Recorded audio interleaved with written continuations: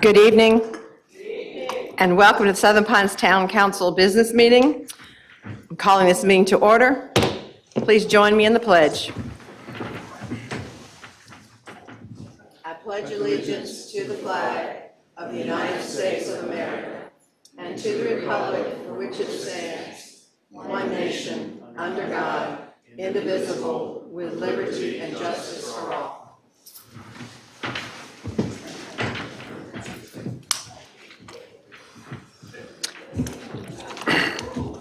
We're going to go ahead and get started, and we have comments from Reagan Parsons, our town manager. Thank you, Mayor Haney. Um, Just quickly, relative to the agenda this evening, I'll first draw your attention to item 5B, the St. John Paul CDP. As council is aware from the uh, agenda meeting last week, both the applicant and the uh, attorney for the opposing party have requested a postponement of that and, or a continuation of the hearing until, uh, until next month's regular business meeting. So when we arrive at that public hearing on the agenda, uh, would simply ask for council motion to go ahead and continue that uh, to your July 12th meeting. Relative to the, um, and I'll also just note that uh, 5F, your second public hearing, uh, as I had stated last Wednesday, I will do a much abbreviated version of the presentation of the budget at that point. Relative to your action items, you've got a number of things this evening, including a demolition of a property, uh, a watershed permit, and then uh, final action on creating the municipal service district between 15501 and West Morganton Road, adoption of your budget to include the setting of a tax rate and, uh, and also the, the tax rate within that MSD, uh, or municipal service district, and then finally the reimbursement agreement relative to the parkway. And then your consent agenda is comprised of um, A few items I'll point out being the uh, appointment of some bicycle and pedestrian advisory committees, the adoption of your local water supply plan that the state requires, adoption of some minutes, um, and then also a resolution supporting NCDOT uh, limiting truck traffic along, uh, in this case, East Indiana Avenue and East Morganton Road. Um, The other items uh, on your lengthy consent agenda this evening are the typical June, in that once you adopt a budget, there are a number of capital project funds, ordinances, rate uh, schedules that all need to be uh, adopted as a part of that budget adoption. So therefore, you've got items all the way up to N this evening. Item N is the contract with Forvis, formerly Dixon Hughes Goodman, uh, to provide auditing services on the current fiscal year's budget. So that will be your consent agenda when we get to that this evening. Otherwise, I'll turn it back over to you, Mayor. Thank you, sir. Um, Now to the public comments. Remember that time is limited to three minutes, and if you want to talk about what is going on on our lengthy agenda, and you you should just wait until the hearing that you want to say something about um, comes up, and then you can bring those um, points to our attention. So just remember, three minutes, because we have extremely lengthy agenda, so, and this has what been our policy for the past several um, meetings. So we'll go ahead and get started with public comments. Dr. Daniel? Thank you, Mayor, Councilman, and members of Southern Pines staff. Uh, Tom Daniel, 1096 McNeil Street in Carthage is my residence, 635 Valley View Road in Southern Pines is my business. I just want to take a minute. I've been involved in conversations and listened to conversations recently about this town council and its performance and its decisions. Um, And I think there's a, a deep misunderstanding uh, sometimes about the constraints under which town councils are, are to be held and by necessary, and quite frequently, the processes that you're, you're compelled to engage in make those constraints. My, my example recently is the apartment complex in Southern Pines. Um, Conditional use permit, because uh, that means uh, a quasi judicial process is engaged. You have to be, it's not, not choice. And unfortunately, I'm very familiar with those, unfortunately, because I challenged Carthage in 2020 about a decision that they made that involved my land in an apartment complex. In my case, they voted yes illegally. And I challenged that. And we won. And because of the way they voted illegally, the judge said that their decision was arbitrary and capricious. And that then triggers the state statute that the judge must assign attorney's fees.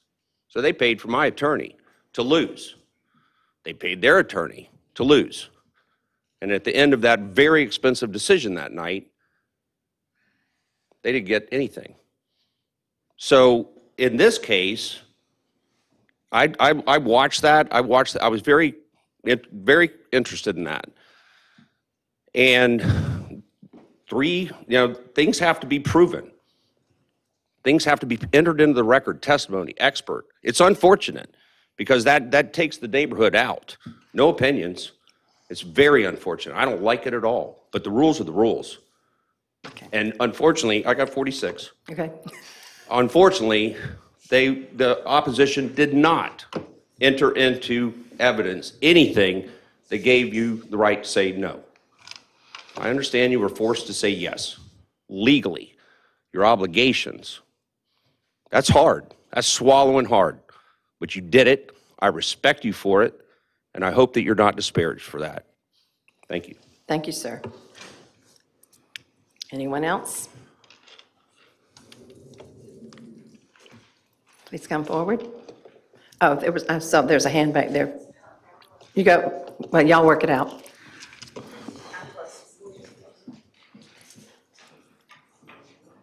Hello, I'm Dorothy Brower, 102 Eastman Road, Southern Pines. Uh, Good evening, everybody. Occasionally, couples uh, renew their vows, and occasionally, I think we need to renew our oaths of office and our responsibility to our citizens. Uh, The oaths that were taken with this board or this council uh, had reflection on the state constitution. To preserve, protect, and defend the Constitution, and also to respect and uphold the rights of life, liberty, and the pursuit of happiness of individuals. Um, All political power is vested in and derived from the people, from the people, for the people. You hear this word uh, and verbiage throughout constitutions, and certainly our state constitution. There are times when some of us in the community don't feel that we are treated equally. And there are times that we think we are not seen and sometimes not heard. Uh, just take a look as you cross the bridge and see if there's equality in what you see. I want to talk a little bit about safety. You may see Miss Ann McDonald crossing her street going to her church, Trinity, almost every day. A lot of times I see people stopping their vehicles to help her cross the street.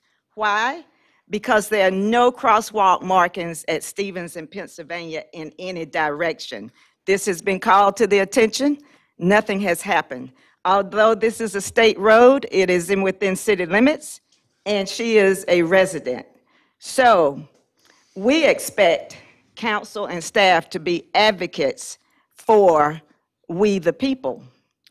Imagine if she were to get hit, what would the headlines read? Unfortunately, there were no crosswalk markings. Unfortunately, we don't know what state she's in. And this is a, a, a citizen who is on that street practically every day, more than one time a day. Her pastor can attest to that. She's a vital part of our community. Another example is uh, Morganton Road. We had resident citizens to, one was killed, a couple were injured, but not until a grandparent or grandparents from South Carolina were almost hit before something was put there. Although we, the people, had complained about it and saw justification for something to be done, but only when there were some out of town folks that almost got hit or got hit.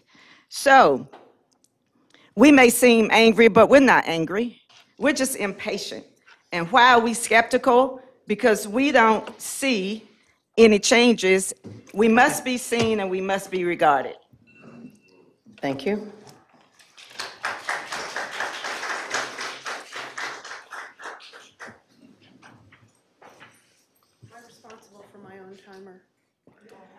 She's got it. Okay, and I'll turn this off. Just Hi. state your name and your address, please. Ariadne Degar, 23 Holly Pines Lane, uh, Pinehurst. Um, I know that you asked that we wait till the section that you were talking about, that we say our remarks. However, my remarks have to do with most of them. So I'm just going to say them now so that I can take my kid home and put him to bed. Um, Piggybacking on what Ms. Brower said, I believe that everyone should have fair representation. And it makes me sad to say that I don't see that. So I would like to discuss the ARPA funds, and I would like to discuss West Southern Pines representation on the budget. It is my belief that when you get funds for people that are adversely affected for something, largely because of the people that were most adversely affected, the low-income areas, and in Southern Pines, for the most part, that is West Southern Pines. That to me, if we're being fair, most of that money should go towards that group of people. In looking at the 20-year development plan that was then revisited and updated, well, one, I think it should be revisited and updated more than once. 20 years is a long time. 20 years ago, looking at me now, this was not the plan. So I feel like 20 years is too long. What I do think the money should be used for, infrastructure, sidewalks, lighting for safety, like what Ms. Brower was saying, crosswalks. Um, oh, sorry. I would also like to see um, flags. East Southern Pines is notorious for these, these flags. We have them for the US Open. We have them for Christmas. We have them for whatever else. We have ones with pine cones, pine needles. I would like to see some flags on some working light posts that say Historic District of West Southern Pines to let people know that they are there, to let people know that they have been there, and to let people know that they need to be seen. I would like to see money put into the Douglas Community Center. I would like to see money worked in with the land trust for affordable housing. Let's bring Habitat into it. Um, I would like to see us invest money in helping West Southern Pines the way West Southern Pines helped East Southern Pines for all of these years, because they deserve it.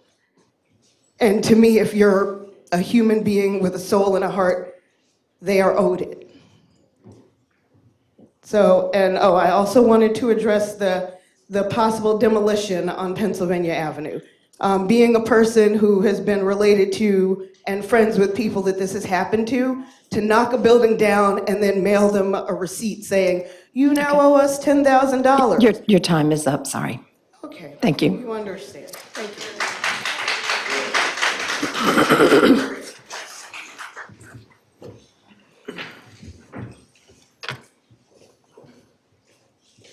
afternoon.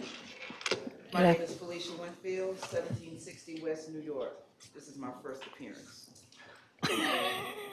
We the people. Three words that mean so much to so many. We the people. If there was to show that we the people want the transparency that is owed to us, was there maybe something that could be said, something that could be done that would make that transparency more apparent to we the people? Maybe there wouldn't be so much distrust in this administration. What the people are asking for is just transparency. Explain why so many projects are being approved. Explain the economic advantage for, for the town at large. Explain the advantages and the disadvantages for the city. Someone who has the power has to put the citizens' minds at rest. They are demanding answers. Do they not deserve to know the why? We, the people, have the right to transparency in our town's government when it's not in its totality given without prejudice or malice. Then the common ground of understanding can be obtained because we are the people. Thank you. Thank you.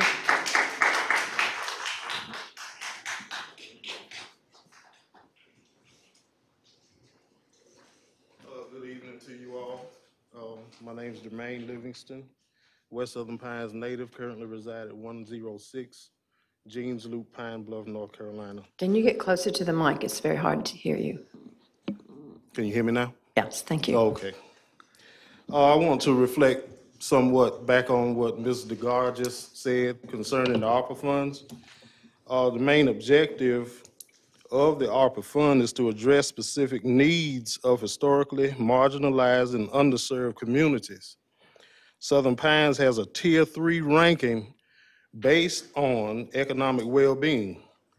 According to the World Population Review, as well as Data USA 2022, there are approximately 1,045 African-American residents living at poverty level in this locality.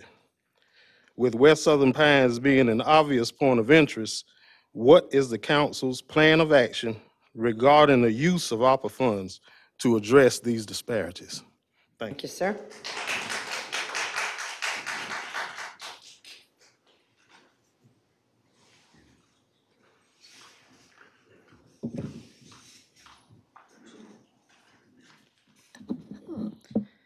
Good evening, council. My name is Nora Bowman. I live at 740 South Hill Street in Southern Pines. Um, I'm here before you uh, this evening with concerns that you should not look through your lenses as negativity. I attended a special call meeting of the county commissioners on September 1st, 2021, and on September 2nd, 2021, the county manager, Wayne Vest, stated in the pilot, and I quote, Vest agreed, noting that Moore County is unique because, because while it is considered a Tier 3 co- county by the state, we have a lot of Tier 1 and Tier 2 areas. I think the census qualifier really speaks to what's being, what, what we've been trying to get across to the legislators. It gives a more granular look. I will allow, it will allow a border, a broader use of ARPA funds to be used. I would like to um, include this as well as the HUD report um, for the council review. Okay.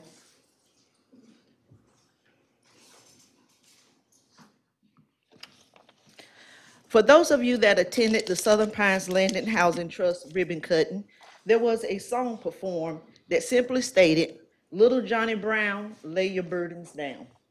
The little Johnny Brown took his burdens to his neighbors, and his neighbors helped him with his burdens. The question is, who are our neighbors? If we are to be one Southern Pines, we are all neighbors. Our burdens on the west side of Pennsylvania Avenue are far too great to name in three minutes. So I ask, Town Council, Madam Mayor, Town Manager, can you see the encroaching, unchecked gentrification that is going on in the western part of Southern Pines? Also, the overdevelopment in others' backyards. Council, my ask is that the budget and the ARPA funds be used for the betterment of all of Southern Pines, not part or areas that you see through your lenses. Please take into consideration the request of the residents here today, your neighbors, the, the underserved, and the burdens that we all bear. I ask that you save Southern Pines. Thank you. Thank you.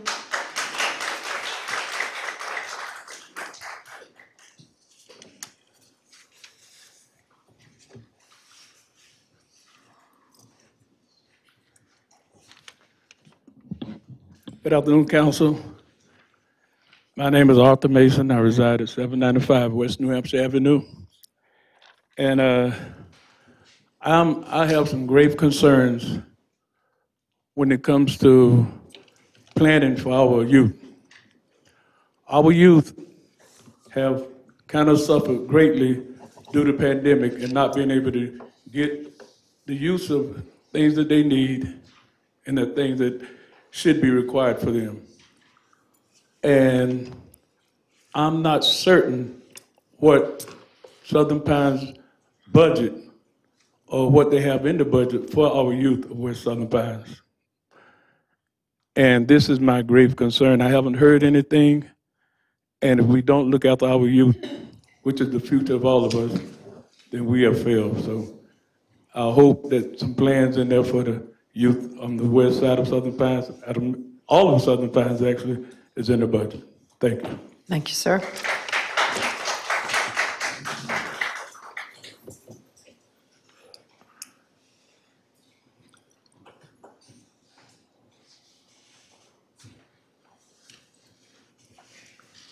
Good evening, council. Good I'm evening. Tina Gillis, and I live at 160 South Gaines Street, Southern Pines. I just have a couple of concerns of the community. The first one, historically, how has West Southern Pines been positioned in the town budget? The second one, we spoke of the 4.6 million allocated for West Southern Pines and what we need to do in order to track the funds so we make sure we get what we was promised to us. Thank you.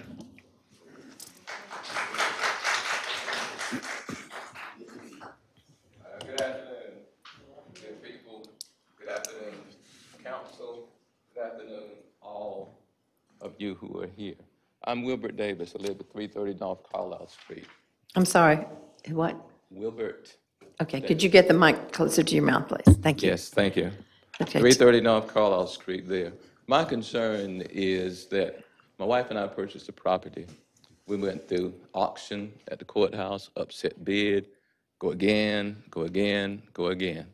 Now, I've been told that there's some people that don't have to go through the bid process, they get land. They get it pretty cheap. I'd like to get some of that because I'm a citizen too, said retired, educated. I'd like to have my share. We purchased a lot on Pennsylvania Avenue, not too far from the barber shop. Now, I was told that there was some heavy equipment on our land, and then they cleared it off. They cut down my trees. They bulldozed up this. They bulldozed up that. And being an educated and responsible person, that I can't, excuse me saying, be going out here raising a lot of hell. I got to do things decently and in order as a citizen would do. So I go to the planning board, I explain what's going on. I take up my documentation showing that I own, and I've owned it for some time.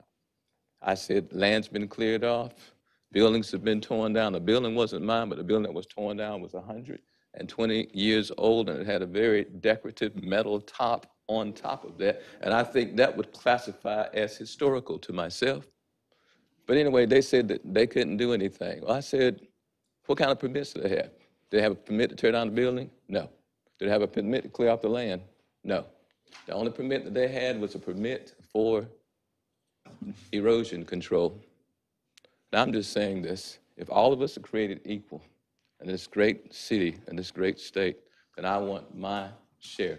Now, in concluding, imagine you own some land that you bought for your retirement, and you get up one morning, you find out somebody done cleared your stuff off, didn't check with you about anything, and then they're gonna build something on your land. Now, question, another question is, when we develop the end of the street down there, uh, Henley Street, if those builders come in and do that, how are we gonna stop them? Are we gonna say, oh, this is okay? What are we gonna do? Isn't it time that we stand up and follow our own rules? And that the rules are not just for some people, but for all people? Thank you so much. God bless everybody.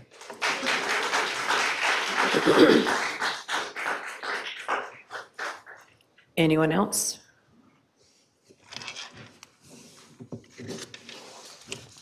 Okay.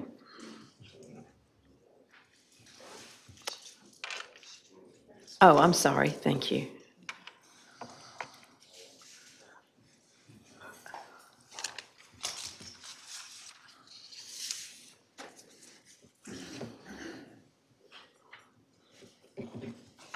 Evening, everybody. How are you all today? Good, how are you? My name is Julie Ainsworth Allen. I reside at 1210 West Michigan Avenue here in Southern Pines. I am the owner of the store that was, used to be store at 891 Pennsylvania Avenue. I'm here because I understand that you all are getting ready to demolish my building because you say that it's in a condemned uh, situation. I have the building up for sale. I have a contract on it, and I'm here to ask you all for more time for me and the investor and uh, my real estate agent to complete this uh, contract that we have. Also, my concern is about West Southern Pines, period. I was born and raised here. And I know from my childhood, this side of Southern Pines on the west side, we were self-sufficient people. We had over 40 stores over here back in my childhood of growing up. And I sit and I look today as I walk through and ride through my town on this side. Every building, everything that was of value to us, that meant something as far as our children having a legacy that they could look back on and say, this is from our parents and our grandparents has been. It's a sad, sad day to look and to see that. That building that I have down there is about 100 years old because I'm 86 and it was there when my childhood. So I'm asking you all to please be more considerate for West Southern Pines. Help us to salvage what we have left. We, we want to be proud not only of East Southern Pines, but we want to be as proud of West Southern Pines. Do We are have, all one, and we are all in this pot together. do you have a copy of the contract by any chance? Could you share it with us, because that's what we've been waiting for? I, yes, I do. I have my contract here, and uh, it has been signed, and I'm waiting for it, my, uh, uh, my real estate agent to, uh, con, con, uh, to s- finalize this. So if you all will do that for me, I would greatly appreciate it. Okay. And thank you so much for your time. Thank you.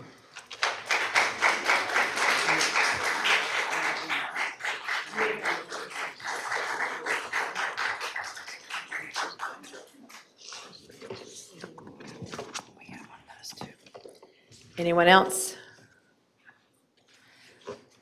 Okay, so our first public hearing, let me get this thing back up on track here.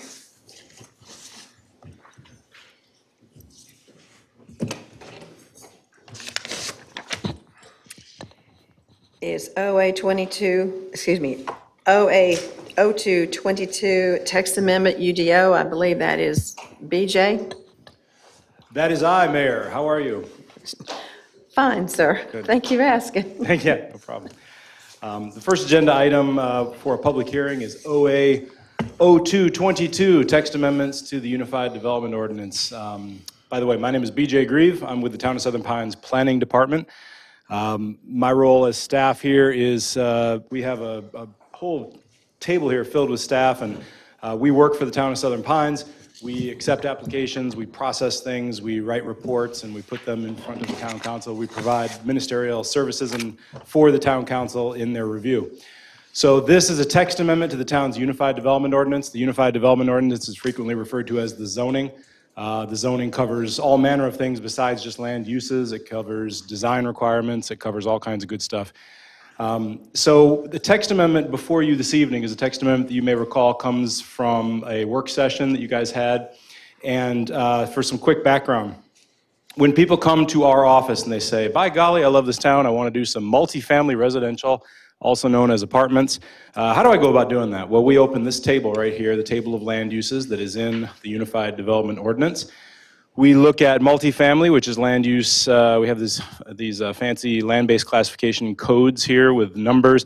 We say, well, that there is a 1151 multifamily, and it is allowed in certain zones. It is allowed in the RM1, RM2, central business, neighborhood business, and office service zones. And they say, great, I'm good to go, I'll break ground tomorrow. And we say, hang on there. Uh, first, we want to look at a little bit previous to that. We want to look at this section here uh, that says multifamily structures and townhomes. When used in connection with multi-family residential structures, the designation ZC, you'll recall that down here, the little code in this table is ZC. We go to this and it says, development of apartments with fewer than 10 dwelling units may be established pursuant to a zoning permit. Developments of 10 or more dwelling units require approval of a special use permit or be developed as part of a PD. Um, you guys will remember that uh, a couple of projects have gone through that were special use permits, and so we took a look at an option of modifying this so that it would look like this instead. What you're seeing here is a markup version that I'll zoom in on a little bit further. What was discussed was the special use permit process. It requires an evidentiary hearing prior to rendering a quasi judicial decision. And that process, as was alluded to earlier, is a very regimented process requiring, uh, as I said, an evidentiary hearing. And uh, there are strict rules regarding who can provide testimony and who can give an opinion versus who can state facts. And so the proposed text amendment is to make it so that no longer will any large apartment complex be able to be reviewed as a special use permit. They shall only be developed as part of a planned development. The distinction here will be instead of multifamily, let's say a 280 unit apartment complex coming in as a special use permit, instead it would have to come through as a planned development, and a planned development requires, as you guys are very familiar with, a three step process that starts with a rezoning. A rezoning is a legislative hearing. A legislative hearing requ- uh, allows for far more discretion and far broader public participation. And so this text amendment would facilitate that all large apartment complexes of um, 10 or more dwelling units would now be reviewed, uh, allowing for broader public participation, and you would not have such restrictive procedural requirements. Condo developments, similarly, would uh, be developed as part of a planned development. And there was one other uh, bit of housekeeping, which was in chapter four, there are design standards for multifamily development. And so the change you just saw would also require some change to this text here that would say no multifamily development may include 10 or more dwelling units except pursuant to a planned development. So that is the text amendment uh, that has come before you. This text amendment went to the planning board as is required under state statute for a public hearing. Uh, it was a very good time on May 18th, 2022. If you weren't there, you missed out on a lot. Uh, our planning board is outstanding and awesome, and if you want to come to their meetings, you really should because it's a good time. Um, if you're a planner. Thank And you, for- so- thank you for those parentheses.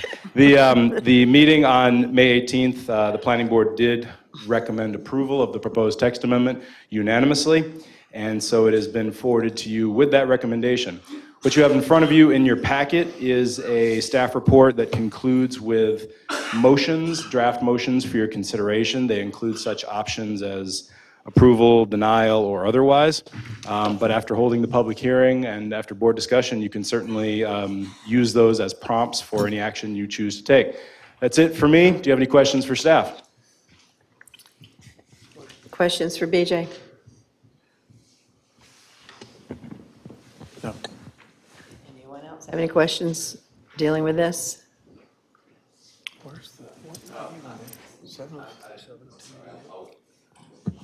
I've got somebody coming forward. You need name and address as well? Please, always. Name is uh, Caleb Harmon, reside at 107 Edinburgh Drive in Highland Trail, Southern Pines.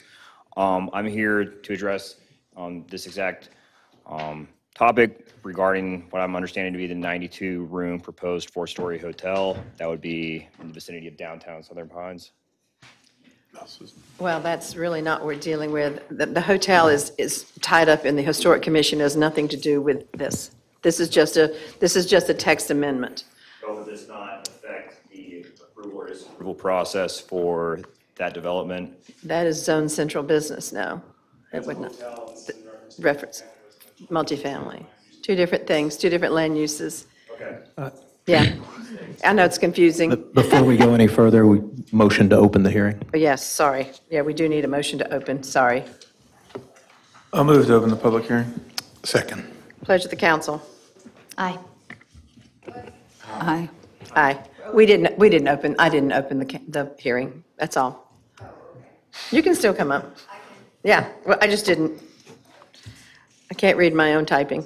Housekeeping. This is close, BJ. Um, Suzanne Coleman, 225 North May. Um, Could you just slip this in real quick? Um, uh, I disagree with what the council just decided about that young man that was just up here to speak, because while this testament is an encouraging first step, it does not go far enough to protect our town. It does not, what is being done about encroaching gentrification of West Southern Pines, the revitalization of West Southern Pines, because surely the DFI's proposed concept offered very little. What's being done to protect the historic district, and I think that hotel and that hearing that was held last week is a perfect example of how we're not protecting the historic district.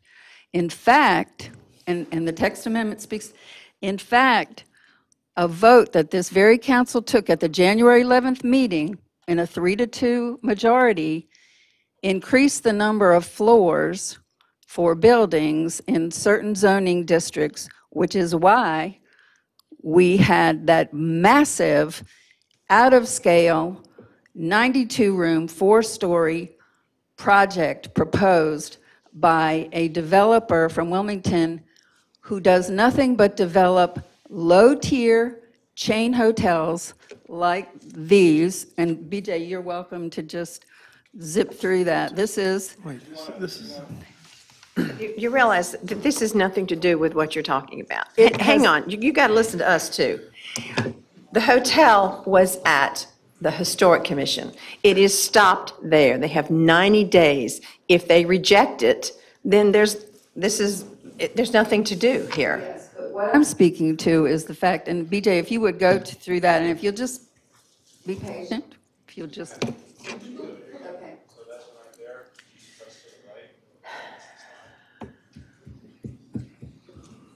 The reason that I'm offering this is that,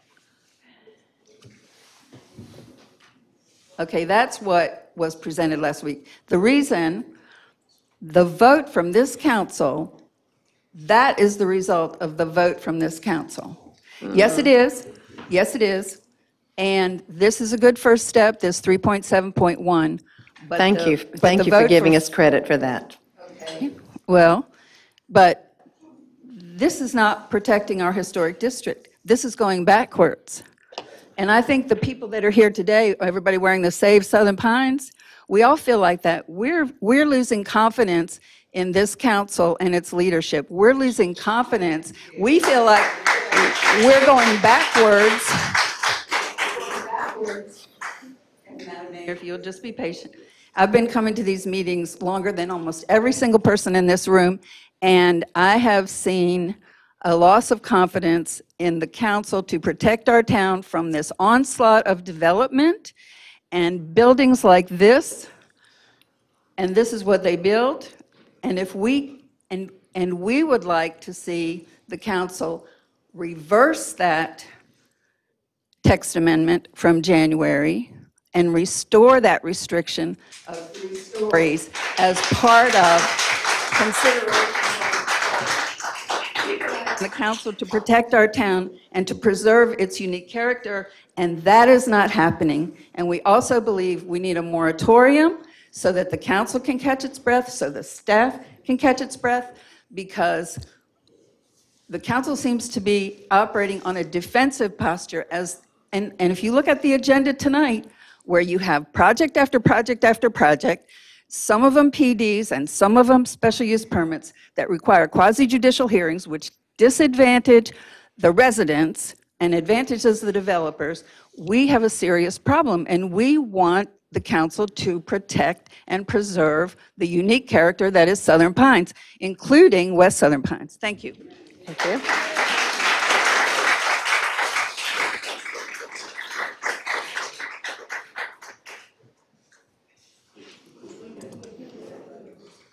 I realized that the session was not open officially when I came up last time, so I would like to address the council again. Um, So I held my comments earlier um, during the public um, commentary because I was under the assumption that this was the appropriate time to address this. So I'm going to give my comments now. Um, Southern Pines is a local boutique, mom and pop, historically significant town. Um, People see that character just simply driving through the downtown region. There's 15501, there's Scarborough Road in Fayetteville, there's plenty of places to shop and find hotels otherwhere. Destroying the unique nature of the downtown will destroy the very soul and fabric of the downtown and the city of Southern Pines and what makes it great. Corporate chain franchise businesses have no place downtown. There are multiple other places for them to go. They're already going on Morganton, they're already going on 15501, and many other places up and down Highway 1. I don't, I've spoken to nobody in Southern Pines that resides in this state or this, the city that has any interest in this hotel. What I want to make sure is that the constituents are being looked out for by the council and by the mayor and by the employees of Southern Pines, not by investors that are out of state. There are plenty of small business owners and investors and entrepreneurs local. Those are the people that should be empowered, not investors that are out of the city, out of the counts, out of the county. And I understand that towns are either growing or dying, and that development is integral to that. But there is a way to do that and preserve the nature of that area or to kill the nature of that area. And I do not want to see the soul and the fabric of Southern Pines destroyed in the name of financial interest for others that don't reside here and potentially the financial interest of people that are the employees of the city of Southern Pines. Thank you for. The. Thank you.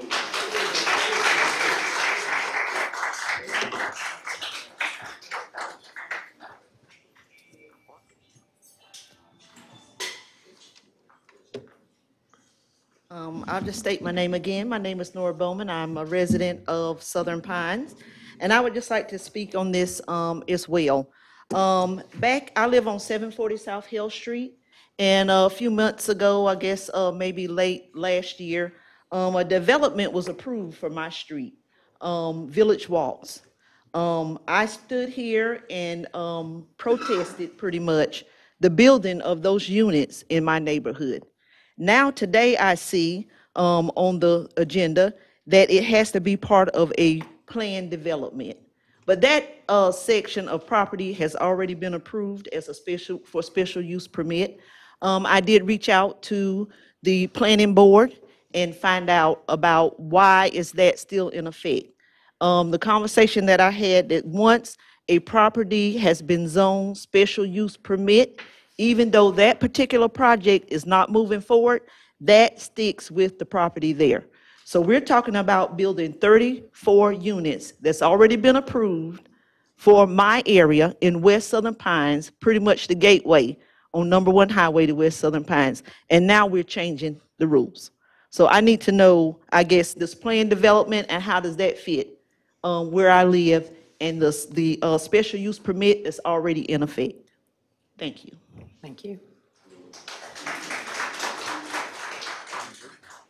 Go ahead. I think, I mean, I'm, I'm taking my best guess to answer your question. I'm not, I'm not a professional planner. Um, We were, my understanding is we were attempting to find a way to remedy um, the hearings that aren't fun. They're quasi judicial, and it doesn't give adequate um, ability for everybody to speak. My understanding, this amendment is, was the, an easy way, quick way for us to do the best we can right now to address that, so that we don't keep having that issue over and over and over again. Anything that comes forward, moving forward, as, as this passes, we'll have the ability to listen to everybody's concerns, to listen to their um, particular um, opinions and knowledge of neighborhoods and all areas of town that we just couldn't do before and can't do because our hands are a little bit tied by the way that the rules were. So this understanding is to help us do that better. Again, understanding we're going through a long-term plan review, and hopefully we'll really, really, really get this all a way that everybody's understanding and comfortable with the rules. But for now, this was to help protect that. Unfortunately, what it doesn't do is it doesn't change anything that's happened before. So we, we can't go back and change the rules as to what was already approved. But it's hopefully will help to avoid the same concerns that we were hearing over and over as these projects were coming forward. Is that even close, BJ? Yeah. And that is the reason that we're starting with a long-range plan. Okay. Well, I didn't, I didn't answer it right. I, I want to just try to, I'm, I don't know, I'm trying to explain it, but what? Okay. You can't change something that you shouldn't have been changed in the first place. Once something has been approved, we've got to move forward, and you have to realize a lot of this zoning, hang on, some of this zoning that we're living with was from the 80s and the 90s. We're living with what was presented to us. That is the reason we're doing another long-range plan. We're changing the UDO. We, we we are listening to you. We're trying to change things. It's very difficult to just change midstream immediately. That is the reason that we've hired someone. I think we're about there to, to ask all the questions. You will have lots of opportunities to have public meetings, private meetings, big groups, small groups, to, to speak. That's, that's what we're trying to do, and that's, that is the plan, and that's, I'm, I'm sure Reagan can talk about when we're about to sign the paperwork to go ahead and move forward on that. But once something has been approved, it, I don't think you would appreciate it either if we approve something for you and then you agreed to, you know, and you're moving, and then we decided midway, oh, no, you can't do that. That, that- that's, you can't, you. Wait, you know, y'all, we're, we're better than this. Can we just have one person at a time? And you, you say you're not angry, but you really are an angry group. Yeah, you are. You really are. You got to realize, we're volunteers up here. So, you know, just, just, just give us a break and just, we're listening to you, but just give us a little time to make some changes. They are not done overnight. Yes, sir. Wilbert Davis, 330 North Carlisle Street. My question initially was this.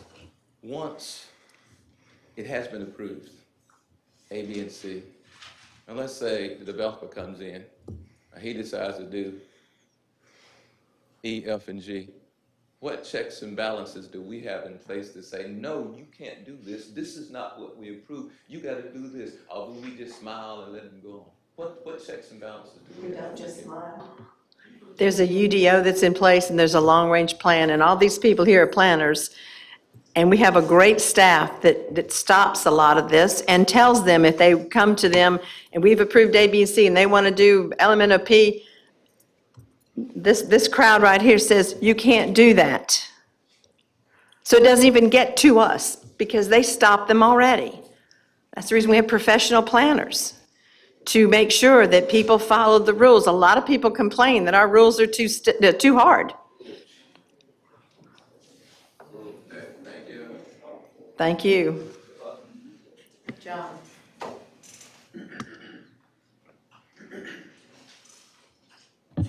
Hi there. Didn't, didn't mean to take it off. Uh, John McInerney, 460 Crest Road. Um, I think this is a good first start. Um, I guess let me ask, if I heard you right, BJ, like when, if we, if this happens and somebody has to do it by PD,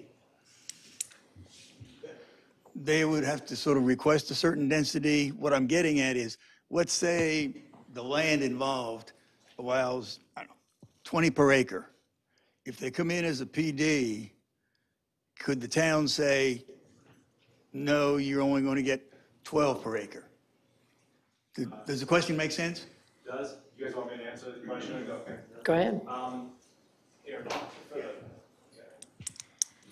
We got people playing along at home, so I want to make sure to be on the mic. Um, When you apply for a plan development, you come in and you write your zoning. And so you propose the zoning of your development, and the zoning would include the density. And so if you came in and said, hey, I got this uh, planned development, here we go, it's 30 units per acre, the town council at that time could say no, and they have broad discretion because it's a rezoning. They could say, how about instead of 30 per acre, it be more along the lines of 10 per acre, or five, you know, they can adjust it, they can um, make, they can recommend changes. Um, And then if they don't change it, they don't have to approve it. So yes, that's a long-winded answer to your question. The answer is yes, they, they can come in, the, the plan development process, step one is writing your zoning, and the town council can decide to approve it, approve it with conditions, or deny.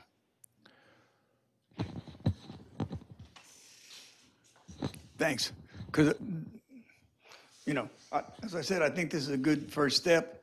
I, I, I gather that if this had been in place, just to pick on Patrick's point, Patrick's point would have come in and the count, you all could have said, nah, we're not going to go with 266. We're going to go with 220, or you can go elsewhere.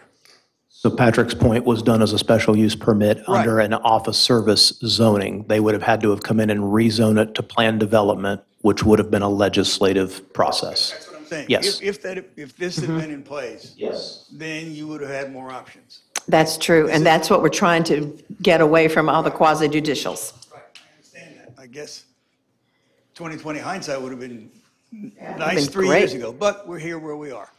Um, I think there's a, a density problem in general in this town. Uh, Not directly related to this, I guess. I guess, a not necessarily rhetorical question is, could you all pass this tonight? Is, is that feasible? That was the plan. Okay, Okay. I mean, I didn't know, sometimes you have a public hearing, and then a month later, you'll vote on it. Uh, What I'm thinking is, the sooner you get this on the books, So- the better. Um, I assume it's probably too late for 5D, which is a special use. I mean, that, which is a shame. I mean, generally speaking, I'm afraid this town is choking on apartments and will choke on apartments. Uh, And the sooner you can get some better control of that, whether this, I doubt that this is the magic bullet. I think it's a start, but I really am on, It was a quicker, leery of what's going on and how, how full of apartments this place is going to be, and I don't think, I'm afraid we're not going to like it. it was a quick it was a quick fix, so to speak, un- until we could get the long-range plan Oh, I people here. understand. Like I Yeah, said. yeah. Do it now, as far as I'm concerned. The sooner the better. Thank you. And if I can just add, just so that I guess it will be clear to everyone, uh, what we're proposing to do here tonight, uh, to amend the UDO, that's to make sure that when the council's hands were tied with that quasi judicial on Hale Street, as well as the quasi judicial with Patrick's Point, we couldn't do anything because of the way the rules were set. What we're proposing to do now is to bust that up so that we can, in fact, do something and enable you all to have voices so that it won't just be the voices of expert witnesses. You, as a resident, will have a val- valid, valid and valued voice. So that's what we're trying to do in this first gesture. So just want to make that point. Thank you, sir. Looking to the council, what do you want to do with 0802? Given our legal constraints, I think that this is the right answer to move forward, um, to make the, the best, the most positive change in the least amount of time. I would vote to approve AO.02.22. Sorry, oh, close the hearing. Motion to close the hearing first. Second. Aye. Aye. Need, I'm looking to a motion to approve 080222. And therefore I move to approve OA-02-22. Second. Hold on, hold on, please. please. Um, The motions that are in the back are very important. You have to make statements regarding consistency with the comprehensive long-range plan. That has to be part of your uh, conclusion. So there are two motions drafted. To see, uh, number one is I move that after considering the criteria for text amendments. Uh, Number one sounds like where you guys are at. I would recommend you read that out loud and have it on the record. Would you like me to read the entire thing? Yeah, Okay. please. Sorry. Sorry. So starting with, the I move that after considering, correct? That would be very, very Thank you, BJ. I move that after considering the criteria for text amendments found in UDO 2.17.10, the first course of which is consistency with the comprehensive long-range plan, the ta- town council finds that the requested text amendments are consistent with the comprehensive long-range plan and are a reasonable way to implement the comprehensive long-range plan, and therefore the town council adopts the resolution as adopted by the planning board that is included in an attachment to the staff report for AO-02-22. OA. You just, OA. you just went dyslexic on us. OA-02-22. Thank you, Ann. That's okay. And therefore, I move to approve OA-02-22. Does that sound good? Yes. Pleasure of the council. Aye. Aye. Thank you, and I appreciate the staff's hard work on that, too, and their, their quick hard work, so we can move forward. The next is PD 0422. This is a continued quasi-judicial hearing open from last week, I mean, last month, excuse me. And the two parties, as um, Mr. Parsons mentioned, are involved with the St. um, John Paul CDP and are still in negotiations and have asked for continuance. Usually with this situation, a better outcome comes together if the two parties can come together. So with that being said, I need a motion to continue PD 0422. I'll move to continue PDO 4-22 until our July 12th regular business meeting. Second. Pleasure of the council. Aye. Thank you. The next three are quasi-judicials, as you've probably already understood. The, um, so with the parties involved with Morganton Park South Apartments, PD 0722, please stand, staff included.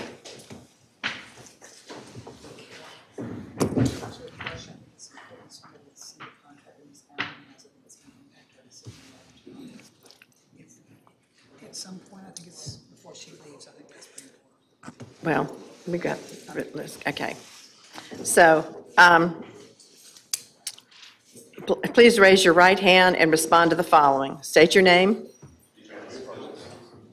Do you solemnly swear that the evidence you shall give the board in this action shall be the truth, the whole truth, and nothing but the truth, so help you God? Council members, please disclose, disclose the following. Any site visits? Ex parte communications? Specialized knowledge you have of this case? Anyone have a fixed opinion that's not susceptible to change based on what they learn at this hearing? Where they have a close family member, business, or other relationship with the applicant or other affected persons? As their attorney representing the petitioner or the opposition?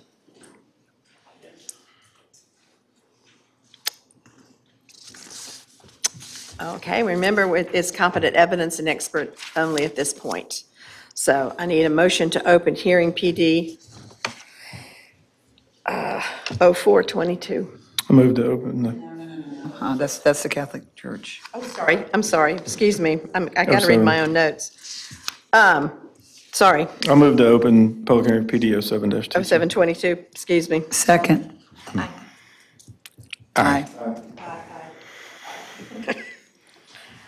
Um, Who's coming forth? Pam. This is our principal planner, Pam, and she will present our staff report.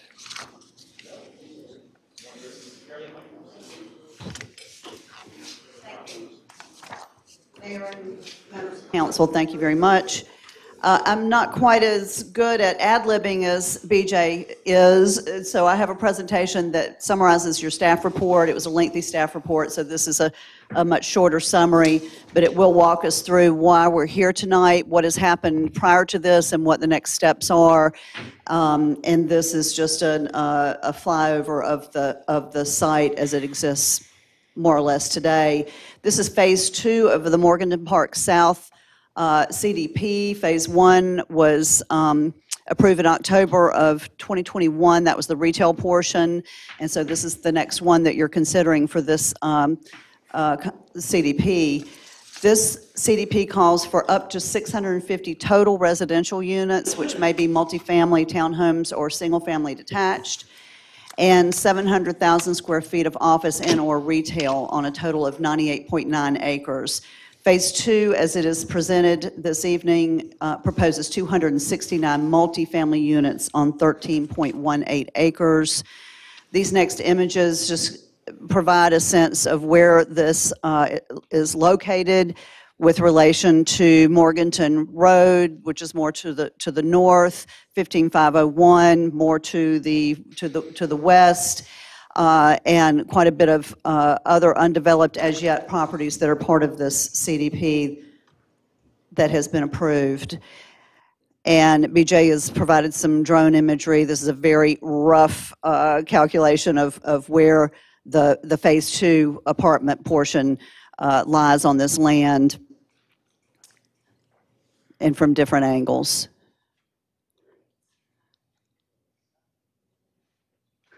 Can see the soccer fields. We're, we're looking, the soccer fields are more to the right in this, in this photograph, and you're looking more or less towards uh, 15501. Just want to bring up a couple of slides that show where we were when this was approved as a CDP. Uh, The, the, the portion of this plan that you see that's sort of illustrated is the retail portion that has already been approved.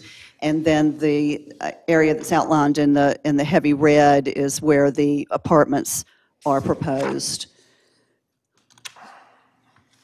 There's some additional um, exhibits that were provided by the applicant at that time. Those were in your packet as well. This, this uh, gives a sense of the transportation network. There is a, a, uh, a spine road that will work its way through this CDP that is not yet built and is required to be built with the Phase One construction. Uh, Very simply, there are four criteria for the council to consider uh, when considering a, a, a PDP. The first one has to, has to do with the application demonstrating that it will achieve the purposes of the planned development district, uh, which this is now zoned, and the UDO. Um, Staff's evaluation results in the proposal meeting the purpose of the district, uh, and that the future land use does call for tra- traditional mixed use for this property in this project area, and also that it meets the intent of the district in that sufficient public water and sewer are available to the site, and the existing and proposed street systems are adequate to handle the projected traffic volumes generated by the de- development, and there was a, a traffic impact analysis done for both Phase One and Two together. Uh, The second criteria has to do with the application demonstrating that it's consistent with the CDP that was already approved, and that it conforms to the UDO. Um, The UDO, as you know, does set the expectation that there would be some uniqueness in the design and therefore some flexibility with planned development uh, projects. Uh, And that's why we tend to see some uh, deviation uh, request along the way for these projects. They're site-specific and uh, in the attempt to make it palatable and uh, appropriate for the area, sometimes we do see uh, deviation requests, and we'll, we'll, we'll talk about those in just a moment. Um, In this case, in order for those deviations to be granted, they do need to meet or exceed the general intent of the UDO standards. Uh, It needs to show that, that it is appropriate given the specific mix of uses and the character of the development, and that it achieves a more efficient, safe, or economical land use without detracting from the quality of the development or the community as a whole. Uh, When we compared the- this PDP proposal with the approved CDP, uh, nearly all of the provis- provisions that were set forth have been adhered to here, and that includes the mix of uses uh, for this portion of the CDP, the street standards, open space and other amenities, including pedestrian circulation, uh, the location of the development being consistent and appropriate by the, uh, as, as stated in the, in the long-range plan, and that there is no cause for inefficient extensions or expansions of public facilities, utilities, and services. Um, That being said, there are some deviations that have been requested by the applicant, and I will touch on those and then allow him the opportunity to, um, to, to go into more detail with that. Uh, The first one has to do with the density. Um, Although the entire CDP caps residential units at 650 uh, total, uh, there is a density provision that was, is both in the Morganton Road Overlay District, which is in our UDO, of course, and in the CDP, that the density be capped at 16 dwelling units per acre. And what we have proposed tonight is 269 units on 13.18 acres, uh, and that calculates to a little bit more than 20 dwelling units per acre. Um, And I, and I will, will, will turn over some uh, ju- justification uh, for that to, to the applicant. Mr. Kuntz is here tonight and other representatives of the project. I will say that the TIA that was um, reviewed did uh, include a count of 260 for this phase, which is now 269, but there was a technical memo that was drafted uh, to account for the 269 units. Uh, Another requested deviation has to do with the parking, and they have uh, asked to reduce the number of parking spaces from what would normally be required uh, at 507 to 434. And then lastly, I just want to mention this, this was not included as a requested deviation. And I I know Mr. Kuntz can explain this to you. We had some debate about um, the provision that is both in the UDO and in the CDP about how the buildings are oriented on the site. Um, There is, of course, that spine road, which will be the public road that you will, um, that will provide access to the site. And then there are some internal uh, uh, vehicular transportation areas within the site. And really, the, uh, the, the sticking point here is whether uh, orientation of the buildings to the road means that public road or the internal private roads. And I want to, just want to show that to you in, in these exhibits. These are actually from the uh, Phase One, and that's why you see uh, the, the retail portion is more prominent on this, uh, on this slide. Uh, But there were some very conceptual illustrative designs provided for this apartment complex, which is to the right in this slide. Um, And it's sort of grayed out here because that's not what you were considering at the time that this was uh, put, put before you. Um, I've zoomed in and oriented it more to, towards the current plan, which will be on the next slide. And this shows uh, that there, there is, in this conceptual design, one building that is oriented to that uh, public street and other buildings um, set in, in uh, locations that uh, address the retail component that is adjacent to this property and the open space that will be uh, uh, along the perimeter. This is the current plan, um, and that building that faced the public street is, is not here, as you will see, and the other buildings now are oriented to face internally. Uh, They also provide some access, at least most of these buildings provide some access to perimeter green spaces, uh, but the buildings are more oriented internally to the private streets that will run through this development and also make a vehicular connection to the, to the retail portion to the, to the, to the south. Uh, The last two criteria that I'll touch on briefly have to do with uh, the development being located in an area of town that is appropriate. And as I mentioned earlier, uh, the long-range plan does designate this area for traditional, traditional mixed use, and that is what we're seeing in this proposal. And then lastly, that, that it will not cause the need for inefficient extensions and expansions of uh, public services, which we also um, touched on earlier, that, that those, um, that those expansions are not considered to be inefficient in this case. Uh, We really did not receive much as far as agency comment on this, um, uh, this proposal. Some of these comments came in during the CDP phase.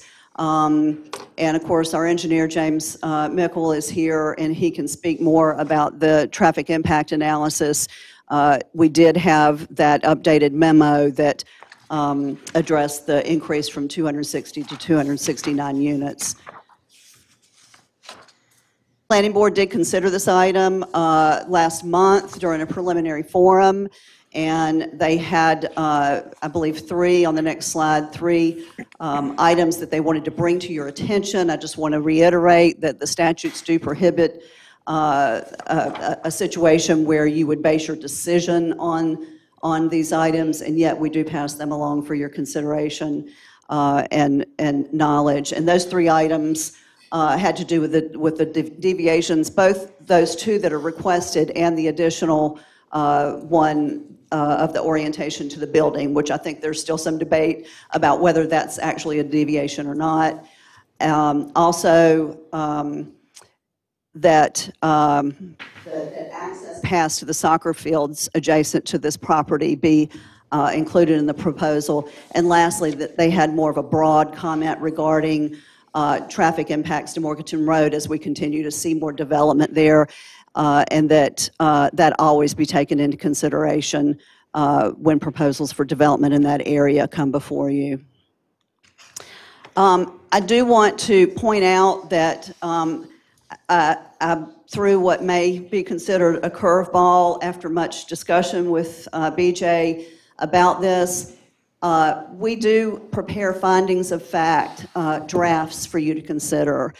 And in my interest in not appearing to lead you in one direction or the other, what we've done is prepared one set of findings, should you uh, look at this proposal favorably, and another set if you should look at it unfavorably.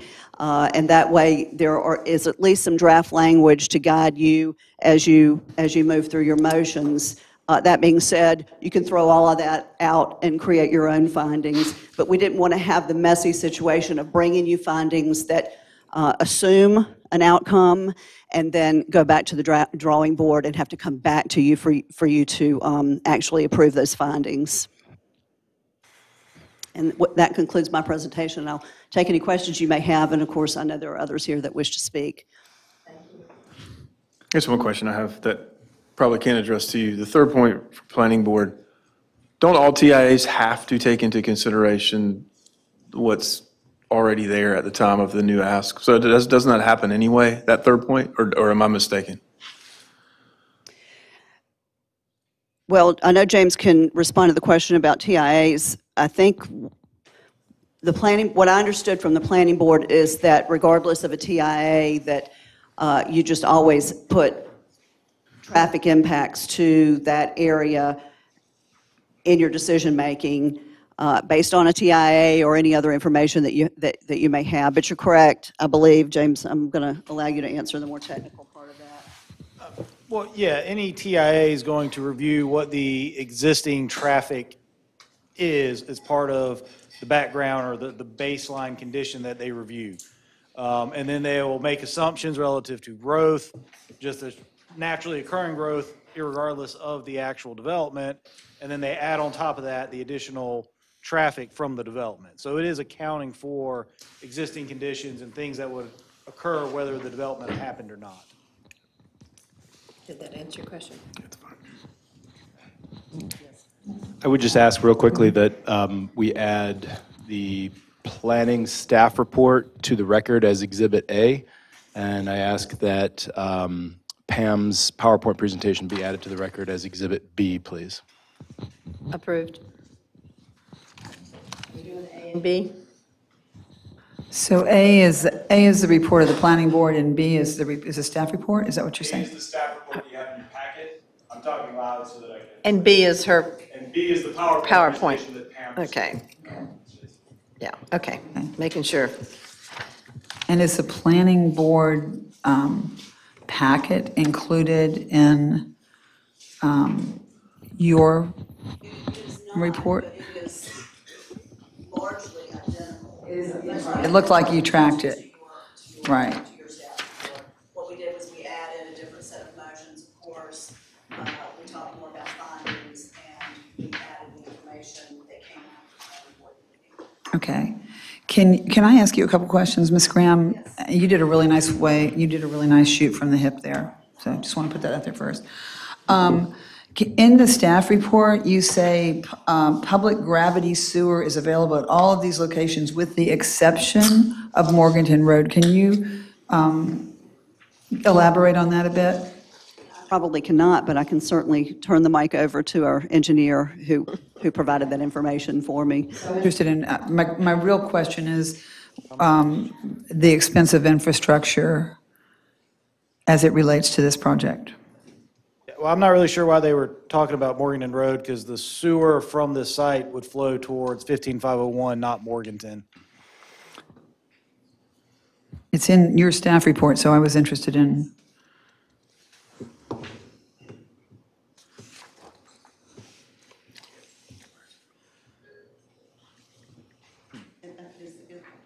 Well, is, is there sewer on Morganton Road? Uh, in certain locations, I, I want to say this is kind of referring to the, the overall CDP language, not necessarily being specific to this PDP that's coming before you right now. so did you author that section on the staff report, James? I don't think I did, actually. I don't think he authored it. I But- think, I, I think, I, I probably consulted with him, but I also looked at the, uh, utility maps and there appeared to be a deficit of sewer lines along Morganton, but that is just not the location that would serve, serve this project. Okay, so your, so your testimony today is that the deficit would not impact this particular project? Is that right, or is that not correct? That is a correct statement. That's And then, can you um, also talk to me about um, the UDO stated intent of regulations and where you stand as staff in regard to um, G or K as far as the intents that are documented in your report? And the suggestion from the planning board, do you agree with or disagree with the connector in light of that um, creativity and recreational response that it might be a good idea to have a connector as a part of the project to the soccer fields? Do you take, do you have any stand on that? I'll just read, G states, promote creativity and innovation in the design that leads to more appropriate relationships between land uses and features. And absolutely, I think that's part of the, the reason that there is some flexibility allowed in planned development districts. In this case, we happen to have an existing recreational facility adjacent to the site, and the planning board uh, was very astute in picking up on uh, the, the, um, the potential uh, opportunities there. Okay, let me also add I to my list. Is it foster, I states foster development of a network of open space to serve a variety of recreational and environment purposes designed and located with respect to the existing unique natural features in environmentally sensitive areas. Would you think that would also support a connector?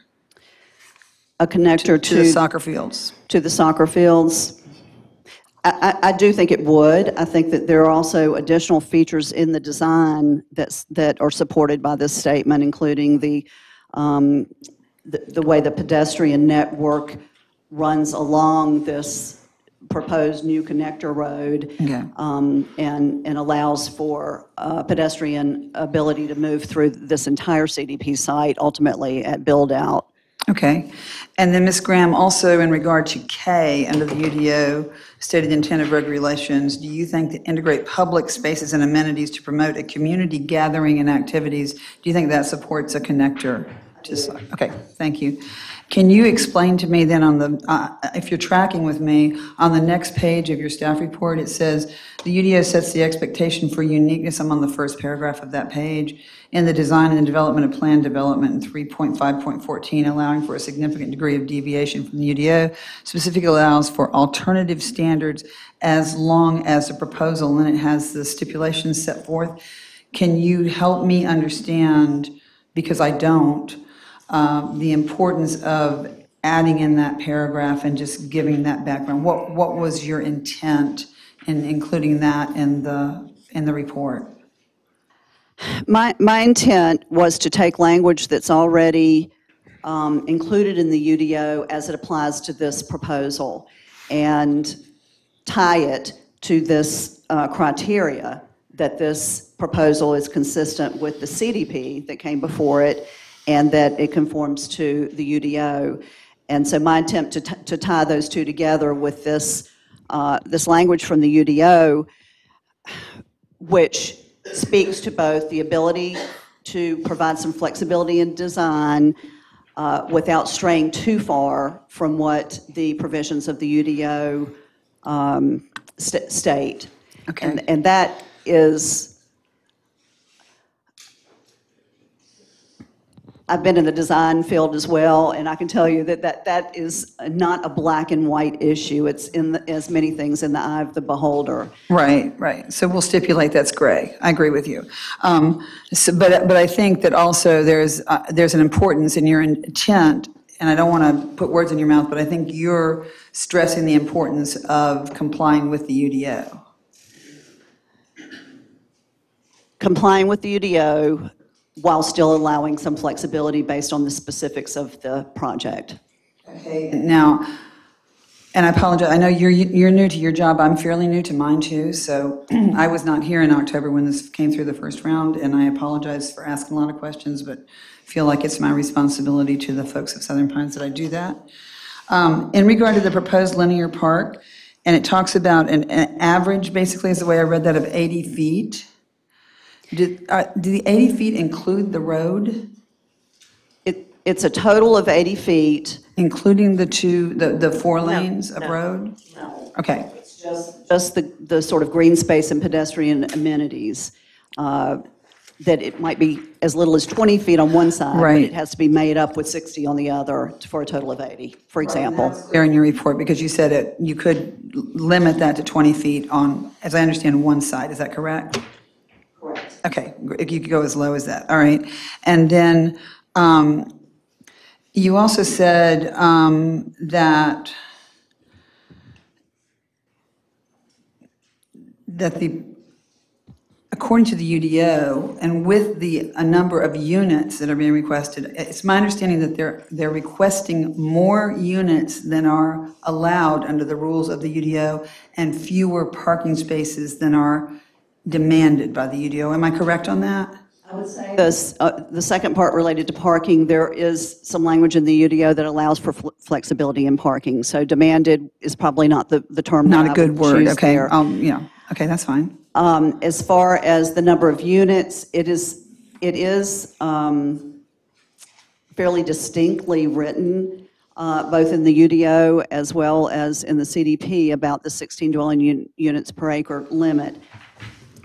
Right, so we have both the UDO and the CLRP and the CDP that would limit it to 16 dwellings per, 16 dwellings per unit, and yet they're asking for 20.4. Is that correct? For this phase. Right. Okay. And I certainly don't want to make the the applicant's case for him. However, I think he'll, he'll, he'll come to you with some justification for why there might be And I understand, and that's his job. I just want to make sure that I'm really clear as far as what the UDO says. And I, I apologize for the way I stated that. It's not 16 dwellings per unit, it's 16 units per acre. Per acre. Units I per want to correct acre. myself, Yes. so, and what they want is 20.4 dwellings per acre. Units per acre for this phase. Okay, so in, in this case, they are asking for 269 units, and if they were to comply with the UDO, which suggests 16 per acre, what would the total number of units be in that case? You're asking me to do math. And I, I, I'll, I'll go, I'll go with you. 13.18 acres. 16, so the total number of units pursuant to. 211. 200, so instead of 269, it would be 211 if we, as a council, followed the guidelines of our own UDO, correct? Just along those same lines, because I had tons of questions about this.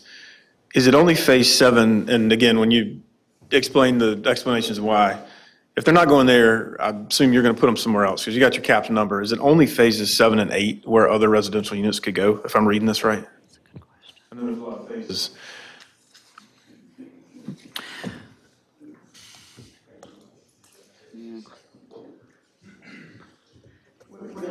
Up for you. That was the only one I saw that said mixed use. While he's, while BJ's looking for that, I will say that Does retail office allow it? I may, I may be misconstruing my. there's a, there's a land use exhibit, and here, here's, Here's that, it was part of the CDP pr- proposal, which designates areas that allow residential. And 650 total throughout, throughout all phases that, that do allow residential. And in this case, if more density were allowed in Phase Two, that would limit the number of units that could be That one, used does, does the elsewhere. blue and the purple allow potentially residential? That's what I can't, I couldn't remember off the top of my head, which, the blue, oh, so it's just the blue? Okay. That yellow is the site that uh, is before you tonight. Gotcha. I'll probably have more questions, but that helps me when they get to the point. Thank you. So follow up uh, on Mr. Pate's astute question, it's a 650 cap for this entire project, is that right? And a cap is not a mandate, they don't have to build 650, correct? That's correct. Okay, and if they followed the guidelines of the UDO in this case, this would be a 211 unit. For this phase. This This phase. Understand. Your statement in the, or somebody's statement, I'm not sure, I I understand that sometimes there's some co-authoring. Regarding the orientation of the building, it says the submitted orientation of building in Phase Two is considered by staff to be inconsistent with both the CDP and the UDO. Correct?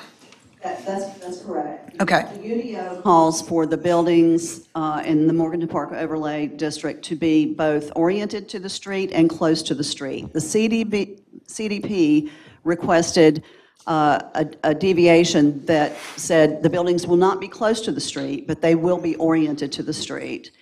And that is what brought me to this conclusion, that we've, we've really lost both of those provisions Right. with, with the plan that's before us Right, tonight. and, and as a council member, I want to thank you for actually taking a stand and, and putting that in there as guidance for us, because you are so much wiser about this than I am. So it makes a red flag go up for me when it says it's inconsistent with the UDO. And that's based on an interpretation. and- I understand. And, and that's still, still to be determined. Right, Of and what we mean by street.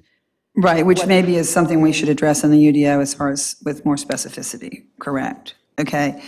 The plan, again, according from your, your, your um, staff report, the plan orients the building toward the internal private street and provides direct access to adjacent open space for some units.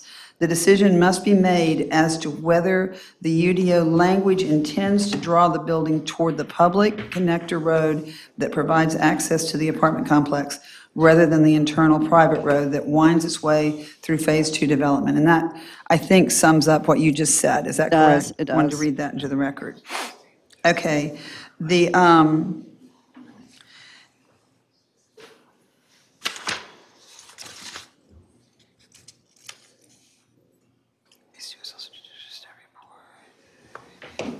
I think those are all my questions for now. I really appreciate your patience, and I thank you. And I think Mr. Pate has some more questions. Before you, I- where can I find that? I don't see it in our staff report, that blue, the original plan development. Page 40.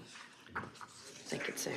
Was included in the packet, Is but there, or you- it's got perhaps not. I'm terrible at navigating 28 this of thing. 55. Thank you. Now I got it. While we're looking at that page, I have a question. Ms. Graham, can you just help me understand? Earlier in the staff report, you mentioned 13.18 acres. And then when we look at this, it actually says 12.7. Is that 12.7 acres, the AC? Is that, uh, looking at this exhibit, I think because this was conceptual in nature early on in the process, this is part of the CDP process, that the actual parcel lines and uh, project area had not been that clearly defined at that So time. it is, it is 13.18? Yes. Okay, thank you. That's, Is that all we had? yeah, sorry, that was L.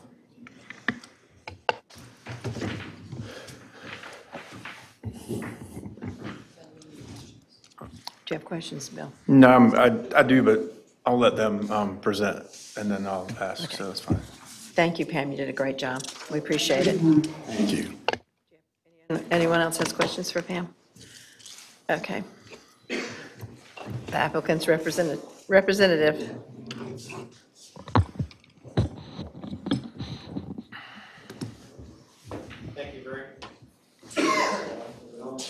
Thank you very, much. I'm Tom Johnson. I'm an attorney with the law firm of Williams Mullen at 301 Fayetteville Street, Suite 1700 in Raleigh, here on behalf of the applicant.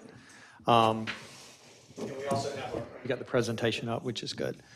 Um, A lot of the questions that have already been raised will be addressed in our presentation, you know, step by step. But this is, we're coming forward with the first 269 units on the parcel that was designated as multifamily in the C, CDP, uh, out of the total of 650 units.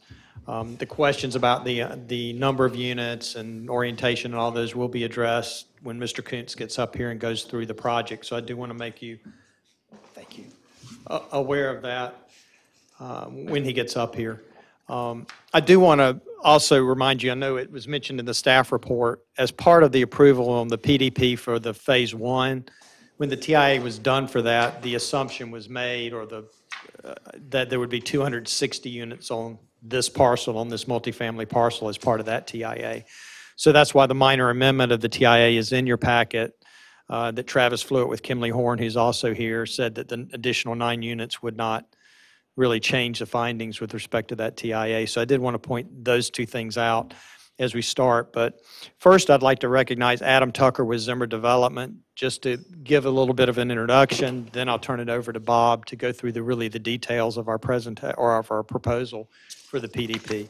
So Adam, if you'll come up.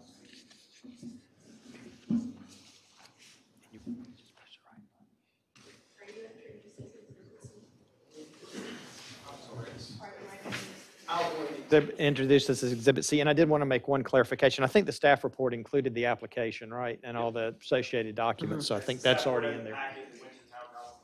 And that's what I noticed with the staff report, so I did want to clarify that. Thank you for reminding me that, but this, we do want this included as Okay. Exhibit C. Approved. Madam Mayor, is there a chance we can turn the fans off? Yeah. The fans.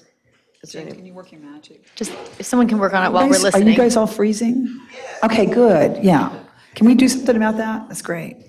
I've learned. feel like I'm on the hot seat up here. Yeah, that's good then. Maybe you like it freezing. It's a little chilly up here, let me just tell you. Welcome, Adam. Uh, Thank you, thank you. Um, I- They would be 48. It's even better. And they've only got 31. I'm Adam Tucker, uh, uh, 111 Princess Street, Wilmington, North Carolina. I work for Zimmer Development Company. Um, Recognize you guys from an earlier project that we have uh, completed and uh, finishing up now, which was Eagle Landing, uh, came before you a number of years ago. But um, before we kind of get into everything, for for people who don't know, um, Zimmer Development's been around for, you know, since 19, the mid-1980s. It's still a family-owned company. Um, We don't have outside investors, so all the money that's spent is Zimmer money. We're not a pension fund from Alaska. We're local to Wilmington, born and raised in North Carolina. Um, I told you guys when we started that we are long-term holders. We don't sell, sell projects. And as a testament to that, we're about to close on a permanent loan for Eagle Landing at the end of the month, which will lock us in for 20 years. And so we're, we're not going to sell it. We've got loan quote, we're done. So we'll be the landlord there for uh, years to come. Uh, You can see our history here. Um, You know, we, we, we travel up and down the East Coast as far out as Michigan. And, you know, I heard some comments earlier about the process here. And I will say that the process here is more arduous than a lot of places that we develop. Um, The Architectural Review Board is very unique to this town. Um, It can, it, it, it does make uh, consistency a possibility uh, when in a lot of places there is none. So um, I think it's a fair process. I think it's, um, you know, nothing's perfect, but our, our experience here was good uh, with Eagle Landing. Um, This is a quick, uh, just a couple of slides for you who, who may not have visited Eagle Landing or been in there, but it's uh, 288 units, so similar to the size project we're talking about on this one. Uh, We are 99.5% leased. Um, It's been a very well received. I know we have at least one resident in the room with us tonight, and, and I think that um, Mr. Koontz uh, says that uh, he's got a couple of employees that are living there as well. So if you want to know who are living in these multifamily apartments, um, they're among you tonight. Um, This is just a quick interior shot of the clubhouse, um, the leasing office. We do kind of an Apple Genius Bar where you come in and sit down and kind of talk about what your needs are and, and kind of go from there. Uh, One thing I will say about the process at Southern Pines, you know, we, we wanted it to be a golf theme. And so we wanted the interior streets to be named after golf, you know, whether it's uh, a, a personality or a course or whatever. And the street naming process is very difficult in Southern Pines because if you have Eagle Point, you can't have Eagle Landing. So it took us forever to get names, but that was just a tidbit of information that was fun. Um, and then these are typical interior units to the to the apartments. Um, you know, hardwood floors, uh, the uh, or or I guess they're um, laminate floors similar to this that that simulate hard, hardwood. Uh, stainless steel appliances, you know, all the things that you would expect in a first-class apartment uh, complex. So we were very pleased with with the end result and the process. And I actually was reading the pilot and came across the article that talked about Morganton South and the development and uh, up the overall developer, and he actually knew Jeff Zimmer uh, from a previous uh, project that they worked on.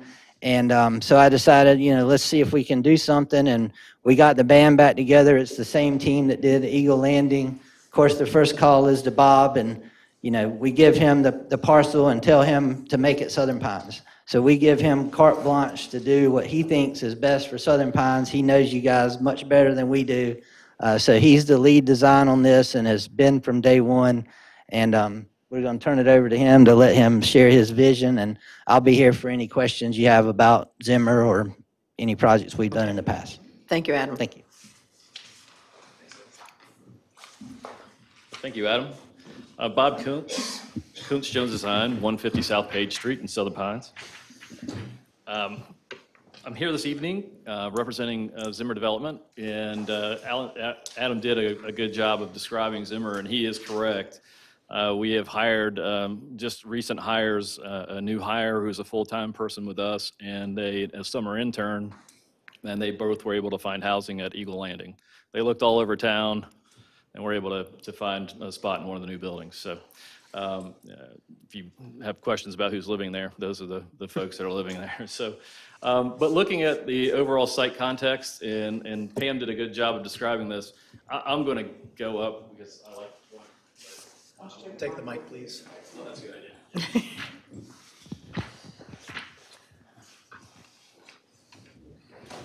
So, so looking at the overall site, as we talked about in the CDP, the yellow boundary represents the CDP area uh, for Morganton Park South, uh, Morganton Park, uh, or Morganton Road being on the north side, US 15501 on the west side. Uh, The red area represents uh, what was considered Phase One of the development, which included the uh, Target Shopping Center, as well as the roadway, uh, Parkway connector that will connect uh, 15501 with Morganton Road and come all the way through the development. Uh, The blue area that you see is the uh, multifamily uh, development that is proposed this evening. Um, Looking at, at this diagram again, um, in um, Ms. Clement's question earlier about the parcel boundary, uh, this parcel does actually go a little beyond uh, what was designated as strictly multifamily. However, multifamily is permitted in the mixed-use area as well. Um, This is really to get access into the property based on the access locations that were part of the overall uh, Morgan Park, or the, not, the Morgan Park South, the Parkway connector that runs through. There are separations uh, that were required in uh, the original uh, CDP application and in the uh, Phase One development. And the separation for that access, full motion access drive is right here, uh, which allows this project to take into account that additional acreage. So that is part of that. Uh, As has been mentioned previously, up to 650 multifamily units were permitted uh, within this boundary area, uh, which is again represented by the yellow boundary uh, located here. So looking at uh, the Parkway access, and this goes back to the, what I was was discussing earlier. Uh, The Parkway will be constructed all the way through from 15501 to Morganton Road. Uh, The access points were designated in the CDP and also in the first phase in the PDP development, since it included the design of uh, the Parkway connector. So that access point was designated at this location and has been designed and is working its way through. Um, Pam mentioned uh, the original plan. This was actually presented as part of the PDP plan, the Phase 1 PDP, and did include a multifamily development layout in this location. Um, It's very difficult when you're at this level, um, looking at a master plan without any grading, without any engineering, without anything like that, to actually get a plan that really works. As we really dove into this, as the shopping center got to its grading plan, and we looked at the grading that was on this side, we needed to make some modifications because of the design and the topography of the site. So it's a little bit of a challenging site, quite frankly. It's, it's pretty steep going across. And talking uh, about the existing conditions, uh, you can see on this side is the future Parkway connector. Uh, This is the actual design from uh, the Parkway connector plans uh, that have been submitted. Uh, Includes a full motion intersection here. Uh, So there are two lanes that go north, two lanes that go south, and then there is a turn lane designed to come into this multifamily development. The shopping center is located on this side. These two buildings are, have a courtyard in between and are considered to be future restaurant locations uh, with an outdoor courtyard, fountains, trellises, and just a nice place uh, uh, to visit. Topographically, uh, this site is about 10%, uh, a 10% grade and slope from one side to the other. There's over 50 feet of grade change on this site, from the soccer fields to the shopping center. There's, so there's a lot of grade that we're trying to deal with here, which really drives a lot of the design of the site. Um, In addition, uh, one of the other items that we've had to work with, uh, and this will go back to the building orientation discussion, uh, are these, the power line easement here that's located along the side. It's a 100-foot wide power line easement. Um, There are large transmission lines that, that are across that area, and then other uh, large or smaller lines as well.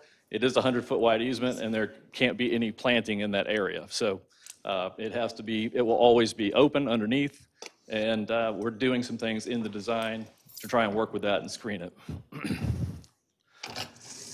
Moving to the site plan, um, I'm actually going to start here and sort of work my way across. Um, This is the future boulevard and the parkway. Uh, Coming in the main entrance, you can see how the existing utility easement bisects the front of the property. Um, There's not really any room here to get a building in, um, in coming in, and this will create a nice entrance, getting the prop, the, the, the development off of, getting people out and away from the parkway as they enter into the, the development. I think one of the things uh, at Eagle Landing, um, that's been really nice, I think, for the residents, is the fact that both access points are, are separated from the main roadway and separated from 15501. Looking, so coming in, trash compactor located here, and again, this will be clear and open, so there won't be any landscaping in this area.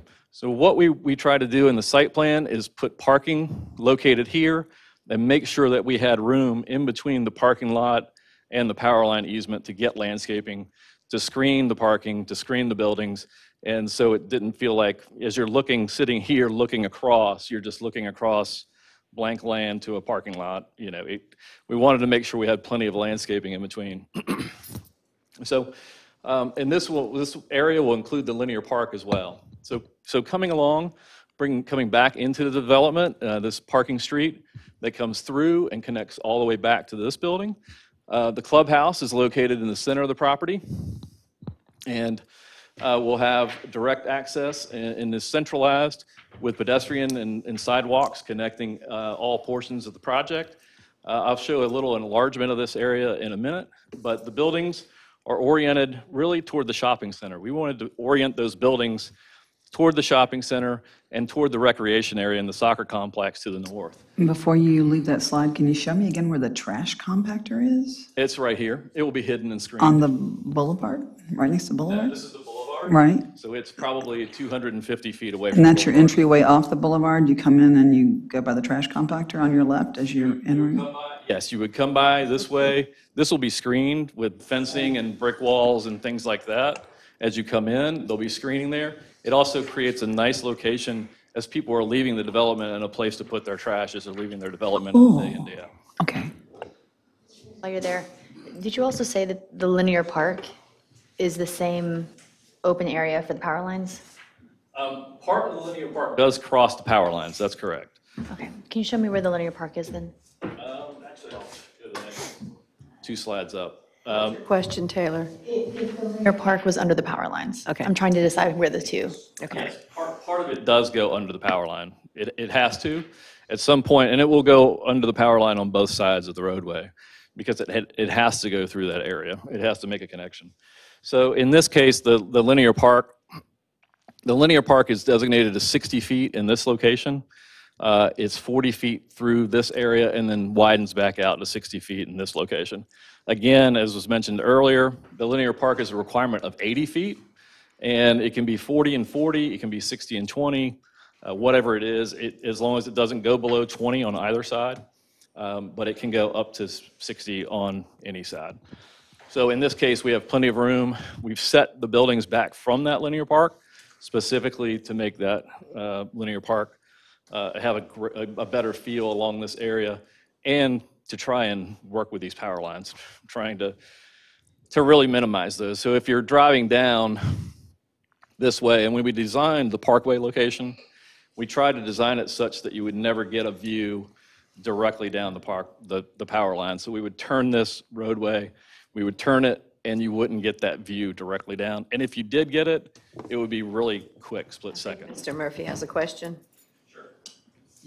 Just to be clear, when you say linear park, are you referring to parking or are you referring to a park? We're referring to landscaping. Um, If you remember doing the, the CDP process, uh, we committed, uh, the developer committed to doing a linear park all the way from 15501 all the way to Morganton Road.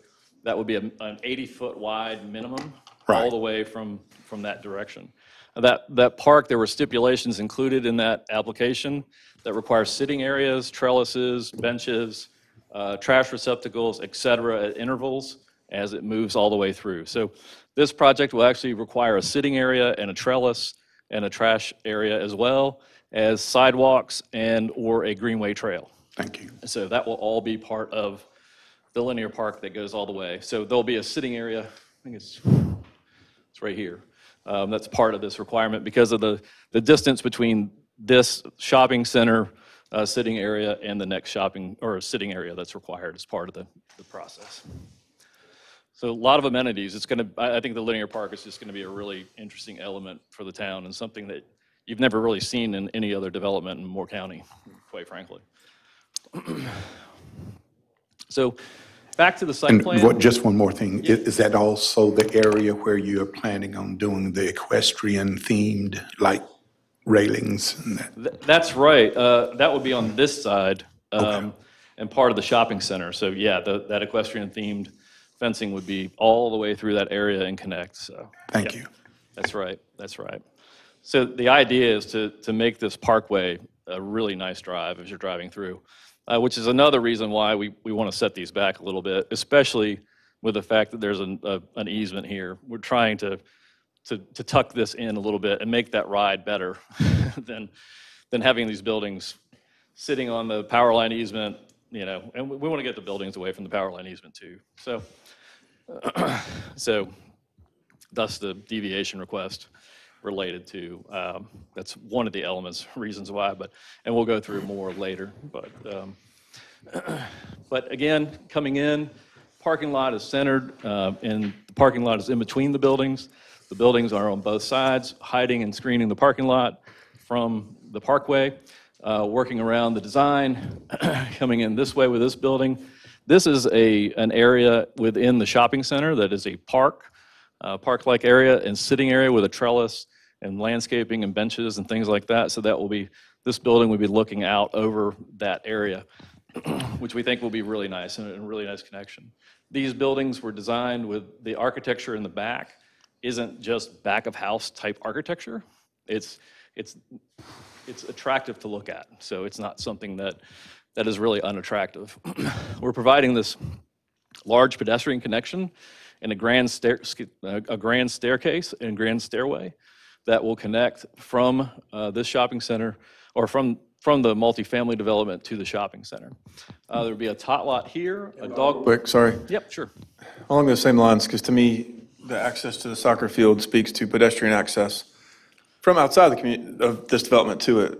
Would you potentially put that out the back so if people are at the soccer fields and they just want to be able to walk to the development? Um, Are you, are you there? Okay, never mind, thank you. So, um, yeah, it, it, we're, we're, we're addressing all the, the questions through the presentation. But this shows the pedestrian connections. And after the planning board meeting and discussion, uh, we, we agree that that connection makes a tremendous amount of sense. Um, so what we've done is we've looked at, we've had to look at topography because there are a lot of walls on this site. What's your elevation change between the building closest to the soccer field and the soccer field? It's pretty significant, isn't it? So the balls are going to roll this way, right? There, there's a 15-foot high retaining wall here, and then we're utilizing the building uh, to take up some of that grade too. And I'll, I'll, I'll go through this in a, in a few minutes as well. But here we are, we did agree that that soccer field connection, and we had to really look here to find the right location to, to put that connection. What we found was that the retaining wall basically ends here, and it gets back to grade uh, next to the ball, the dog park. So it makes perfect sense to utilize that and then, then wrap around on top of the wall. There'll be guardrails, et cetera, to protect people, landscaping, guardrails, et cetera. But this also connects into a, an ideal location within the Be able to do the walkway and have it ADA compliant? Um, Is your grade, or does it need to do more of a switchback?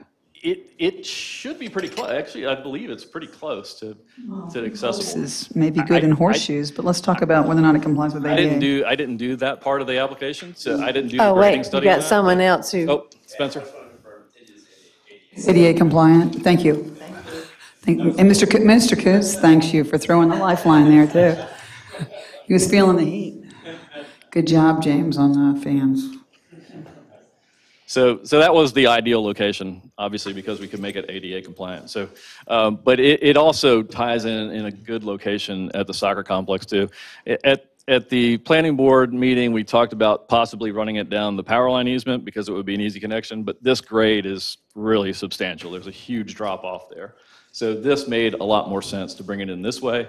It doesn't impact or, or, or come into any, any issues with the wall, et cetera, so it works. So let me back up. So, um, one other item, uh, one thing, one other thing that we really wanted to do, and we saw it in that pedestrian slide and that connectivity, walkability, really creating the walkability for this neighborhood, not only to the shopping center, but, but to the uh, soccer complex as well and the recreation areas, as well as the linear park, because we think all those elements really make this a unique site and make it a, a, a great location for apartments. Um, we also connected an internal street that connects back to the shopping center as well. So if someone's picking up a large item or something like that and they can't walk, it's very easy to, to instead of having to come out on the main street, uh, use internal capture and just come directly into the shopping center. Would that Street have curbs and gutters? Thank you. Yes, this entire development is required to have curb and gutter for sure. Yep. I think that's it for the site plan for now. Um, Looking at the pool and amenity area, again, this area is elevated, and again, we'll look at that cross-section in a few minutes, but the clubhouse area and pool would be developed very similar to that at Eagle Landing. Uh, Very similar uh, concept with fitness center, uh, meeting rooms, uh, the other things that are, are in that, that location. The amenities outside would include pool, um, a pool pavilion, uh, which would be open air with grilling areas and restrooms, et cetera. Uh, And then this, we we're putting in a practice putting green uh, and some other synthetic turf areas that just would be a nice place for, for, for the folks and the residents that are there. Having a sun terrace out here, this sun terrace and trellis, uh, these would be terrace walls. So rather than, than having one big wall or two big walls here, uh, we're, we're sort of creating a hanging garden. So each of these areas would be landscaped. uh, with a really nice plantings, et cetera, that would connect back to, and if, if you remember from the other plan, that, that this connection goes directly to that courtyard. So looking back from that courtyard, if you're in the space at the restaurants in the courtyard, you would be looking back into this area and looking at the hanging gardens and, and you know, that kind of thing. So we think it's a, a really unique feature, and it, it really creates a good way to transition the amount of grade that we have to transition on this site. This plan does show the linear park that we, we discussed. Also shows the overall open space on the site and uh, looks at, at the overall site in general. I- I think there's not much different on this plan that I really need to discuss. So looking at the overall site information, it is 13.18 acres. Um, Currently vacant land and part of the CDP. Um, The overall CDP area was 650 multifamily units. Um, And this does propose 269 on 20.4 acres. Again, the TIA did contemplate 260 units on this tract of land uh, as we were working on the Phase One development. Uh, The required buffers are in place. Um, One of the interesting things about this site, and actually all of Morganton Park, is it is outside of any high-quality watershed. There are no high-quality watersheds, there's no high-quality streams, uh, There's nothing, there's nothing like that. So no water protect, or watershed protection permits are necessary for this site. So it becomes an ideal place for development, especially if we're starting to talk about density and where to put density. This is an ideal location because of the limited environmental impacts within the town. No wetlands have been, in, uh, uh, are on the property, and, and most of the property has been timbered in the past. It was a driving range, it's been other things, so there, there are no woodpeckers or endangered species on the site today. So, as was discussed earlier, we are asking for an increase in density. And I've, I've hit on a few of the reasons why um, as we, we started talking. One of the other big reasons to, to look at increased density, especially in this area, uh, the overall CDP area does allow for 650 multifamily, or multifamily units, but, and it's part of a big mixed-use development. So what that does, it really encourages walking and walkability, pedestrian, bicycle traffic, et cetera. There are also the captured trips for cars and, and keeping traffic off the roads because people can utilize internal streets and internal areas that keep people off of 15501 and off of Morganton Road that live within this development. So if you wanted to go to the grocery store, you wanted to go to Lowe's Foods, eventually you would just drive within the development. You wouldn't have to get on Morganton Road, you wouldn't have to go to the 15501 intersections. All that is captured internally within the CDP area. Um, Likewise, if future development occurs and there are office buildings and someone can actually live, work, and play within the same development, that's a, a, a big win for everybody from a traffic perspective, uh, from a walkability perspective, multimodal transportation, et cetera. So it, it really makes a lot of sense. And with this site's proximity directly adjacent to a large shopping center that has restaurant opportunities, et cetera, and the fact that the CDP area calls for 650 units as a whole, this is really an ideal location to maximize as much as can, can happen directly adjacent to this site. Um, So we think it makes a lot of sense to have that here uh, with the recreation opportunities, the shopping opportunities, the entertainment opportunities that exist directly adjacent to this property. And again, um, the high-quality watershed, being outside of that high-quality watershed, uh, and with the understanding there are no endangered species that would be impacted by this development. If we start to develop further out, if you're looking at what, what is the alternative, if density isn't allowed here, then it means you have to go further to the edge to continue to develop, and, and it starts to, start to eat away the countryside. Uh, It goes outside of Southern Pines where there's less control over development as well. Um, Looking at the building orientation, we've talked about a lot of this uh, already. Um, We are trying to really orient the buildings toward the shopping center and away from the power lines. And again, to really encourage walking and shopping and, and different modes of transportation rather than just cars. Um, We really want to provide the screening, and we want to get that, a park-like transition to the linear park rather than an urban transition to that linear park. Back to the site plan again, and this is looking at some of that, and I think we've already talked about the power line easement in those items, but really trying to orient these buildings back toward the shopping center and away from the linear park and, and the parkway. I think the views will be much better driving down the parkway with these buildings back rather than, than up on the front uh, with the power line easement. If you were, if you were to comply with UDO in regard to orientation of the buildings, what, how would you do that? We would have one building right here. That would be the only way that we could do it because we don't have, there's not enough room here for a building. Right. And this is the access location. Right. We would basically place a building here and then probably place some type of building right here on the back of the power line easement, which in my opinion would just not be very attractive. And if I were a resident, I wouldn't want to live right on a high-powered power line easement uh, with a power line easement, my building sitting like this and just looking out at the power line. I think it would be very challenging. What do you see as the purpose of the UDO um, mandate that we should comply with it? What, what do you think the intent was? Well, I think we asked for a deviation based on the large shopping center. Right, what do you think the intent of the UDO was? That is one of those items that goes back into the 90s, uh, when the, when the uh, Morganton Road overlay was very different than it is today. It was a very different ordinance. Um, Originally, basically what the uh, Morganton Road overlay, and part of the reason it was changed, was because the Morganton Road overlay basically said, let's design another downtown Southern Pines, and let's pick it up and transfer it to this piece of property. So that wouldn't have been good. One, it wouldn't have been good for the town of Southern Pines because it would have sucked everything out of downtown Southern Pines.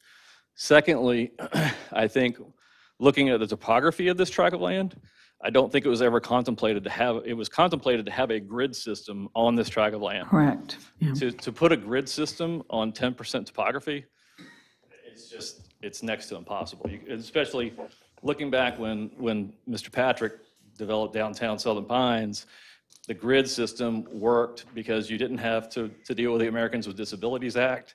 You didn't have to deal with uh, wetland permits or any kind of permitting. Um, You, moving dirt was much easier, even though the equipment was there. The, the regulations regarding dirt moving were very different. So um, putting a grid system on this tract of land, as we've discussed on, on other projects on the north side and the south side, uh, just wasn't practical or feasible um, as that plan evolved over time. There were originally plans drawn for Morganton Road that did indicate a grid system. Are you aware of that? I am. I've seen those plans. And that, that plan also included a roadway, the Parkway Connector was a straight line right down the power lines, and the power lines were in the median of that road. Right. And I just think that would be an awful, awful place to be. Um, And I think, I think this, the plan that was devised during this process, um, where the road tries to downplay and pull away from those power lines and cross it as quickly and efficiently as possible and get away from that, uh, is a much better plan than what was originally prepared and proposed. Um, Not to mention the grade condition. I don't, I'm not sure that the soccer complex was envisioned when that plan was envisioned either. I'm sure not. Uh, And based on the grade along here, if, if that road had continued to come straight through and connect back to Henley, uh, that grading situation, I mean, there'd be a 25-foot high retaining wall down that whole side of the property with a power line in the median. That'd just be, that would just say Southern Pines. That would that'd be pretty, pretty bad. So let me, and- and ex- at one point, it was 269 and, and 211 is what is um, acceptable. So you're asking for more units and less parking. Can you address those two Yeah, the, the parking incompatible issues in my head? Well, the parking isn't, is a reduction of the required parking for the 269 units. It's not an increase in the density, you know, saying 211 units and the parking for that, and then just having that and reducing that. It's, it's based on the calculations for Hold overall on, that, just say that, say what you just said again, because, did that make sense? Okay, just check. All right, If we try look at the parking data, um, the way it's calculated is one bedroom is one space per unit in the UDO. So in this development, of 269 units, there are 85 one-bedroom units. There are also 184 two and three-bedroom units which park at two spaces per unit. That totals 85 and 368. And then in the UDO, and this is where the UDO is very heavy on parking for multifamily, and we've had discussions with staff about this, and um, I think staff has been encouraging us to reduce parking in multifamily where possible, because it just adds impervious surface, it takes away landscape space, all those kind of things. So the idea of right-sizing multifamily parking uh, is pretty important, I think, for the town as it moves forward with multifamily development. So in this case, total parking required would be 577 spaces at 1.88 spaces per unit. That is a very high number of parking spaces for a multifamily development. It's extremely high. So what we're asking for in the request is to uh, reduce the parking spaces to 434 units, which gives a 1.61 spaces per unit ratio, which is essentially what was granted to Eagle Landing when it was developed. And at this point, at build-out, um, they are seeing no issues related to the amount of parking spaces. They're not having fights over parking spaces or anything like that. So the parking is right-sized. And the good thing about right-sizing parking, again, is less impervious surface, more landscape, et cetera, as opposed to just paving everything and paving the world. Nope, nope, nope. So have the 211 units that the UDO um, would find suitable, or we would find suitable if we follow the UDO. Um, How many of those units would be one bedroom, two bedroom, or two or three bedroom? And what would your parking, number of parking spaces be for that? I really couldn't speculate on a mix because Okay. the development mix for a multifamily development is really, it's dependent on a lot of factors that related to demographics, related to the types of units. So coming up with that ratio of one bedroom to two and three bedrooms. Of About twice as many, a little more than twice as many, two, three bedrooms, and, Right. um, and so if we, if we went with that math, can somebody help me with that? If we did 211. 211 times 1.6 is 337. 337 spaces, and you're asking for 434, so we could really make your job easy if we all complied with the UDO. Because you would have, you would have two, right, and you still need guest spaces, that's fine, I thought that was included in the 1.6. Is that correct? D- uh, BJ?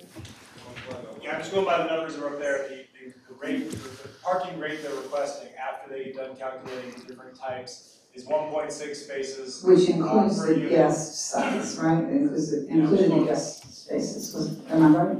I'm just going with the number right there, they're going from one point eight eight to Right. one point six one, I did one point six one multiplied by two hundred and eleven, that's all.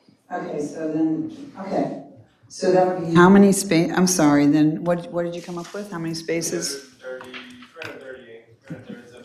336, 336-ish spaces, and 338, okay, I'll go there.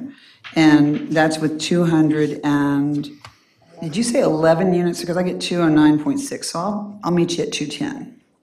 How's that? So if I do the math, that's fine. But I also have another question about um, the application. Mr. Koontz, this is, this is your signature on the application as agent, right? Yes.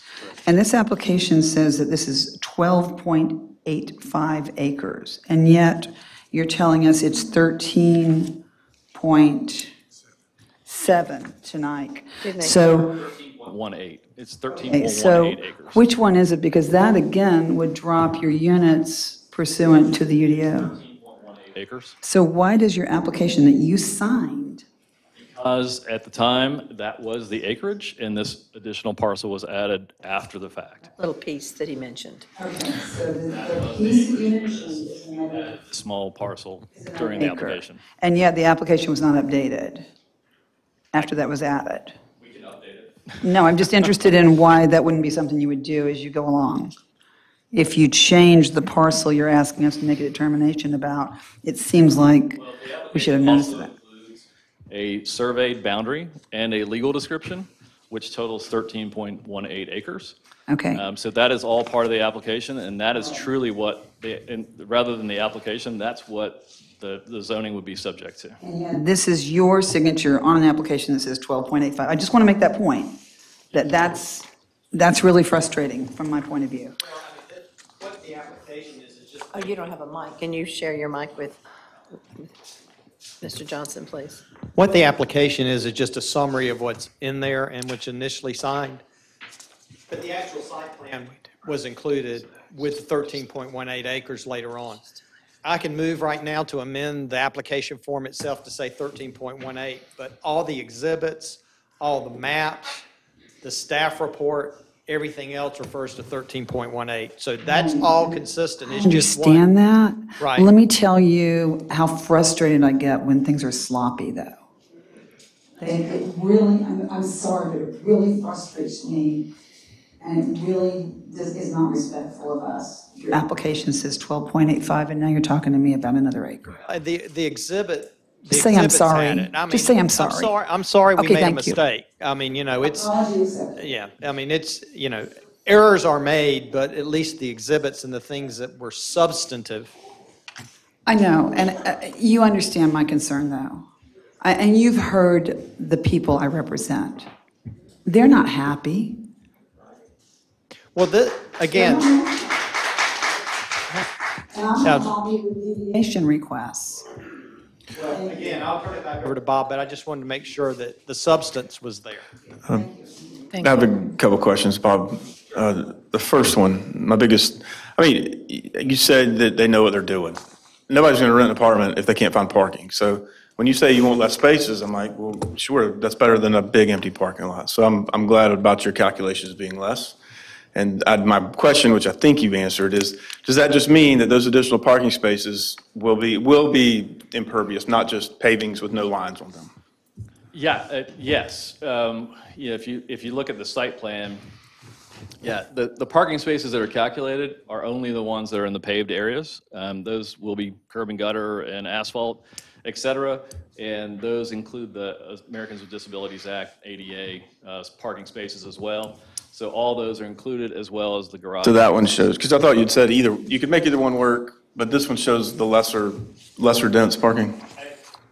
Technically, you can park under power lines. That's a reasonable thing by Duke Energy. Uh, we Really don't want to do that. Uh, it's Okay, not let's, let's something go back to the 269. Yeah, I was. Oh, sorry. No, no, no, that was gonna be my second question, and I just need to understand something. Because it, while it's independent of this project, it's gonna come up again. By my math, at 16 your acre, you're never gonna get to 650. It's, it, because you only showed 40, um, 30-some acres of residential, which to me came to 500, not 650. So are we gonna be asked every phase to go to 20.4? Or, because I thought it was a Rob Peter to pay Paul fine, we'll put more dense here, but less dense there. When I do the math, they're all gonna have to be 20.4. And Is that, or am I wrong? I- Maybe I'm that, that's not misconstruing it. going, that's not going to compute, as you well know. You, you, you can tell by the, the climate that you really need to figure out how to get 211 to be, to And, be and compliant. 650 is a cap. It's not a requirement. We don't have to have 650. We can have 500 if that's what we're doing. 50 though. So it- it's, It's also, um, my expectation is that you'll follow the UDO. And if it's permitted for 650 and yet you don't have enough land to do that while complying with the UDO, then I, I don't think that's appropriate. And is, is it, I guess my math correct, to get to 650, you're gonna have to ask to be deviation for the entirety of all the Exactly. acreages? Or, or am I missing not a? necessarily. I mean, or am I missing a spot? Because I'm like, if it just means one's gonna be less dense, well, where, where would that be?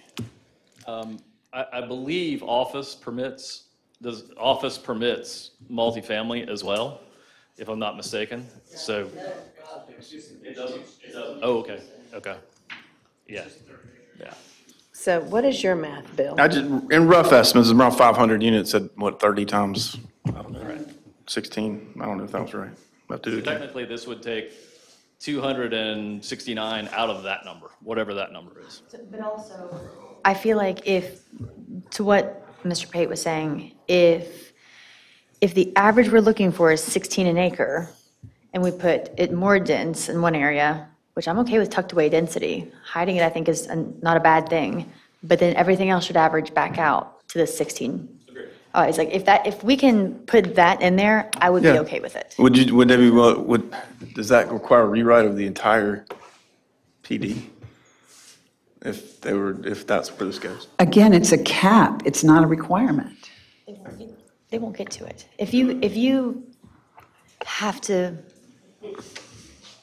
You're looking at this PDP.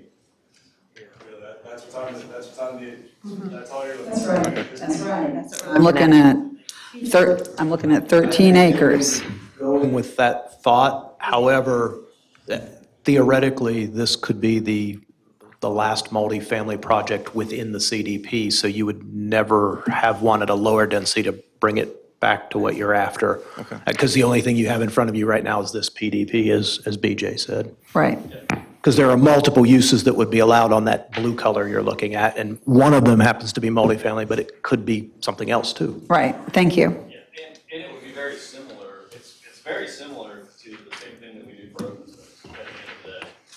Um, there's a running tabulation that we go through in the process, and that running tabulation goes through each of that, that part of that process and each part of that step. So as a, just looking at the open space as an example, the open space and, and how density would be in the similar chart, if the next multifamily project was to come in, we would be following to that standard. So whatever that number is, is what that number would be. So, um, maximizing here, you know, this, again, this is open space, it's not density, but it's the same scenario. So phase one, which was the shopping center and the parkway, uh, had five point nine two acres of open space, um, and five point nine two acres of usable open space. Required open space in the development as a whole, the CDP, is twenty percent overall open space, and ten percent of that open space has to be usable. So this project, uh, phase two, brings in an additional two point six acres, one point nine seven acres, for a total of eight point five two and seven point eight nine. So we keep track every time we go through this, and each, each development, each phase of development within the CDP, and it shows the amount of required open space, and then how much is left to provide. So if we got to a point at the end of the development that said, we need another fifteen acres of open space, then, and there's 16 acres of open space left in the overall CDP area, then you can only develop one acre of that. So it's the same with density, it's the same with the numbers, it's the same with that. So to your point, Bill, it would, it would absolutely, uh, it's gonna wash itself out as we move through. I'd like to, this might sound crazy because I know we've not dealt with the TIA yet. But when considering, based on what I'm hearing, that density concentration eliminates traffic congestion by having residents walking rather than a whole bunch of driving from out of town, which will then decrease density elsewhere in the town. And considering that teachers from out of town are trying to find places to be in town so that they can teach our children. Then considering that, yes, we have an UDO, but the UDO deviations allow for architectural flexibility that will contribute to our branding of our town and maintaining the historic footprint when intentionally done. And also when considering that we are in a conversation about economic development in West Southern Pines, and there needs to be an economic engine to provide some kind of traction and there's a possibility of having a road extend out of West Southern Pines directly into this place,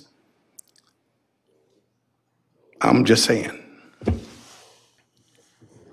And that road exists whether you have 269 units or 211.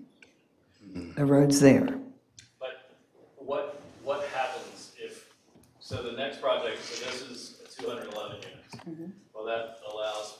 381 or whatever that number is, and, and they can go here, and we can get the same density, the same everything on this tract of land. However, we feel, and I think everyone feels on our side, definitely, and I think from a planning perspective, an overall planning perspective, the more units that you can put here adjacent to this and the act activities that are happening here, uh, as opposed to a lower density project, you know, a lower density project might make perfect sense here. Um, it could be multifamily units over office space. It could be multifamily units over retail space. There could, there are so many options that could happen and occur here that could end up being lower density development. So I think trying to utilize location where we can truly use location and density to help affect traffic and help affect walkability and recreation and all those things, I think it's a very good thing the to consider. I think, uh, Mr. Murphy, I think, I think you hit it, that the more we do here, the less we do out. Right. And that means that people here are driving in this area to go shopping, grocery shopping, etc., as opposed to living out in Whispering Pines and driving all the way in to go shopping here. So the more we do here, the better it is. And then the fact that this is also out of a high-density or high-quality watershed, and it is uh, no endangered species on this tract of land versus the sensitivity of some of the land we see in Whispering Pines or near Whispering Pines or some of the other areas. I think Talk to me about whether or not you are a specialist on endangered species. I am not, but Dr. So Jake what Carter is, is. what, i- okay, so what is our proof that there are no endangered species there? What is our proof of no environmental impact? What is our proof of? The biological assessment by Dr. Jake Carter that was included in the overall application. And I'm. He's not here for me to ask He's not here, but his letter and his. Yeah, we, we had that originally. Let me just, can we go back to the plan that shows the apartment? I think one of the things, we didn't come up with 269 units out of the air. So when we got this, go with the, where you can see the rendering. When we, when we received the CDP, which we were not a part of over the overall development, it showed this, this is what was in what was approved by you guys. That is 260 apartments shown right there. Mm-hmm. When we did our site plan, the buildings just happened to shake out where there was nine extra units above the 260. So when we came back to staff, we said, the TIA that you approved had 260 units shown here. So when we asked for nine additional units, we didn't have to do the full-blown traffic study because staff agreed we were already planning for 260 units. All you're asking for is additional nine, do a traffic update to show that nine. So I don't want you to think that we've come in here trying to stuff density down everybody's throat. We didn't. I guess that's, that's just where my misunderstanding is. Your number divided by, is, is 20.4. So was the 16 never applicable? Was that never the rule? If, if this approval was for 216 for 12.7 acres Let from the me try to beginning? explain for BJ. He may have a, a separate, or, or what I, well, he's looking at you, but I'm, I'm going to answer. You're welcome to take a crack at it yourself. Okay, let me take a crack at it. I think personally, and, and we weren't involved in the CDP. We came late to the game. That was the overall developer. So what they did, I don't know how they came up with the number of maximum units. But no one did the calculation to say if we limit this to 16 units an acre, we can never get to 650 because, like your calculation, when you do the math with what's allowed, you can't get to 650. So there was an oversight. Okay, and let me, let's have a point of information here. I wasn't on the council during the first hearing, okay? Okay? So please don't point at me and say I approved it, because I didn't. So thank you. The council may have, but it's a new day. Um, So anyway, that's where the 600, or the 260 units came from. It wasn't something that we decided, we're just going to come in here and ask for the moon. It was something that we felt had already been looked at and reviewed, and it was an agreeable amount. And with the, you know, advent of the number of units per acre, you know, someone just didn't do the math. And to, to figure out that if you apply the UDO standards to what the, over- or what the CDP has stated is allowed for the maximum density, it won't work. And are you now willing to apply the UDO to this project? No, ma'am, we come before you with the, the amount of units that we feel like is appropriate for this location, because we feel like, again, for all the reasons stated, that if you were ever going to do more density, why not do it here right next to where all the services are? And for all the reasons with the environmental, the topography, the watershed, I mean, there's so many reasons to do density here. It, it just, it, it's, it's the, the perfect location for it. And it's, it's not impactful to, you know, as you stated, it's, it's kind of tucked back in. It's, it's kind of an enclave, just like Eagle Landing. If you drive past there, it's a very cool look. You look down the driveway and you're like, there's something back there. It's not overbearing, but you know it's something nice and, and palatable. So that's just my, that, I just wanted to explain where the 269 units came from, because I, I think people think we're just in here trying to, you know, do as much as we can, but we felt like since it had already been looked at, that that was what we should strive for. That's all. Thank you, Adam.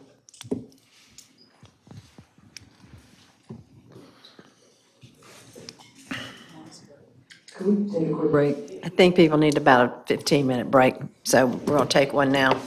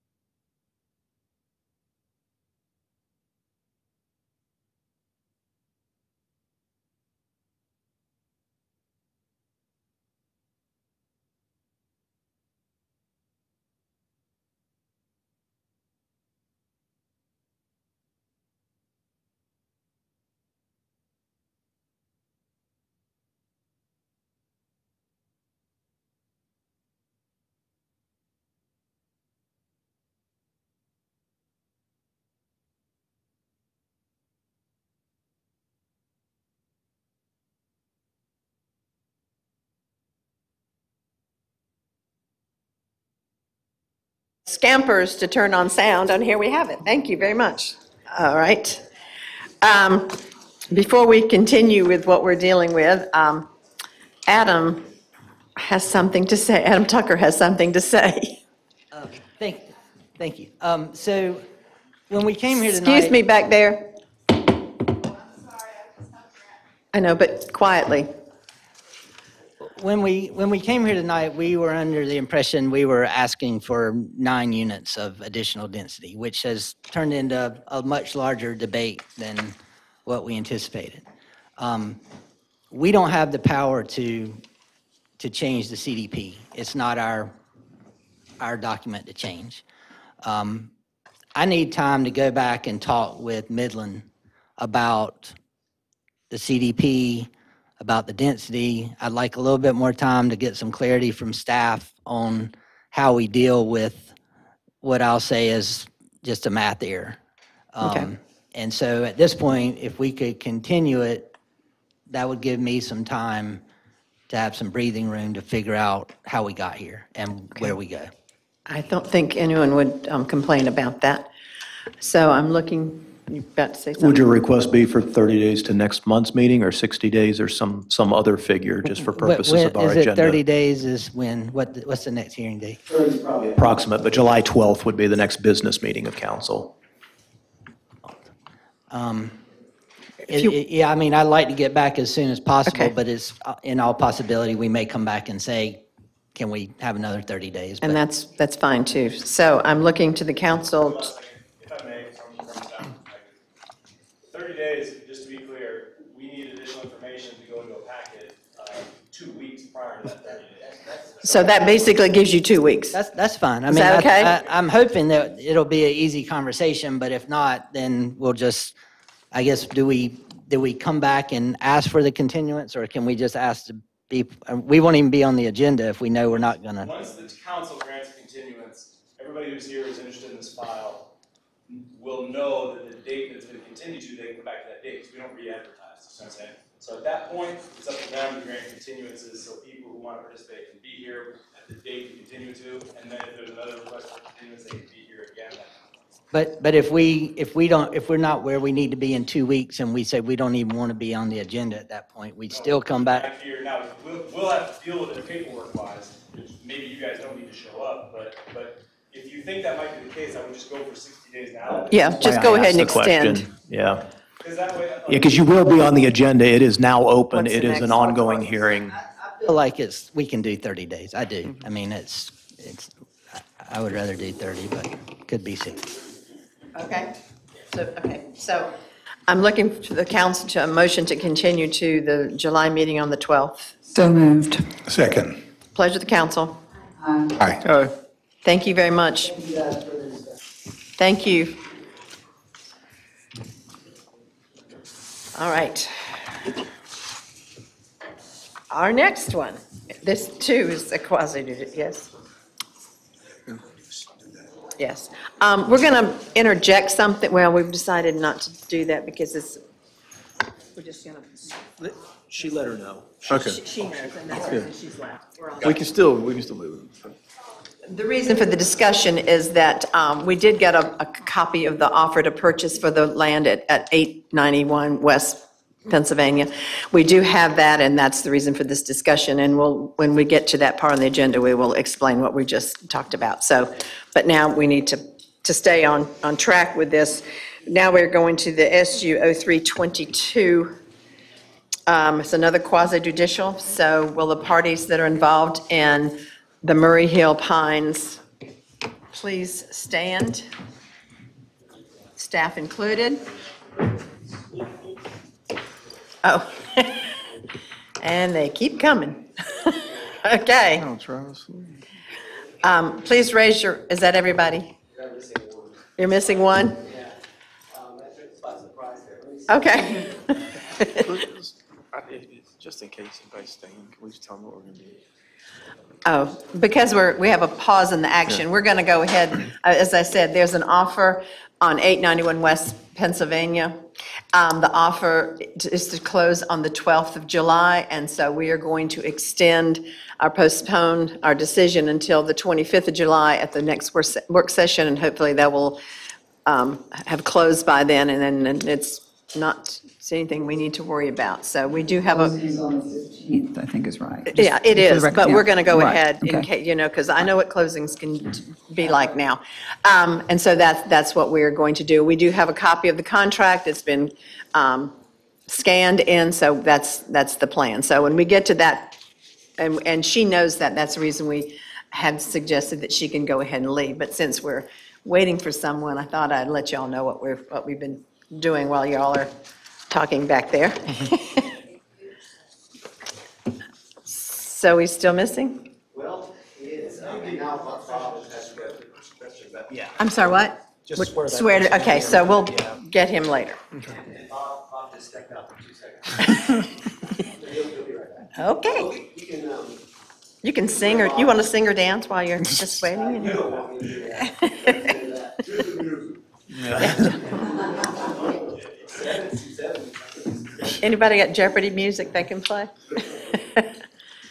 Um, and if we want to, I guess we could swear these folks in with Bob. Well, is he, Yeah, he's, he's indisposed. okay, he's indisposed. Okay, whoever's still left, um, please raise your right hand, respond to the following, state your name. Do you solemnly swear that evidence you shall give this board and this action shall be the truth, the whole truth, and nothing but the truth, so help you God? And there's Bob. Okay. You got it. Council members, please disclose the following. Any s- site visits? No. Ex parte communications? No. Specialized knowledge you have of this case? No. Anyone have a fixed opinion that's not susceptible to change based on what they learn at this hearing? No. Where they have a close family, business, or other relationship with the applicant or other affected persons? Is there an attorney representing the petitioner? Dick Robinson here on behalf of the applicant. Is there an opposition? Is there an attorney for the opposition? Seeing none, okay. We will, um, I need a a motion to um, open this hearing. Um, oh, second. Aye. Aye. Aye. Aye. BJ, Good evening, members of council. BJ Grieve with the Town of Southern Pines Planning Department. Uh, Let me start off by saying I would like to enter into the record as Exhibit A, uh, staff's report and packet that was in your packet for this meeting. I would like to enter into the record as Exhibit B, a copy of the PowerPoint presentation that I'm going to go through. Uh, Then I would like to follow up by apologizing because our, my esteemed colleague, Ms. Jennifer Hunt. Yeah, who that's was- what- Yeah, who was supposed to be here tonight to present this, has fallen ill. Oh, dear. Therefore, I'm pinch hitting for uh, Ms. Hunt, and so unfortunately I have to lis- listen to me. I was about to say, I have Jennifer Hunt down here. Sorry about that. All right. Um, What you have before you this evening is an application for 149-unit multifamily development. But it's a little different than the last one. It's a little different than anything uh, you guys have seen before. Uh, It's actually different than anything I've ever dealt with in my career. Uh, This is a project that is going to bring a product called a rent-to-own uh, product. A rent-to-own product is the hottest thing in multifamily right now. I'll give you some numbers I looked up on the, um, the internet earlier uh, today. And uh, the, what I, what I saw was that in 2021, there were 6,000 units of rent-to-own product developed in America. And in 2022, it is projected that there will be 14,000 units of rent-to-own product in America. It is uh, a very popular thing. Here's what it is. It's sometimes referred to as horizontal apartments. Uh, It looks like detached single-family residential. Uh, It functions like detached single-family residential. But in fact, when you go into the development, you go to the main office, just like you would an apartment complex. You talk to them about signing a lease agreement to rent one of the units. And when you go out to the unit, you stand there and you look at it, and it looks like a detached, single-family residential structure, uh, just like, uh, uh, just like any other higher-density, uh, single-family residential um, development. The property is not being subdivided because the, the houses are not built on lots that are separately conveyed. There is no preliminary plat, there is no final plat. Imagine, if you will, a- an apartment complex uh, that has uh, 149 units, and imagine those units are in buildings where you stack them up with Legos, right? And, and you have, uh, and you, you put them all in a, in a pile, and you have a pretty good size uh, shoebox-looking thing. Now take each one of those Legos and take them apart and spread them out across the property, as I said, like horizontal apartments. The rental agreements are similar, um, uh, but the product is very different. It's, my understanding is that it's, and the applicants can definitely speak to this better, but as staff, we did a little research on this to understand the product. It's basically a portion of the market it's attempting to serve is those who don't want to or unwilling or unable to buy a house, but still want the experience of living in a detached single-family residential home uh, with that context and yard and things like that. So, the reason I, I led off with that is that that drives a lot of uniqueness to the conversation about this project. Um, staff looked at it and reviewed it as a multi-family development, but these are not multi-family buildings because each building is either a single family or a, or a duplex home, okay? And so, but it is a multi-family development because again, we're not subdividing. If we're not subdividing, we don't have a vehicle to drive this uh, except for multifamily development because, because uh, I'm repeating myself now, but again, box versus disassemble them all and spread them out. Okay.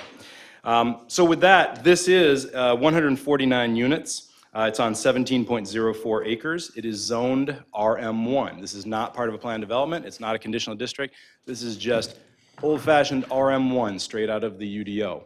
Uh, If you did the calculation on how many dwelling units could go on 17.04 acres zoned RM1, the number is actually 204 uh, is the maximum density. That is the maximum mathematical density. That is not the functional density uh, if you were to actually determine access and everything else. Excuse me, 203 units. The zoning district allows for up to 203 units mathematically. We tell people all day, every day, that just because you're 40,000, just because you're zoned 20,000 square feet, doesn't mean that you can subdivide to three lots. If you have 60,000 square feet, it depends on a lot of variables. But mathematically, you're at 203 units. So far, so good? That was a lot right there right off the bat. Um, All right. Besi- Question. Yeah. I'm trying to get my head around. I apologize. You said rent to own. It was the first thing you said, correct? Excuse me, did I say rent to own? I meant build to rent. Build to rent is the phrase. Bill, 'cause I'm about to Like say- at some point, it is going to be subdivided, and what's the mechanism for that? Thank you. Okay, so yeah, go, go, because I was thinking, that's not what I read. Okay. Isn't, isn't rent to own where you get like TVs and computers and sofas and stuff like that, isn't that? Concept. So I was trying to Okay, wait to hear the so it's- rest. Okay. Bill, built to rent. Bill, Build to rent, yeah, yeah, I apologize for that. really, you're doing really well.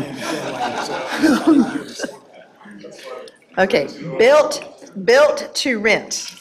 Built to rent, again, Built- sometimes referred to as horizontal apartments. Okay. Um, Sometimes referred to by other things as well, but that's, that's the gist. Um, They are, uh, they are increase, as I said, increasingly common elsewhere in the country, and and there's, there's many examples of projects like this. Let's talk about the subject property. This subject property is, all right.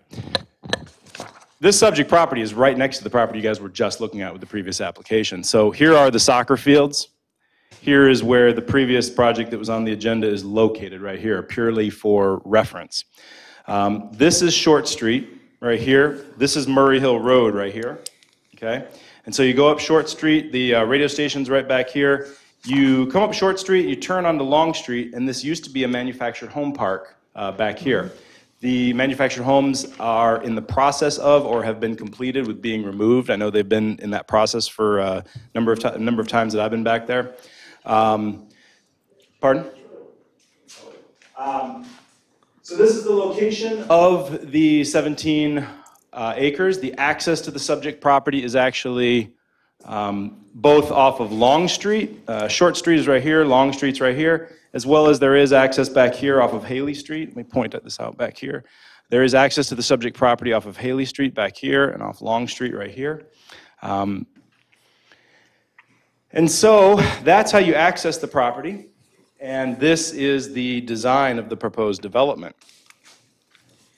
The applicants are obviously going to have quite a bit to say about this, but I'm going to go through some basics. Um, The adjacent properties, I already pointed out what they are. The adjacent properties to the north are the Morgan Park South development. The adjacent properties to the south are those that are on the north side of Murray Hill Road. There's detached single-family residential over here and over here. Um, The zoning of the subject property, as I said, is good old RM1, straight out of the UDO. Uh, The access, as I talked about, comes from where it comes from. There was a TIA that was submitted. The applicants can speak to the TIA and the recommended improvements uh, in the TIA and the situation with that. I'll I'll let them speak to that since this is a- an evidentiary hearing. Um, The sewer that the town has to provide to the subject property uh, was an interesting discussion topic because there are really two ways that sewer can be dealt with from the subject property. One is to take the sewer lines uh, that are in the vicinity and add to them and go south with the sewage. Uh, However, uh, part of the problem with that is that 149 units, we run into some some capacity issues with the full 149 units going south. Uh, If it were to go south, there will be some off-premise system improvements, some capacity improvements. So the other option the developers have looked at and are looking at is tying into the sewer system that will be brought in to serve Morgan Park South and go the other direction with this. Uh, So there's actually two ways they can go, two options they can go, and they'll probably talk about that as part of their uh, presentation. Now, once again, the product is kind of interesting, and there was a, just a few details that staff wants to point out about this product. Um, again, it's like multi, it, is like multifamily, but it is detached single family, but it's a multifamily development. Um, there are design elements within this that are very important to staff for the sake of the character of the development. For example, the applicants are going to speak to putting landscaping in these little- areas in front of the units. Uh, They will speak to the character of the development in, way, in many ways. They will speak to sidewalks that are actually behind the units uh, because there, some of these units are front-loaded with garages. So they've put some sidewalks behind to make walkable areas. They've also proposed pedestrian connectivity to the adjacent property in order to get over to um, uh, the Morgan Park South development. You will notice that in a lot of ways, this development looks, some of the amenities, if you will, clubhouse, um, trash compactor, mail kiosk, it has a similar feel to what you may see in the past as multifamily developments. Uh, The applicants will speak to that. Uh, There is a fair bit of open space, uh, and I think that's part of their design. There are different types of units. I will not I usually get up here and I, I say so much, and then Bob unfortunately just has to get up and say, well, BJ already spoke to this, BJ spoke to this. So I'm not going to do that. I'm not going to take his thunder. I'm going to let him do his thing and make his presentation.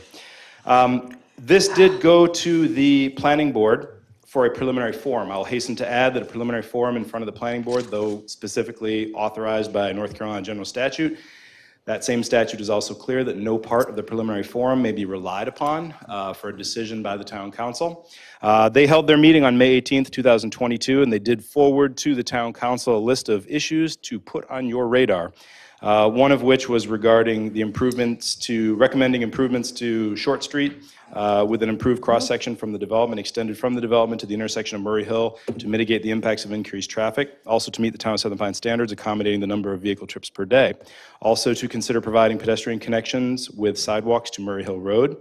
Uh, Also regarding the issue of upgrading the existing downstream sewer system to accommodate the additional, the additional flow from the development, or provide the agreement from the adjacent commercial development showing they will redirect the sewer through their site. Uh, Also confirm and obtain commitments from the developer on parking, street landscaping, and sidewalks, including those at the rear of the units as presented at the planning and zoning meeting of this date. That was because the the applicant got up and spoke to a lot of things that really are only able to be verified at site plan, like landscaping commitments, character-defining things that really aren't clear in the application materials, so I wanted to call that out as, as conditions, and the applicant understands that and is, is comfortable with that, uh, and we've had some discussion about that. Now, again, this is a special use permit, everybody's favorite product in the, favorite. in the UDO. This is Would you consider stating your name for us? Absolutely. My name is BJ Grieve. I'm with the Town of Southern Pines Planning Department. And Nick, are you willing to assert that he is, are you willing to stipulate that he's an expert? Okay. In what? In planning? All right. And, and ass- and assessing? All right. We have in front of you in your packet the criteria for a special use permit. Uh, These are the criteria. You guys are very familiar with them. There are six. You're going to be looking, they're going to be looking, listening, and and honing in on those six criteria in the process because at the end, you're going to be uh, asked to look at and adopt findings of fact uh, regarding uh, how this special, how this application and how this development uh, meets the criteria for a special use permit. Um, In addition to going to the planning board, I will say that the technical review committee looked at this project three times, actually, which is pretty noteworthy. The reason we looked at it three times was because there was a lot of discussion to be had about this new type of development and how it might um, be brought in. Um, And also, there was some discrepancy about originally whether they would be townhomes, therefore requiring subdivision and things like that. Okay, I think I'm coming around the horn here. Um, The staff does have three recommended conditions that we would like to put out there for your consideration. Um, Look at the fancy, Jennifer did those fancy transitions with the, that's really nice. Like a stiff breeze blows through here and just blows the screen over. Um, What we have is these recommended conditions. These are, I will say this, I have drafted language, but I'm not really attached to it. I'm more attached to the concept in these conditions uh, because um, I will state that one of the issues staff has is when conditional use permits come through, developments come through, we have the application materials, we have what is ultimately the approved conditional use permit that becomes of record that we pull when they come in later with their site plan. Sometimes, a lot of the discussion and commitments that occur between the applicant's packet and the actual conditional use permit get lost to history and they appear only in minutes. And so when we get to site plan, or when people call, as they frequently do, the developers call us as if we retain all knowledge of their own development. And, and they say, well, what, could I do this, that, the other thing? What was approved for that? I don't remember. And we say, oh my gosh, we pull the packet and we go, wait, wasn't there something about more landscaping and access to the adjacent property? And wasn't there something about, and they say, yeah, I thought there was too. Then we have to go back to the minutes. So what you're going to see from staff moving forward is more frequently we will ask that certain design considerations that are not clear in the application materials, not abundantly clear, or are the result of discussion that takes place and are the mitigation of concerns, we're going to ask to call those out in specific conditions in the CUP that gets recorded and everybody pulls up as the first document when you're thinking about the project. So in that particular case, in that, with, with that in mind, I'm, I'm, I'm putting forth three conceptual conditions that in this case I would like to read to illustrate my concept. Uh, number one, um, I'm asking that a condition be added that a phasing plan covering technical issues about what project infrastructure has to be completed prior to approval of certain building permits, what required parts of development must be complete prior to approval of certificates of occupancy, when the amenities have to be completed, and when short street improvements and asphalt lifts must be completed, shall be approved by the technical review committee prior to, and that should probably say along with, site plan approval. Um, Here's why when you deal with these things from the very beginning to the very end, what you begin to see is that they come in with this approval for 149 units.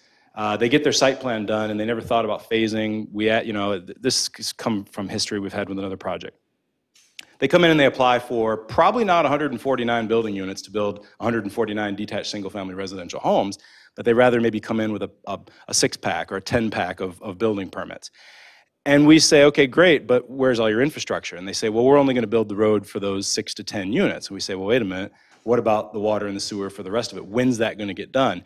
And then staff spends hours and hours debating this and going round and round about like, well, you got to at least have the first water loop done. You got to have at least the, the first, well, let's just put one lift of asphalt in there because we don't want to tear up the second lift when we're doing construction. Okay, well, well, if that isn't resolved up front with some type of a phasing arrangement, it can be really annoying. And it's so technical, I wouldn't recommend we try to hash that all out right here tonight because it is very technical and we work as a technical review committee on this stuff. But I would ask that we get your support, the town council, to say, yeah, sort that out at site plan so you're not fighting about it with every single building permit and every single CO that comes in. We'd appreciate that direction, if you will, to make sure that does get done. That's number one. Uh, number two, I'm, a- I'm aware. Wait, pause. Okay, Yeah. so what all do you, in the timeline, align, in the phasing plan, and i- i- if, if we were to approve this, you want it to be a stipulation that that be referred back to the TRC, and you also want what issues addressed? You want all infrastructure issues addressed?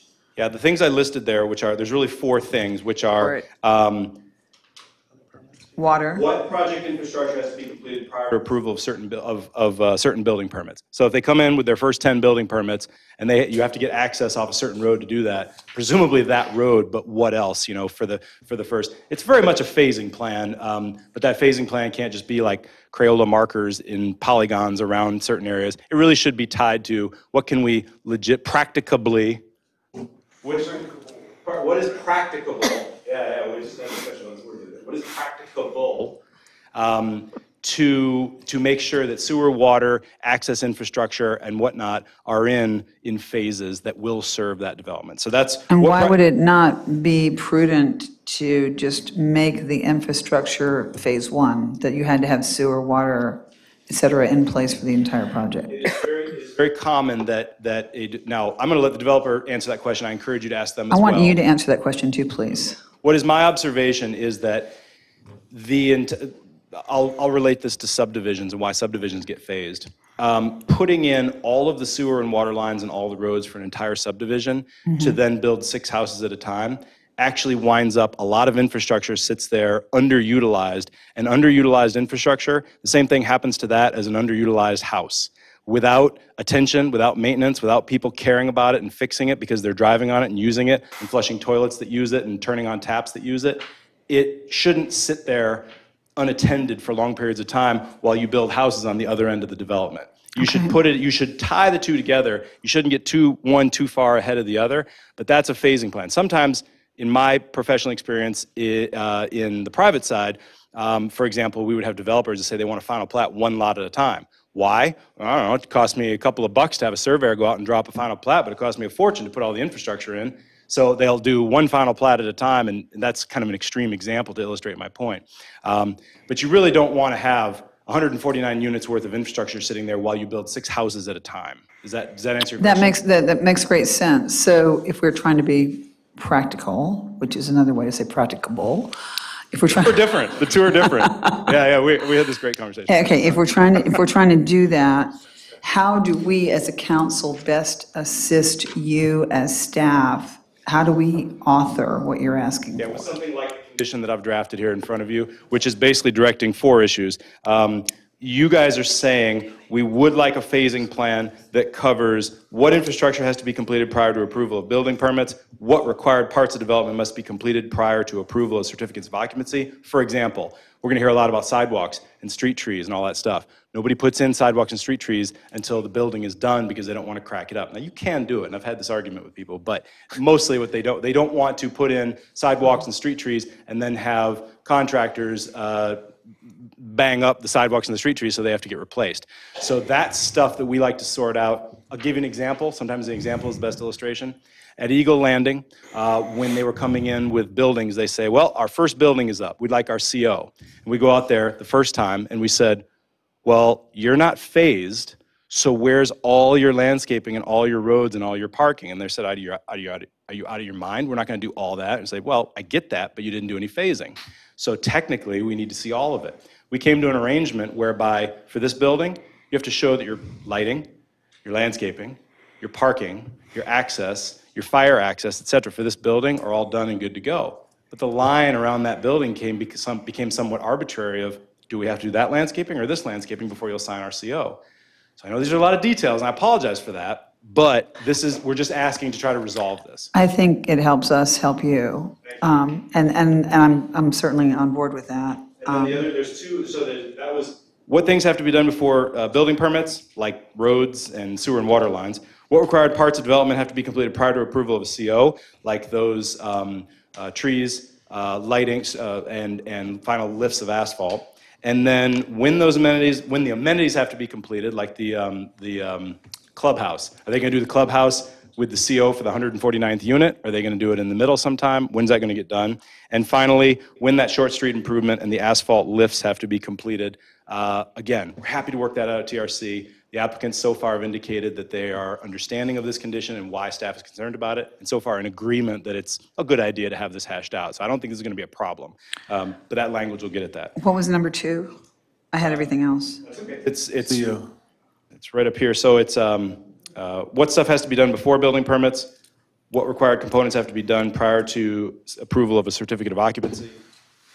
Amenities that are committed Right, to have got to be it. Okay, done. thanks. And then when Short Street improvements and the final asphalt lifts have to be completed. Right. Um, What is the, what punitive response does the town have if someone doesn't complete through a phase plan? Uh, we, we stop, we, we, we stop reviewing and approving site plans. We hold up um, building permits and certificates of occupancy. If we have something they have to do before a certain time, it's not unprecedented at all for us to say, sorry, we're not signing off on that site plan until this is done. Sorry, we're not approving a building permit until such and such is in place. But the reason why staff is key, is kind of tuned into this is because we're not dealing with a subdivision. And subdivision has plating requirements, final plating requirements that are replete in the UDO with details about procedure. But this is going to function a little like a subdivision, as you can imagine. And we want to make sure that Right, has so, a if- so if I wanted to build to rent, and I'm going to, presumably I would go in and be able to pick out which plot I wanted to build on. Like I want plot number 17. I'm not, I'm not at all uh, able to speak to the arrangement of how you would go in and, and lease a unit. I would ask the applicants on that, yeah. Um, Okay, the second recommended condition is that I'm aware the applicants are going to make some uh, presentations here tonight uh, to offer some details about uh, things they committed to, things they spoke at at the planning board that I asked for some details. They're going to speak to that here tonight. So I have a little placeholder condition number two here, that the exhibits they enter into the record um, uh, be incorporated into the project design requirements. That way, that right there is a condition that somebody pulls this CUP, goes, what's that? And goes looking for it. And then uh, the last one, uh, thankfully for everyone in the audience who's sick of me standing here, in in accordance with UDO Section 2.21.7 and general statute, um, after approval uh, and before commencement of construction, the applicant and the town engineer agree to work together in good faith to determine a reasonable and practical improvements to Short Street, that they be made by the applicant, and schedule for the same. That is something that is the result of a lot of back and forth about the current state of Long Street and Short Street and the impacts that this development will have on those two roads. So I will most likely, after the applicants speak, if we get into that condition a little bit more, um, the applicants worked with our town engineer to come up with that language, so he may jump in about um, where we're at on that issue. What exhibit is this presentation going to be? If I can incorporate by reference instead Yeah, of no, verbi- no, verbatim I that. think the applicant's presentation is most likely to be Exhibit C, because my staff report packet is Exhibit A. My PowerPoint with the, with the fancy slides, the- the- that, that fancy PowerPoint will be Exhibit B. The applicant's presentation will be Exhibit C, and I anticipate that the applicant, Mr. Bob Koontz, will present those, um, those details. Um, But that's why I threw in there as XX. Okay, and in your status as an expert, you have attested to the fact that this is currently zoned RM1, correct? Yes, ma'am. And pursuant to that, um, there would be an entitlement to, and, and how, how large is the acreage in this 17. proposed? Subject property is Just need the 17.04 acres. And that And- zoning, if you do the math on it, the way those dwelling units break down, the math is a little funky because you give a certain density for the first unit, then you calculate after that, it would be 203 units, again, mathematically. So 203 units would be allowed pursuant to the current UDO? RM1, yes. RM one, okay, thank you, that's, Density Pursuant to the current zoning. And I think someone walked in, so I need to swear the mystery person in. If if you will raise your right hand, respond to the following. State your name. Do you solemnly swear that evidence you shall give to the board in this action shall be the truth, the whole truth, and nothing but the truth, so help you God? Yes. Thank you. Okay, with that, I'm done with my presentation. Thank you for your patience. And is there anything else I can do for you guys, answer any questions, et cetera? Anybody else have any questions for BJ? All right, thank you. Okay.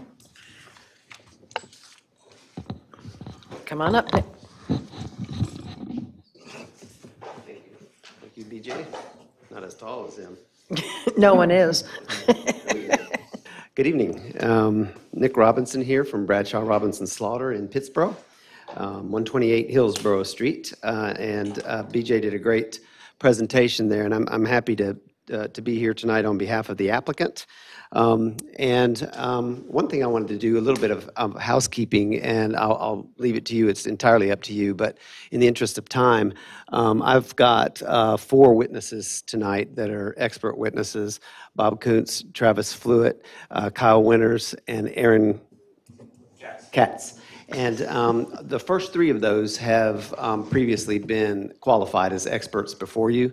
Um, I- I'm more than happy with each of them to walk through their qualification of their expertise, unless the board would just accept those three already as experts. And the reason why I'm doing that is I didn't see anybody else in the room that was um, s- uh, Right. sworn I would in to love for you to testify. stipulate what they're experts in. Thank you. Yeah, yeah. If you don't mind. Yeah, not, not a bit. So uh, Bob Koontz would be um, qualified as an expert in land planning and site plan design. Thank you. And um, Travis Fluitt, of course, would be uh, qualified as an expert in traffic engineering.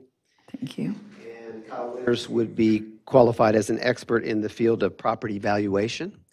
Um, And then when Aaron comes up, I'll qualify him, but he will be tendered as an expert in the field of uh, public engineering. Okay, great, thank you. So if that's okay, then I would tender those first three witnesses as experts to the board. Acceptable, thank you. Um, So um, I'm, I'm here tonight on behalf of the applicant in this matter, Craig Davis Properties. Um, And Greg Johnzik, who is with the applicant, is here. You can just wave. Welcome. Um, And as a, um, you know, a general introductory matter, the stage can be set this way. Um, We are here tonight, as BJ said, requesting a special use permit. Um, And uh, this is for a project that we call Murray Hill Pines. And um, multifamily development, not multifamily dwellings, but multifamily development is already allowed under the UDO in this RM1 zoning district applicable to this property. And um, so, in other words, we're not asking for a rezoning. This is similar to where we were uh, last time. We're really just asking to put in the evidence in the record to support the uh, six findings that are required for a special use permit. Um, I already mentioned who our expert witnesses would be. Um, And I do want to go ahead and um, I agree with the uh, submission of Exhibit A being the application, Exhibit B being the staff report. Um, And, um, or is it reversed? Exhibit A is the entire package, which is the staff report plus all the application materials that were submitted, everything that went to the town council. And then exhibit B is my PowerPoint that I just Okay, so it's the, okay, you put the application and the staff report together. Okay. But that's Exhibit A. All right, good. And Exhibit B is uh, staff PowerPoint presentation. Okay, good. So I will take it from there. Um, All right. Um, uh, You know, I usually say at the beginning here, and I'll do it briefly because I know you're all now savvy um, experts in the, um, in the uh, uh, proceedings of a quasi judicial hearing, but um, it's an informal quasi judicial hearing. Um, I usually like to lodge at the beginning um, so that I don't have to interrupt everybody all night long. Uh, uh, And a generalized objection with regard to any incompetent, immaterial, or insubstantial evidence, or any evidence that's delivered by others that uh, lacks in standing. Um, And so I just go ahead and put that into the record. Um, So um, we have our, our six findings under UDO section um, uh, 2.14.6 uh, A through F uh, that we need to get into the record. And um, unless there's any questions or concerns at this point, I would go ahead and start with our witnesses. You can start with witnesses. Mr. Bob Koontz to the stand as an expert in uh, land planning and site design. All right, so we'll skip through this part. Um, uh, We're going to go down to- to, probably to um, nine. So, uh, Mr. Koontz, is it correct to say that this application is for a special use permit to allow a multifamily, single-lot development on the property required under Section 2.21 of the Southern Pines UDO? Yes, it is. And then could you just describe in general terms um, uh, the history of your experience with this project? Uh, We were originally uh, approached uh, to look at um, concepts for the site um, and feasibility of the site. Um, And then um, working with the, the development team, uh, a site-specific development plan was created. Um, After it was determined that the development program could be accommodated on the property, uh, and the property was appropriately zoned, uh, we prepared applications for submission to the town. Uh, Prior to submission of the application, uh, we met with town staff uh, on multiple occasions, uh, looking through the pre-application, um, and um, reviewed the proposed development and made adjustments based on their recommendations. Great. And did you assist in the preparation of the SUP application that's filed in this matter on or about April 12th, 2022? Yes, I did. Are you familiar with the entirety of the application? Yes, I am. Uh, So the application was reviewed by staff and deemed complete on April 25th, 2022. Is that correct? That is correct. Are you uh, familiar with the proposed site um, and its location in Southern Pines? Uh, Yes, I have ridden around the property, the existing property. Uh, I've walked the site. I've resu- reviewed all the survey data and site documents and uh, maps related to the property. Okay, thanks. Um, Have you made yourself familiar with the Southern Pines UDO, particularly the requirements um, of a valid SUP application under uh, Section 2.21? Yes, I have. Okay. Did you review the SUP criteria before preparing the site plan for this project? Uh, Yes, I did. And um, can you take some time now uh, to walk the council through the plan and summarize its features? And I'll just go ahead and um, now, before I forget, uh, Mr. Koontz is going to walk through his PowerPoint project, which I'd like to ad- have admitted as Exhibit C. Accepted. If you would take the mic, Bob.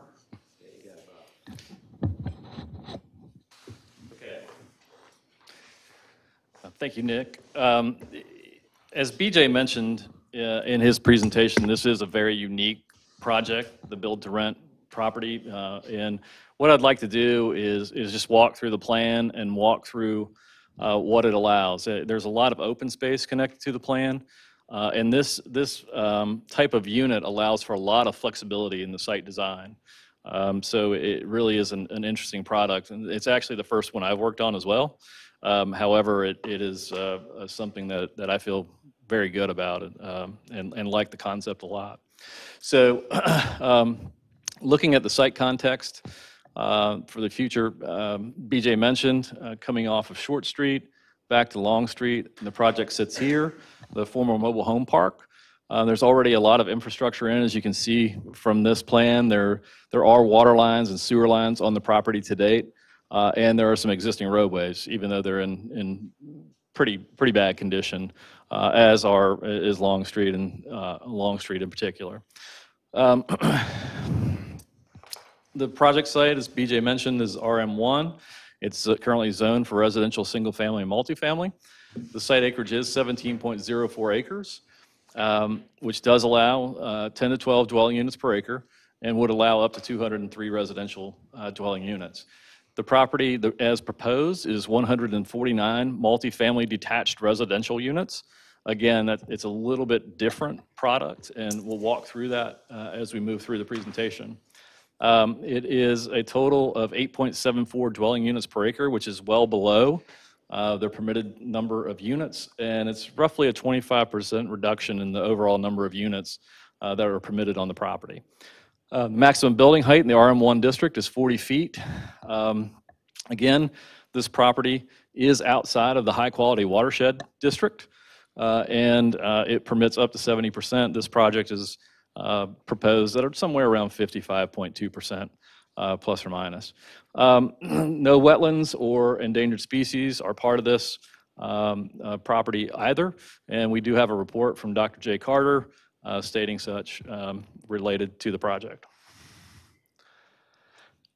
So looking at the uh, existing. I'm going to object to that every time you do that. I think if you're going to, you can't put in a letter without giving us a chance, if you're going to consider Dr. Carter to be an expert in regard to environment, you cannot put in a letter and not allow us to cross-examine the person who you're asserting is an expert. He's- He's very well respected in his field. I understand he's well-respected. I'd also understand that it's my responsibility to question him. I mean, we can't do that.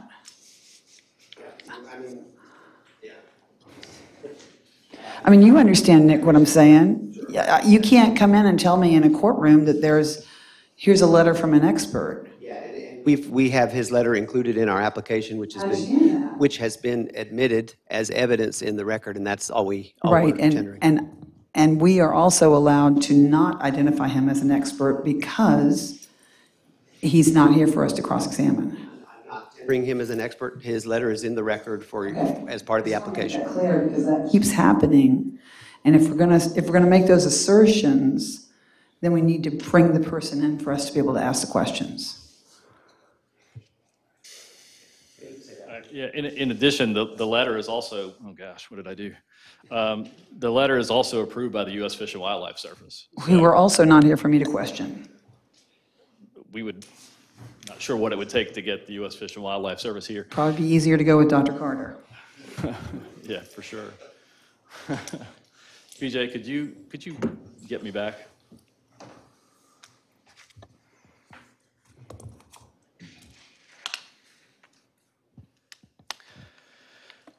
So, um, again, no wetlands or endangered species have been located on the site per Dr. Carter. Um, Objection. So looking at the existing site, uh, this plan actually shows the roadways uh, coming around and connecting. Uh, You can see some of the mobile homes that were still on the property uh, at the date of the survey. Uh, Most of them, I think there may still be one or two uh, remaining on the property. Um, This is Long Street, which does connect to Short Street, and then a connection back to Haley Street and Richards at this intersection. I have some site photos here as well. So this is looking at Richard Street, looking at the property, and you can see one of the mobile homes that's still on the property, and that's where that access would be. Uh, That access would be being located here. Uh, The second is, is the opposite street uh, on Haley Street, where this comes in and looks back at the existing entrance into uh, the mobile home park.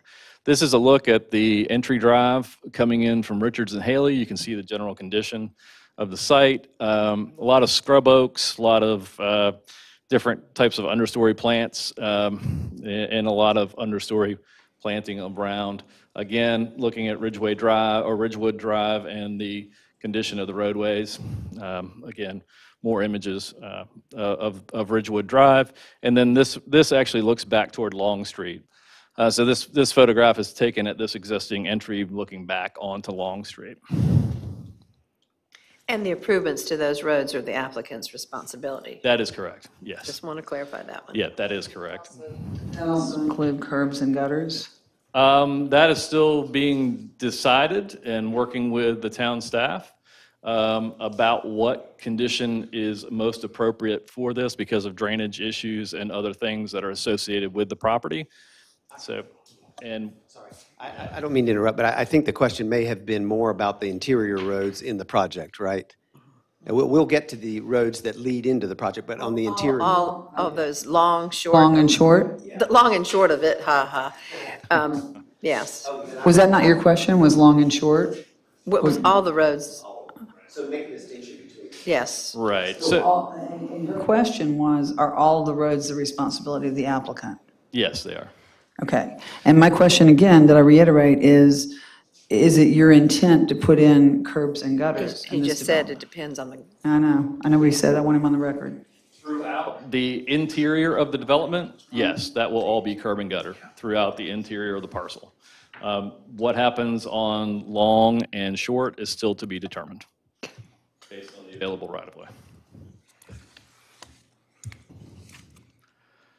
So um, back again, looking, this is Long Street, looking toward Short Street with the Keller Williams Building on the left-hand side. Uh, Existing Long Street, you can see the the condition of that street. Um, And then uh, looking at the future entry uh, location, uh, because it does go back further than the current location. Um, You can also see fencing um, that is along the adjacent property boundaries. Uh, And this is some fencing that is along uh, the multifamily uh, development that's across the way toward Murray Hill Pines, or I'm sorry, Murray Hill Road. Um, And um, this, this will be important. We'll, we'll talk about the fencing uh, a a little bit later and some information we found uh, out during the neighborhood meeting, so. And the entry onto Murray Hill from Long and Short, I guess it's, is it Long that enters onto Murray Hill? Is that right? It's short, sorry. So there is, is there a stop sign there? Uh, Yes, there is a stop sign there today. As far as traffic regulation? Is there a no left turn notice there, or can you turn left? Ocean intersection. Uh, And there is a TIA that has been prepared and and- and Travis. Murray Hill, right, okay. I can't wait to hear about that.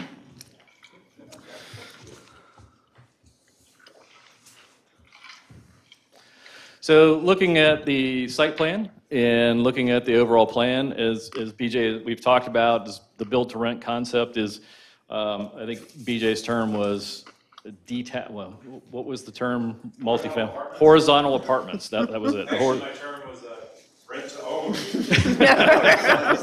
That's all right. So horizontal apartments. So, so instead of, um, like some other projects we reviewed recently, uh, instead of having one three-story building, um, these, these are individual units that are, are placed along the areas. These, these units would be um, developed sort of in clusters, and when you decide to rent one, you go to the clubhouse, you go to the leasing office, and you would go see one of the units, just like you would in a typical apartment community, and they would have availability in some of the units that are already there. Um, And then, yeah, you would lease that, just like you would an apartment, in an apartment community or something along that line. So there are three different types of units that are included in the plan. Uh, You see these units, the, the red, uh, red units that are here. Uh, Those units are uh, more of a single-family detached multifamily style with surface parking. So you see the surface parking in front of those units. Uh, The units across the backside, uh, the northern portion of the property, are are all garage-loaded units. So each of those units has an individual garage uh, and a driveway in the front that uh, will allow for parking of vehicles within that area. Um, And then you see some attached units, um, duplex-type units in duplex style. Uh, Each of those units would be surface parked. One of the interesting aspects of this plan are the continual loops around and creating these open space areas throughout the plan. So you see lots of open space, lots of pedestrian connections, and really making this a very walkable community. All the open spaces are interconnected with sidewalks. There's a playground area, uh, just open, open landscape area, uh, and then the clubhouse sitting uh, at this location. Those sidewalks will continue, and they will continue down Long Street and out to Murray Hill to connect the overall Murray Hill um, sidewalk path and pedestrian path. It's one of the things we worked on with staff uh, during the process and think it's a good suggestion. We've also included a pedestrian connection that will connect back to uh, the shopping center, the future shopping center, and back into that development. So people can walk from this neighborhood directly uh, into the amenity areas. Is that, just real quickly? quickly, 'cause you, you know that project very well as well. That's not kicking somebody into the dumpsters and the behind the loading dock of the Target, is it? This actually comes in right in between the split in the buildings. Okay. So I figured you'd have right it at the split. nicely Yeah. laid out, okay. Yeah, yeah. No, we didn't, and it, it's, it's also at a location where there's not a, a retaining wall behind it either. So it's, it's relatively flat at grade, and it, where it hit just happened to come in directly at that location. It was, uh, like, somebody knew what they were doing, but, um, but- but, but anyhow, it- we got, actually got lucky on that. But, um, so, so looking at, at this and, and looking at the sidewalk connections, um, coming all the way through the development, you can see if you're, if you're living in this unit, you can connect to the sidewalks and come all the way over to the clubhouse, the mail kiosk, et cetera, um, to get your mail. You can also connect out. Um, As BJ mentioned, one of the unique aspects are the sidewalks behind these units and behind the units, allowing direct access out to those uh, open spaces and then also uh, across to the adjacent properties. So this is a look at the overall open space for the project and a more technical drawing. So you can see those open space areas, they really pop out in this plan. You can, you can really start to see them uh, very clearly where they are.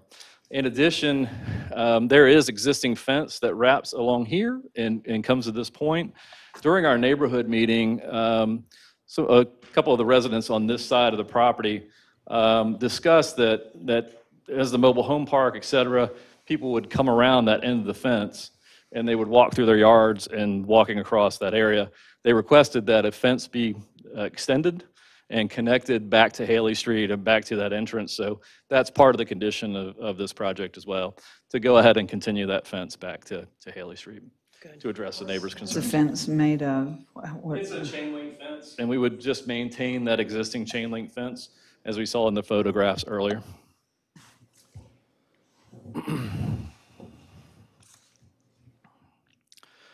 So there were some questions related, and I I think the condition talks through uh, the agreement of the shopping center and the owner to connecting the sewer.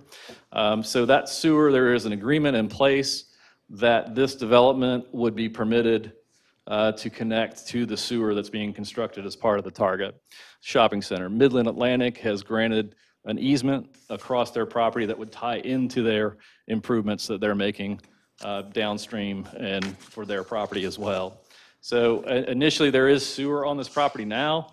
However, uh, the lines going out really aren't, they're, they're not capable of handling the overall sewer. So this makes the connection and would connect back out to something that will be plenty big for, for, um, for this project. Again, we are asking for a parking reduction uh, for open space, uh, to, to add open space and landscape areas. Uh, This project actually parks at a really high rate based on the town of Southern Pine standards because of the, the, the mix in units. There are only 16 one-bedroom units here. So looking at that, there would be 312 parking spaces required at over two, two parking spaces per dwelling unit. So that's, that's significant. Um, Provided parking, we're proposing 76 garage spaces in those units uh, that are garage fronted uh, along the backside, and then 187 on-street parking spaces uh, for a total of 263 and at 1.77 spaces per unit. This is a little different product. There aren't as many one-bedrooms, so raising that ratio makes a lot of sense here and should be right-sized.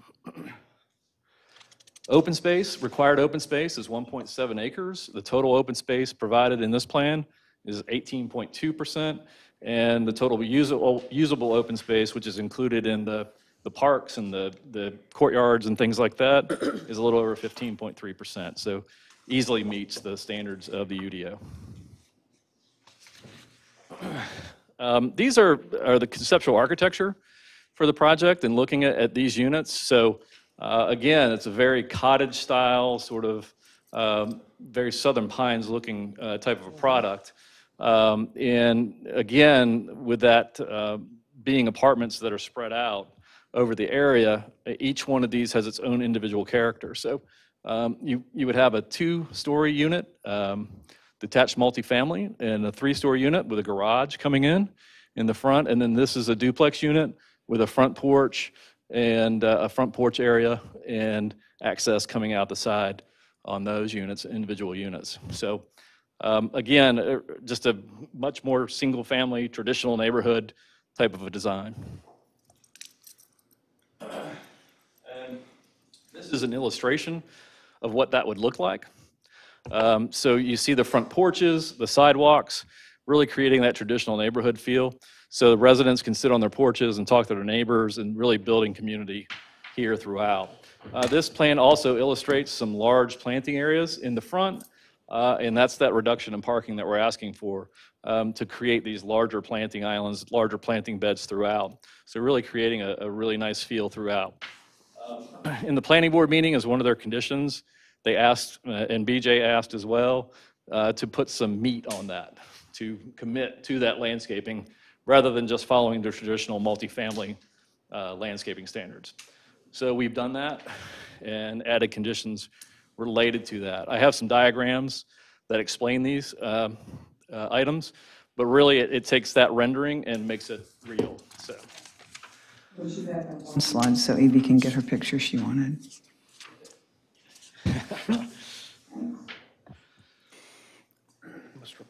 Okay. Question.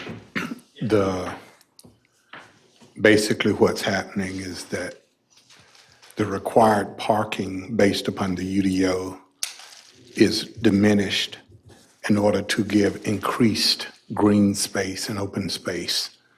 So that's another one of those flexible deviation type things that where on one side, uh, it would be a request for reduction, but on the other side, it's an increase in, That, that's correct. Okay. That, that's right. It allows us a lot more planting area throughout the development. So, Where do we put the cars? um, in, in the parking spaces that are created and, and part of it. And based on other projects, we feel that the ratio that we're requesting is, is adequate based on, based on what's, what's, what's there. Um, It's, it's always important in a multifamily development to make sure you have enough parking. I agree. It- It's critical.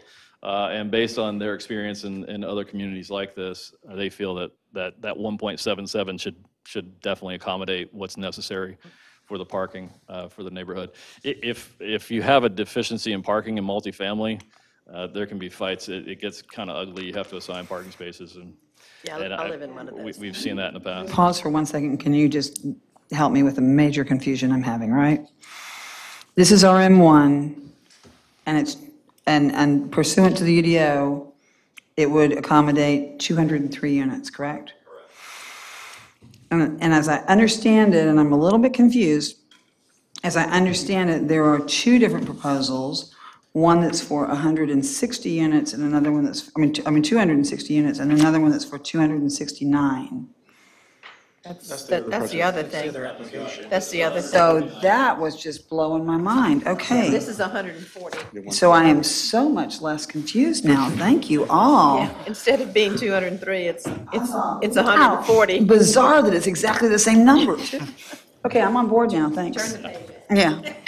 No, that got into, it- yeah. This we're is, good. this is roughly a 25% reduction It's, request from what's it's my actually fault. permitted. No, thank you. Okay, good, I'm glad I asked the question. You can, you can see, the- Similar to Village in the Woods. it is, it except is. it- The roads are going to be a whole lot better. Um, Since I live there, I can tell you. And so it's that same, same feel. So when I first saw this, I thought, because that's exactly what it is, that these, there's some individual and there's duplexes. Um, And it- then you can, of course, this is much, much smaller than this, but still, it's, it has that same um, That's it, right? cottage feel to it. Right. And that's the goal. Yeah, we got it, we got And it. that's, that's, rather than three-story buildings or something like that. It's an yeah, okay. Detached, yeah. Most definitely, most definitely. You can see the curb and gutter and you can see those other things, so. So, um, so again, this puts the meat on the bone for the landscape requirements uh, that, that the planning board and, and staff requested. Um, Buildings being five feet, a minimum of five-foot setbacks from the, from the right one now. the sidewalks. Uh, And again, we want those close because we want to be able to, folks to sit on their front porches and have their neighbors there. Uh, You see it in downtown Southern Pines all over the place. Um, And then area between the buildings and the sidewalk planted with shrubs for five feet. Buildings with front-loaded garages have a minimum 20-foot setback. Uh, Then sidewalks, uh, at least one side of each structure. Uh, Buildings with um, sidewalks will be five feet, which is town standard. Uh, Sidewalks will be connected uh, through internal and external circulation paths to really create that walkable community. Um, Buildings, front-loaded garages with sidewalks, they would have rear sidewalks for the buildings. And then landscaping, uh, large parking la- landscape islands over 500 square feet. And the way the UDO uh, works through um, parking island ratios, there's a minimum of 200 square feet uh, for a tree planting island. So if you're in a shopping center, if you're in a multifamily development, whatever it is, there's a minimum size that those parking islands can be. So it, it helps break up the parking islands and parking areas. That allows for one tree. So uh, we're stating that over 500 square feet, there will be two trees in each island. So uh, adding additional trees in those islands. So it continues to break that up. There are some interior landscape island requirements, or um, not island requirements, but planting and coverage requirements that this will still have to meet based on the multifamily. But this starts to put in some definition and language stating this specific design and how it will be carried out. So landscape islands under 500 square feet will be one tree and minimum of four shrubs.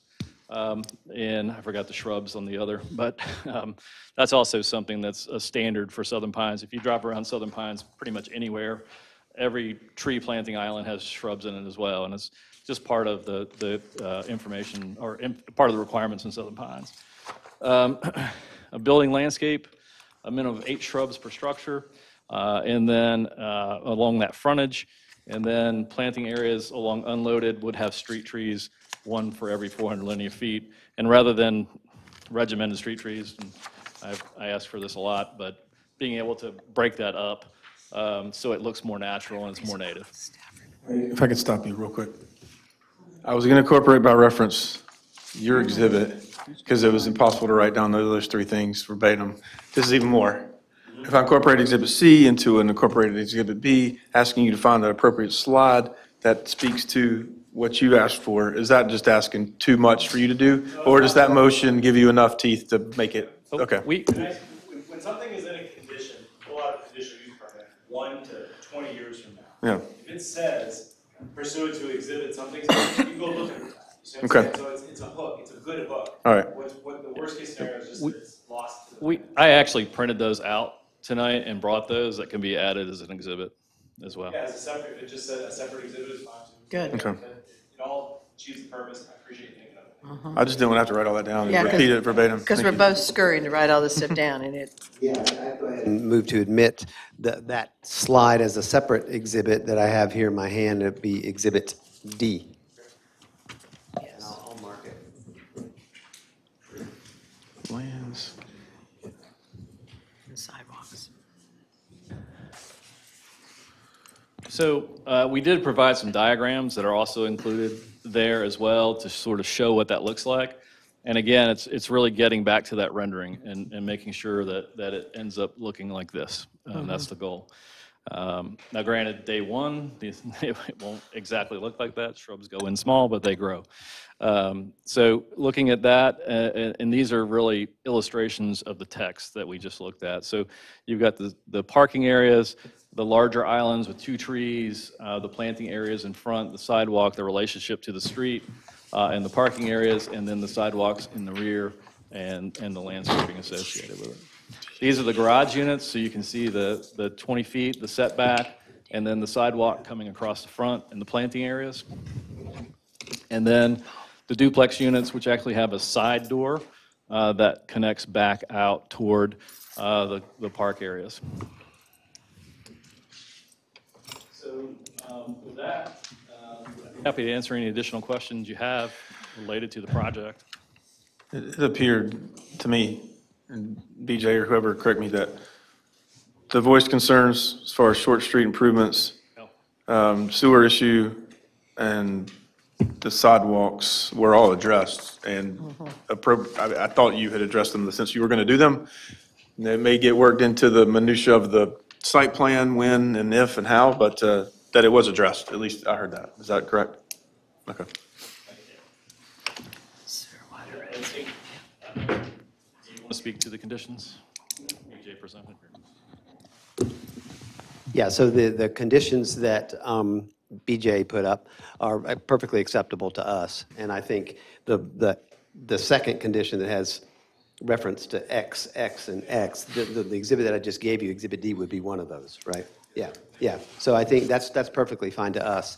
Um, And I can get, we can get to this a little bit, um, but we, uh, we have worked um, pretty uh, closely and over the last few days with Mr. Mickle um, on the issue about the uh, potential improvements to uh, Short Street. Um, And that's just going to require a little bit more information over the, uh, uh, over the course of time. And so we did, uh, the language that, um, that BJ put up on the screen as the third condition is the language that we, we vetted between ourselves and, and agreed would be an acceptable condition to address dealing with the improvements to Short Street, if that makes sense. And um, if, I think if Mr. Mickle can just confirm that on the record, uh, then I think we're good.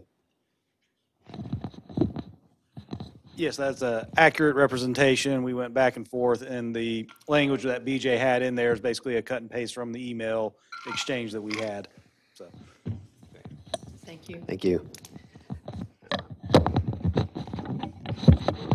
Okay, so we're, we're, we're back to it. Any, any more questions for Bob before we get into the, uh, I'm going to walk through the uh, findings with him. Okay. Um, So we're going to go to 19. Yeah. Um, Yeah, so section 2.21.7A through F is the one that sets forth the six criteria for SUP. Is that correct? Yes, it is. And to the best of your knowledge, does the SUP application, this SUP application meet all of the requirements of the UDO for an SUP? Yes, it does. Let's start with criteria A, which, uh, whether or not the SUP apply, uh, complies with the district regulations.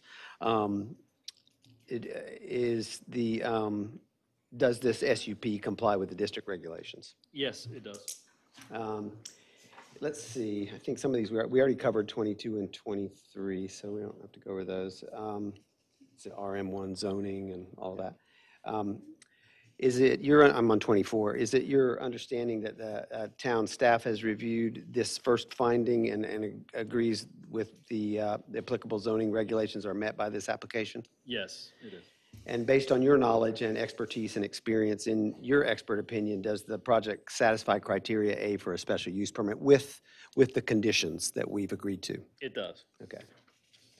Criteria B, uh, does it conform to the character of the neighborhood and uh, not injure the use and enjoyment? Uh, Do you have, um, have you reviewed that question? Yes, I have. Okay, um, um, just start with a description of the neighborhood that surrounds Murray Hill Pines. That might be useful. Yeah, I, I, I believe this is the case, and, and the previous use was a mobile home park. Um, and the, the surrounding neighborhood, uh, on one side is a single-family detached neighborhood, and the other side will be a large shopping center, uh, on the other side. Uh, the proposed multifamily development will have the character and appearance of the single-family detached neighborhood, um, and fit better in its surroundings than the previous development. Um, The property is surrounded by single-family, oh, well, um, the development, uh, this development does provide a transition from the shopping center to the existing single-family neighborhood as well. Um, And, and with the reduction in units to 149 from 203, uh, I feel that this really does fit the neighborhood. Um, In designing Murray Hill Pines, did you take care to make sure that it um, conforms to the character of the neighborhood that it's in? Yes, we did. And would you say that the use is in conformity with the character of the nearby neighborhood? Yes, I would. Um, So based on your knowledge, expertise, experience, and your expert opinion, does the project satisfy criteria B? Yes, it does. All right, uh, criteria C is adequate public facilities, and the staff has, um, has uh, made it known that, um, that the um, condition of Short Street needs improvement, um, and that it's not adequate at this point. Do you agree with that? Uh, Yes, I do. And, um, and that was the basis of the condition um, that has been reached by agreement with the, uh, with the town to address the improvements to Short Street. Is that correct? Yes, it is. Um, And then if you assume, for the sake of this question, that those improvements will be made in accordance with the condition, um, can you talk to the council about whether or not there are otherwise adequate uh, facilities for this project, public facilities for the project? Yes, uh, there, there are adequate facilities. Uh, The water lines, again, water and sewer was already within the property boundaries. Um, And those are adequate with the agreement with Midland Atlantic to take the sewer uh, with the easement across their property. Uh, Sewer can be addressed uh, in an adequate fashion. Uh, And then the Short Street and Long Street designs will be um, And you, you will have that in writing from Mid-Atlantic, correct? The easement? Yes. Signed agreement? It is, it is not a signed agreement. But it will be. But it will be Right. That was, yeah, okay. And also, will the infrastructure be phased, as Mr. Grieve mentioned? Uh, Yes, yes, agree, very agreeable to that, and I think the uh, applicant thinks that's a really good idea too. So when they're having someone ready to move in and need a CO, that there's a clear understanding on everybody's part of what needs to occur and what needs to happen. So it's great to get that worked out during the TRC process. Yeah, and, and to your question, Mr. Murphy, I think the suggestion from the staff that we work out that phasing schedule at the front end really is a good one, and it, and I think it will address your concern there directly. Thank you. Um, So um, that's criteria C. To um, to your knowledge, do you think that? Sorry. Yes. When you, when you ask questions of Mr. Koontz for the record, you ask about improvements to Short Street, you uh, di- failed to mention Long Street. Did you mean to do that? No, I didn't. That's good. Um, Will there need to be any improvements to Long Street, and who's going to make them? Yes, there will be uh, in- incre- uh, modifications that are required of Long Street and improvements, and those will be taken care of and paid for by the developer. Um, Thank you for that uh, clarification question. Um, So to the best of your And knowledge. are you, is, is the developer, are you willing to assert that improvements to both Long and Short, Short Street would also include curbs and gutters at this point? No, we're not. Okay. And so that covers water, that covers sewer, that covers, um, Water as far as dr- runoff, if we're not including curbs and gutters. We've got a, we've got a runoff issue. Well, Actually, it does, um, because the water has to be controlled, and curb and gutter is not the only method that you can control stormwater management and runoff. So there are, there are other methods, uh, which we will be exploring as we. Well, n- n- exploring is not going to cut it. It's got, we got, to we got to know that's going to be handled. It, it's gonna be handled through coordination and, and work with staff based on the condition that was part of the application. Is the radio station still down in that area? Down the hill where we're going to have a runoff into the radio station? It goes the other way. Stormwater goes the other direction. Yeah, it does. And and of course, the, the applicable state uh, stormwater requirements will uh, be enforced, right? And so. Right, and I, I noted that verbiage in your assertions here, but it's incredibly vague. It's a little bit like, you know, we're going to plant as many trees as we need to, kind of a thing. So I'm not feeling good about that. I'm not talking. sure, the, what does the tree planting have to do with? Oh, the tree planting had not much, it just was a, a previous vague, um, Yeah, so they're going to be obligated to comply with state law with respect to um, treat, s- uh, retaining and treating stormwater such that um, the pre and post-development uh, stormwater flow uh, meets whatever the applicable state standard is. And they'll know that as soon as they do the design and engineering. Right, and one of my concerns with that is that the legislature has made that very easy for us to all be neglectful. So I would really like, as far as Southern Pines goes and what's best for our town, I would like to know that we are going to have curbs and gutters, and um, I'm going to keep harping on this. Yeah, I mean, there's, um, you know, you testified about curb and gutter within the interior of the development. You did testify about that, and I appreciated that. And obviously, you therefore recognize the importance of curbs and gutters, just saying. But there's, um, there's myriad circumstances with regard to the existing streets. There's a big difference between making a commitment to build brand-new streets. I understand. And put curb and gutter in. I totally understand that, and you understand, I'm sure, my concern about Yeah, the yeah. town. And, and so, you know, um, stormwater gets dealt with in the town in at least two ways that I can tell you. One is curb and gutter, and the other is the ditch and swale section, which um, Short Street already has.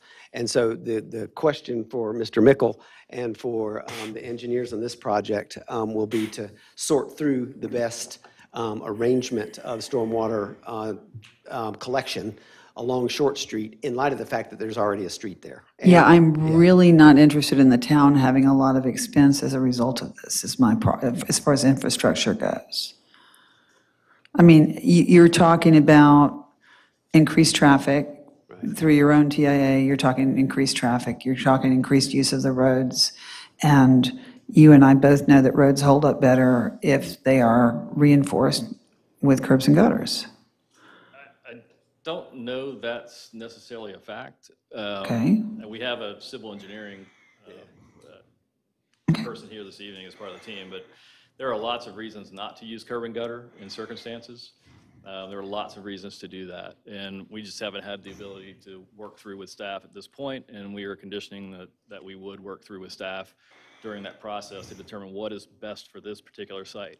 Curb and gutter is site-specific. It's not always about having a, a general standard. It's about what's best for that particular site in that particular condition. Um, So um, with regard to the public facilities that we've been talking about, do you have an opinion about whether this project, when you include the conditions related to the public facilities, um, would meet that um, requirement of having adequate public facilities? Uh, Yes, it would. Okay, so that's your opinion? Yes. Okay, all right. Uh, Criteria D, uh, not impede the orderly development of surrounding properties nor substantially diminish or impair property values. I've, we have a- an appraiser on the property values, but on the, um, the first part, uh, is there anything about Murray Hill Pines that would prevent or impede the orderly development of surrounding undeveloped properties nearby for their allowed uses? No, there isn't. Okay. Based on your knowledge, experience, and uh, expertise, um, in your expert opinion, does the project satisfy the orderly development component of criteria D? Yes, it does. Uh, Criteria E is health, safety, comfort, and general welfare. This will also be addressed by our traffic consultant and civil engineer. But have you um, ever been involved in, um, in land planning for other uh, multifamily type projects? Yes, I have. And have, have any of those projects been in Southern Pines? Yes, they have. And based on your experience and the subsequent development of such projects, are you aware of any diminishment in public health, safety, comfort, or welfare caused by those projects? No, I'm not. Based on your knowledge, um, experience, uh, expertise, uh, in your expert opinion, does the project satisfy criteria E for special use permits? Yes, it does. Okay, we're on the last one, criteria F, uh, just meeting the public interest and welfare and that outweighing injury to individual interests. Have you examined that criteria as well? Yes, I have. Um, And wh- wh- what would you offer to the council with respect to that? Um, You know, the, the CLRP counts as one of its goals to provide a diversity of housing types throughout the community. Um, And I, I believe that should be encouraged, in my opinion. Uh, If the town turns down multifamily projects uh, where they're encouraged by the CLRP and an allowed use under the UDO, uh, the town will never meet its goal of diversifying housing sufficiently to meet public interest and welfare. Uh, The project provides an opportunity to provide a housing choice that does not currently exist in the market, a multifamily development with the character of a single-family detached neighborhood with several amenities for its residents adjacent to a commercial shopping center is unique to Southern Pines and provides a diversity of housing product. So is it fair to say that you, you agree that in your, um, that it, this project would serve the public interest? Yes, it would. And is it also fair to say that, on the other hand, it's not going to cause uh, injury to individual interests? Correct. Um, All right. um, Those are all the questions I have for Mr. Koontz, unless there are other questions from the council. Anyone have any more questions for Bob? We're writing madly over here, by the way. Now, reading it might be different. As long as he can read it, I don't care. Any other questions? I know you have other expert witnesses you want to bring up. Good, yeah, okay, then I would call um, Travis Fluitt.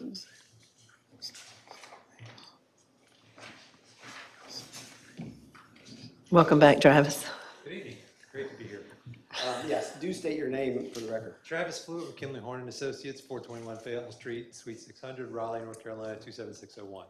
Okay, and you've pre- previously been qualified and admitted as an expert in the field of traffic engineering. That means we get to skip questions one through eight, um, or one through seven. How, how long have you been working on this project as a traffic engineer? Since August of last year. Um, What tasks have you completed for the applicant on this project? We performed a TIA for this development in coordination with town staff. Okay. Um, And has your firm prepared a traffic impact analysis for the Murray Hill Pines project? Yes, we have. Can you describe to the council what your role was in the preparation of the TIA? I oversaw the production of the TIA and signed and sealed the final report. Are you familiar with the findings and conclusions of the TIA? Yes, I am. Is the TIA you prepared for this project dated May 16th, 2022? Yes, it is. There was an, there was a prior version. Correct, in March. Okay. Um, It was revised based on town comments. Okay. And um, let me,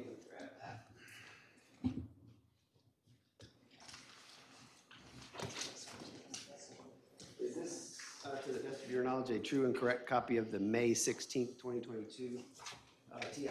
Yes, it is. I'm going to go ahead and mark that one.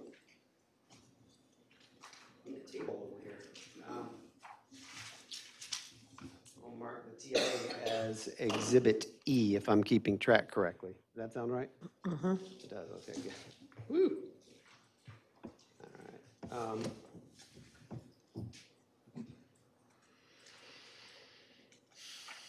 I'll skip ahead while you're doing that. Yes, it is my seal on the cover of the TIA. Okay, that's good information. Um,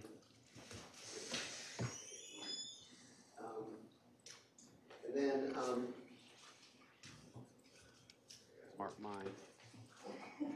We also have uh, extra copies, it's not of the full thing with all of the traffic count on it. Um, Oh, yeah, we'd like to get the Reader's Digest version. That's, that's, the one that's in the record has all of the. As, of- yes. Um, okay, so, sorry, I'll get right back into this here.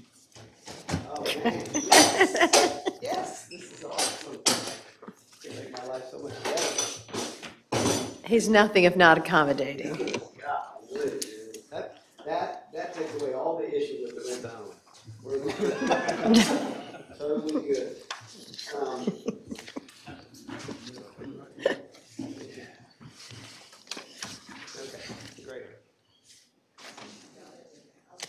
Okay, so yeah, that's your seal on there. Um, Have you made yourself uh, familiar with the Town of Southern Pines UDO, particularly any requirements related to traffic management? Yes, I have.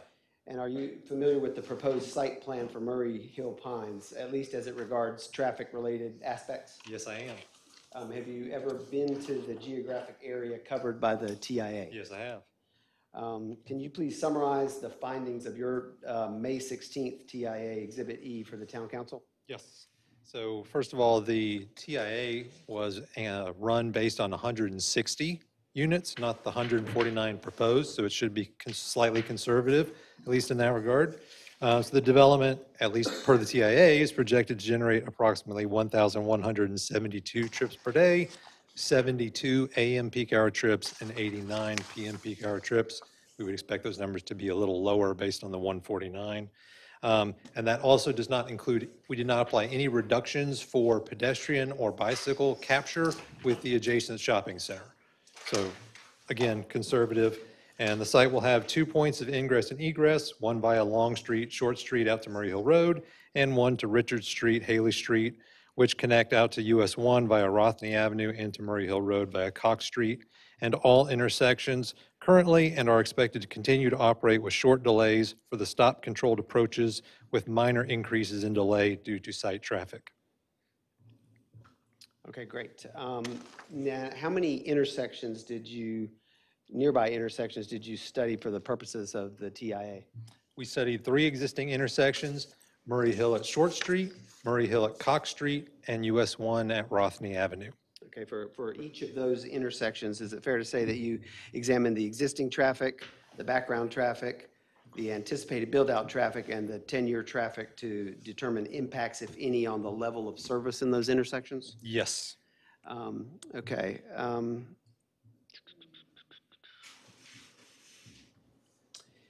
Did you determine the Murray Hill Pines build-out impact of each of those intersections? Yes, we did. Can you I summarize think we just that? skipped to that. Okay. Yeah. So this is the summary. Okay, If go you ahead. want. Yeah, Okay. that's fine. So the Short Street approach to Murray Hill Road currently operates at level of service B. There's a stop-controlled approach and is projected to operate at level service B in the AM peak hour and level service C in the PM peak hour at project build-out. Based on the 10-year horizon, it was projected to operate at level of service C in both the AM and PM. Site traffic is expected to increase delays on Short Street by less than two seconds per vehicle versus the background condition at project build-out, and Murray Hill traffic will be essentially unaffected.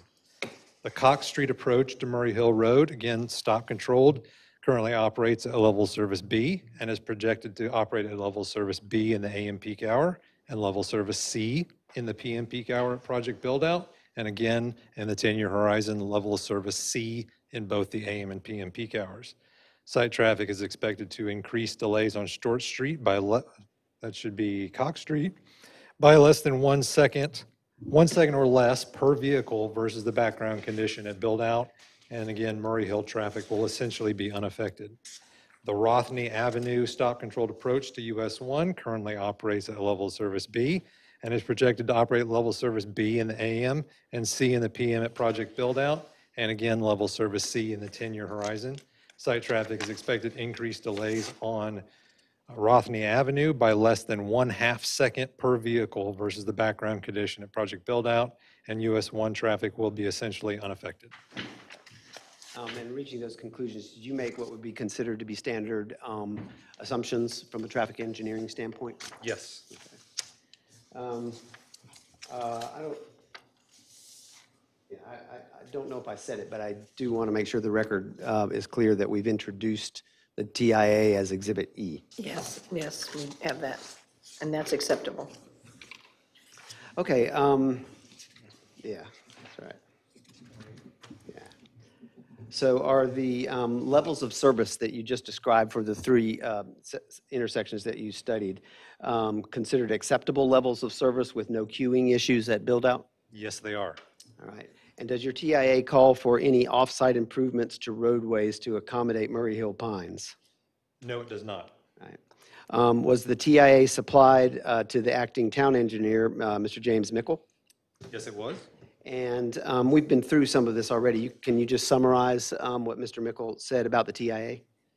Yes, so in our original March TIA, um, the primary comment um, that Mr. Mickle had was that we had assumed approximately 45 to 50% of the site traffic would enter and exit the site via either Rothney Avenue or Cox Avenue. Um, Versus using Short Street, Mr. Mickle thought that significantly more would use the Short Street connection. And while I stand by my initial estimate, we revised the analysis to have 75% of the traffic entering and exiting via Short Street, with the remaining 25% split between Cox Street and Rothney Avenue. Um, And did that uh, g- cause any change to the uh, levels of service? Nothing significant, no. Okay. Um,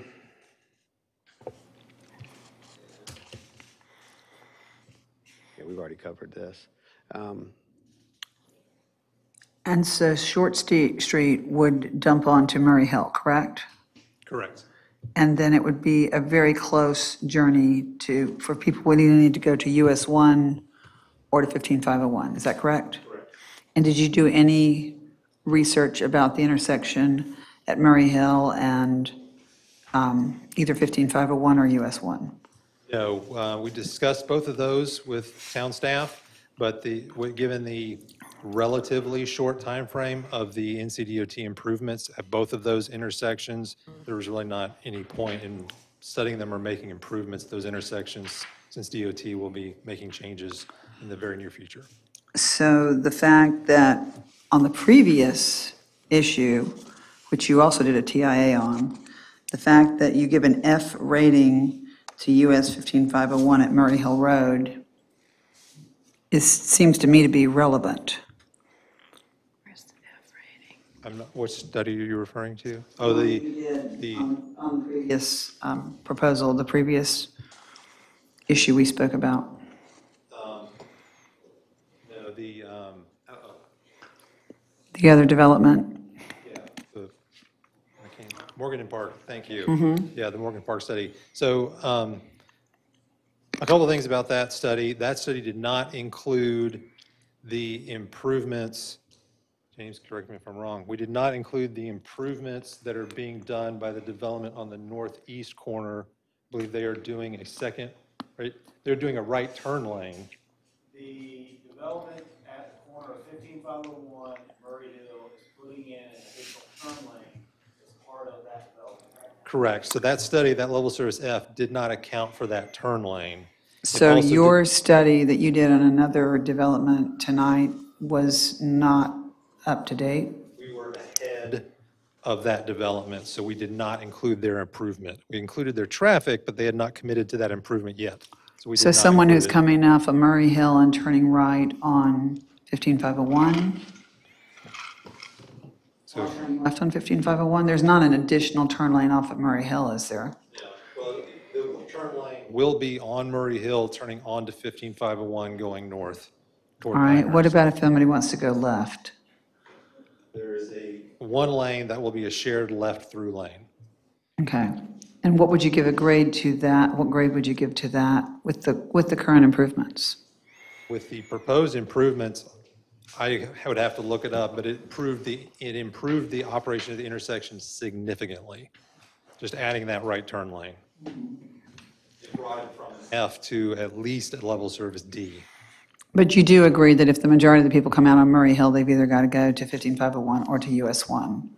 And what would you give the, um, the intersection at US 1 and Murray Hill? I do not know. And didn't think that was important. That's like going to be the main means of, Again, DOT is going to be improving that intersection in the near future. So there will be improvements there coming very soon. Okay. I would, um, I'd like to put the TIA from the previous development that is also authored by you into evidence, please. Um, I actually don't think you can do that. No, it's two different things. It's, uh, yeah, it's not a part of this It's a, proceeding. it's a, I mean, he's specified that that's going to be an intersection that's going to matter. I'm not tendering it, and nobody is is tendering it. Okay. So we've gone through the uh, TIA and, and, and the um, dealings that you've had with Mr. Mickle, town engineer. Um, So based on that um, and all of the other information and experience at your disposal pertinent to the project, do you have an opinion based on a reasonable degree of engineering certainty, traffic engineering certainty as to whether this site um, with the uh, recommended improvements, and I'm, I'm including uh, reasonable improvements to Short Street that may be agreed to. And Long Street, um, is appropriate for the proposed project based on traffic considerations. Yes, it is. Um, And what, so then, is that your expert opinion? Yes, it is. Okay, do you have any reservations about that based on questions from the council or anything else that you know? I do not. Okay. Um, All right, uh, those are all the questions I have for this witness, unless there are others from the council. Anyone have any questions for Travis? Yes, um, it appears that Short Street to Long Street will be the primary entrance, is that correct? Yes. Will there also be access to the site by way of Cox Street? Yes, yes, Oh, the, can we pull up the site plan? Pull that up. Mhm, Yeah. Cox. That's what he's saying, he assumed, he, he tried to figure it out, seventy percent using. Mhm. Yes. But yes, there will be connection right here where Richards meets Haley Street. Okay. And so traffic can either go out Rothney to US one or Haley down to Cox out to Murray Hill Road. And so we, we did study this intersection to account Right. for that traffic and the intersection of Rothney US one to account for that traffic coming in out, both of those directions. So the same entrance that would have gone into the manufactured home area is still there? Yes. Okay. That's correct. Mm-hmm. Any other questions for Travis? All right, you want to bring up your next? Yes, our next witness is Kyle Winters. Can you uh, state your uh, name and address for the record? Kyle Winters. I work at Integra Realty Resources, 214 West Tremont Avenue, Suite 200, Charlotte, North Carolina. Okay, are- you, uh, and you've been qualified as an expert in the field of uh, property valuation. Yes. Um, Can you generally describe for the council what tasks you've been uh, asked to complete for the applicant and have completed? We did an impact study to determine whether the proposed project would have a negative impact on adjoining surrounding property values in the neighborhood. Okay. Um, And has your firm, in fact, um, prepared an impact study appraisal for the applicant? Yes. And in that appraisal, did you study the question of whether the, the proposed uses here at Murray Hill Pines would substantially diminish or impair the property values within the neighborhood? Yes. And what was your role in the preparation of that report for this site? I uh, conducted a site inspection of the property, the neighborhood, and conducted all of the research analysis and conclusions. Okay. Um, And is the report that you prepared for this project dated June 2, 2022? Yes. And as far as you can tell, is this a true and correct copy of the report that I've marked as Exhibit F? Yes. All right, I'd like to go ahead and introduce Exhibit F into the record. Accepted. Thank you. Um, this is- um, I'll just say there are five copies here of the full thing. Um, To to give the council, um, the, the, uh, you can read the whole thing if you like, but if you want to get to the money page, it's the fourth page in, which has a summary of all the various conclusions. You need to read the whole thing. Um, So you make yourself familiar with the, the uh, Town Southern Pines UDO, particularly the section 2.21.7D, that the proposed use not substantially diminish or impair property values within the neighborhood? Yes. And are you familiar with the proposed site plan for Murray Hill Pines? Yes. Um, And have you studied the likely impact of, uh, on development of this type with the proposed 149 residential units? Yes. Are you familiar with the neighborhoods surrounding uh, Murray Hill uh, Pines project? Yes, I, I drove it. All right. Um, And can you describe for the council the three different types of uses that you found in proximity to the Murray Hill Pines project? There's single-family residential, there's existing multifamily in the neighborhood, and then uh, retail and office users. Okay, so what you were attempting to determine was whether or not this project would have a a substantially diminishing impact on any one of those three uses, single-family, multifamily, or commercial? Correct. Okay. Can I just add, clarify one thing? Sure. Did you mean, to think the fourth literal piece of paper? It says it's number page- two, number it's two on page ours. Yes, it says page two. Okay. But it's the fourth. It took me a little bit to figure out Yeah, you where it said was. four, and it's- we're, I'm thinking, it's the fourth page and do what you want to. Gotcha. Okay. You know, it's late, so we need to act. Yeah. Um,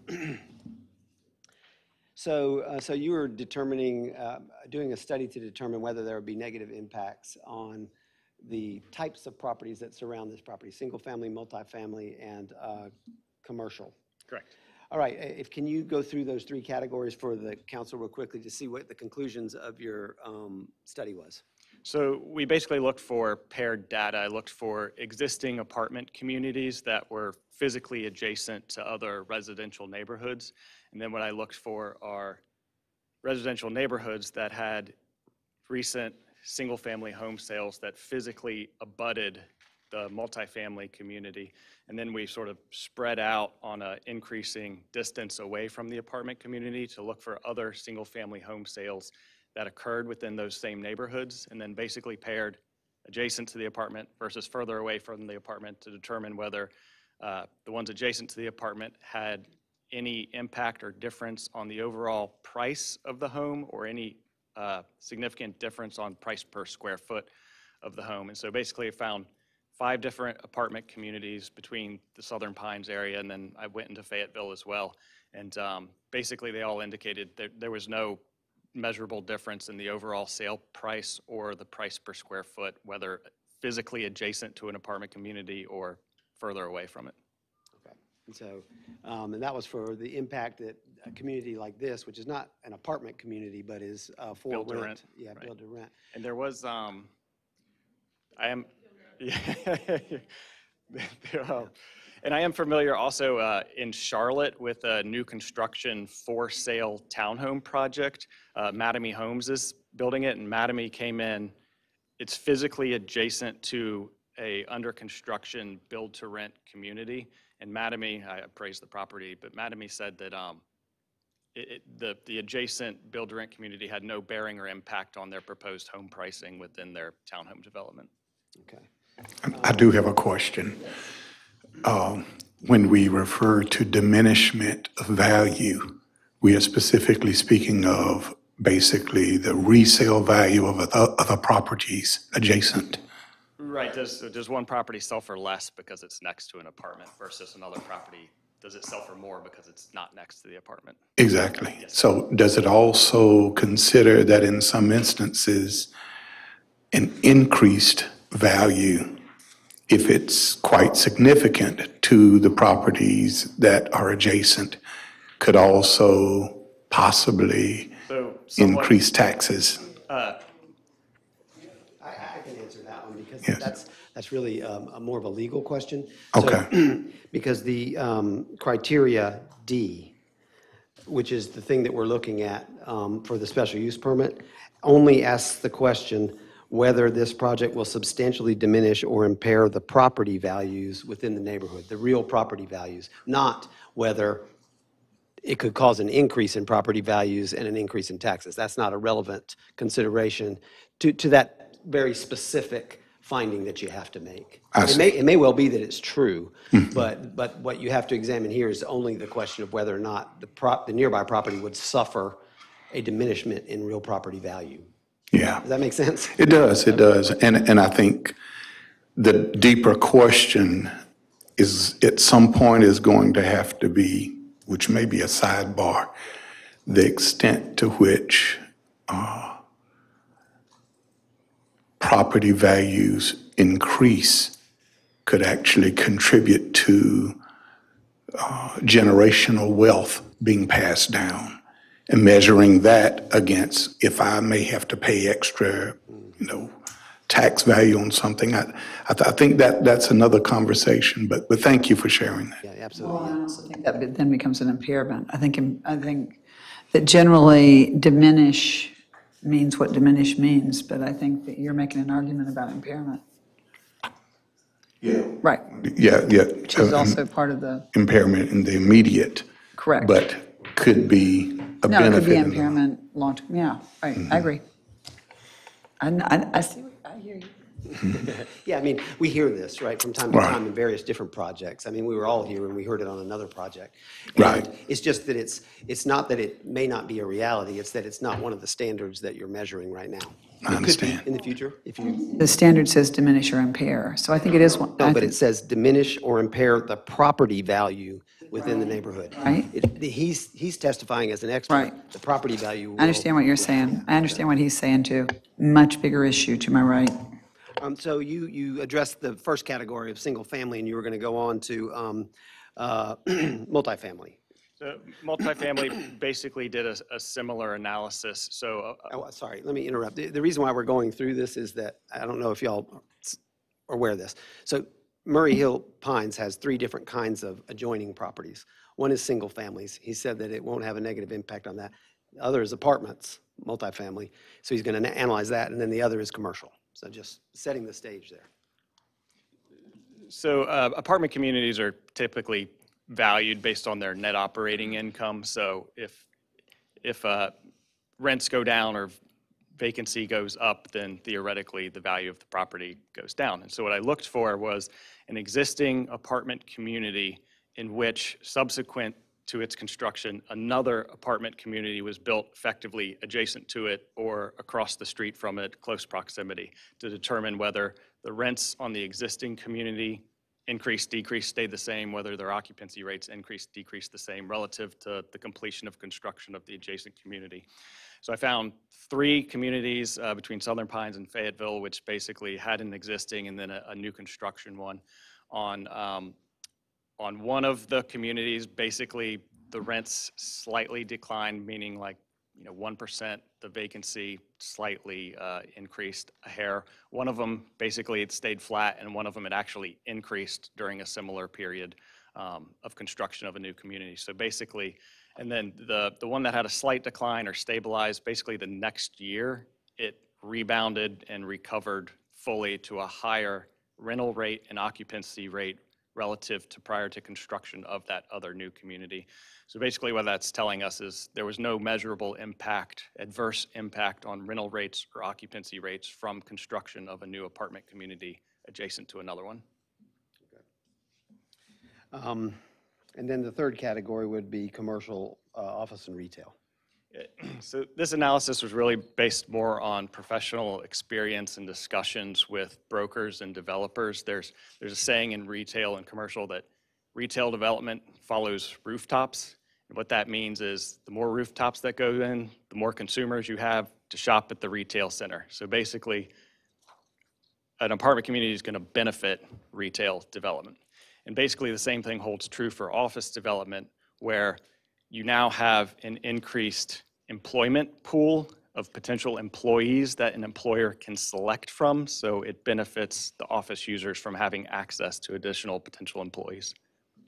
Okay, Uh, thanks for, for going through all that. So, so with respect to special use permit criteria D, that the project not substantially diminish or impair property values within the neighborhood, based on your review of this project and the neighborhood, um, did you formulate an opinion as to whether Murray Hill Pines project, as described in the site plan, if constructed, would substantially diminish or impair property values within the neighborhood? It will not diminish or impair property values in the neighborhood. Okay, those are all the questions I have for this witness. Thank you, Thank you, Kyle. And now we go, Last witness. Last and, uh, witness. He's been sworn, I'll have to qualify him, but it's, it'll, it'll happen quickly. Yes. we have a newbie with us, right? Right, maybe next time we'll. Um, Could you state your name for the record, please? Uh, Aaron Katz with Kimley-Horn, uh, 421 Fayetteville Street, Suite 600, Raleigh, North Carolina, 27601. And what's your job title? Uh, Civil engineer, Uh, How long have you been at this job? seven years. Um, And uh, can you give a brief description of your educational background? Uh, Yes, uh, bachelor's degree in civil engineering from University of Michigan, and a master's degree in civil engineering from the University of Florida. All right. Can you describe uh, any relevant certificates or licenses that you may hold? Uh, North Carolina professional engineer. Okay. Um, Describe in, in general terms for the council the history of your experience on this project. I performed a site uh, civil feasibility investigation and due diligence. And have you reviewed the water, sewer, and stormwater plans for this project? Yes. Okay, um, I'd like to tender Mr. Aaron Katz as an expert in the field of public engineering. Accepted. Um, have you made yourself familiar with the Southern Pines UDO, particularly the requirements of a valid SUP application as set forth in section two point twenty-one point seven A through F? Yes. And with regard to criteria C there in that section, which relates to whether there's adequate public facilities will be provided, um, do you, have you reviewed that? Yes. Do you believe that, um, adequate public water will be provided to this project? Yes. Um, and why is that? Uh, Public water uh, will be readily available to the site. Um, Existing site contains uh, water main network today, and there's also an existing water main located in the Long Street right-of-way adjacent to the site. Okay. And uh, we can just speed through it. Um, do you believe that the adequate stormwater protections uh, will be incorporated into the plan for this project? Uh, Yes, a BMP will be constructed in the southwest corner of the site to meet quantity and quality requirements. Runoff from the site will be routed to the BMP to be detained and treated prior to being released downstream. And are you familiar with the um, uh, approach to collection and treatment of the wastewater for this project? Yes. You just describe that to the council, if you may. Sure. The approach consists of connecting the project sewer to the Morganton Park South Phase One sewer system. The Pine, uh, Morganton Park South, uh, sewer system project is located directly north of our Murray Hills, uh, Pines project. As part of the development for the Pine Ridge project, a sewer stub and associated easement will be provided, which will allow for future connection of our project sewer, uh, into the system at Pine Ridge. Okay. Um, And do you, based on that um, connection, do you have an expert opinion as to whether adequate public facilities will be provided for this project? Yes, I believe this project will provide adequate public facilities in the form of water, sewer, and stormwater. Okay. And then criteria E, which is the last one I'll cover, um, relates to whether the proposed use will be detrimental to the public health, safety, comfort, or general welfare.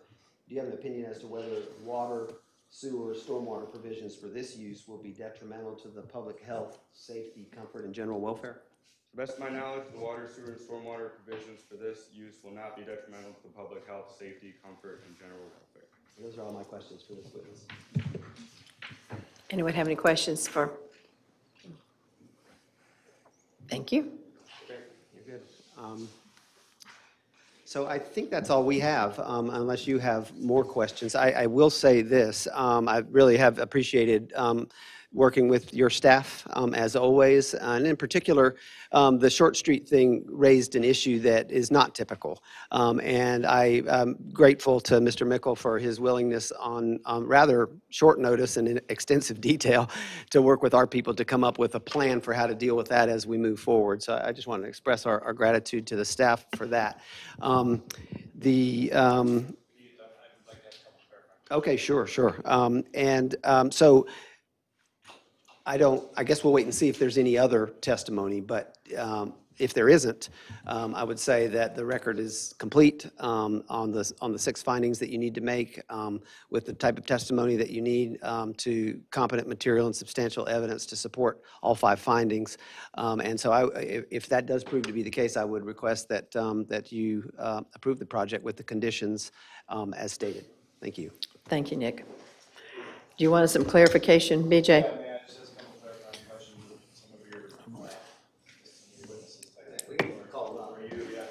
Um, Bob had mentioned a chain, uh, Chain link fence.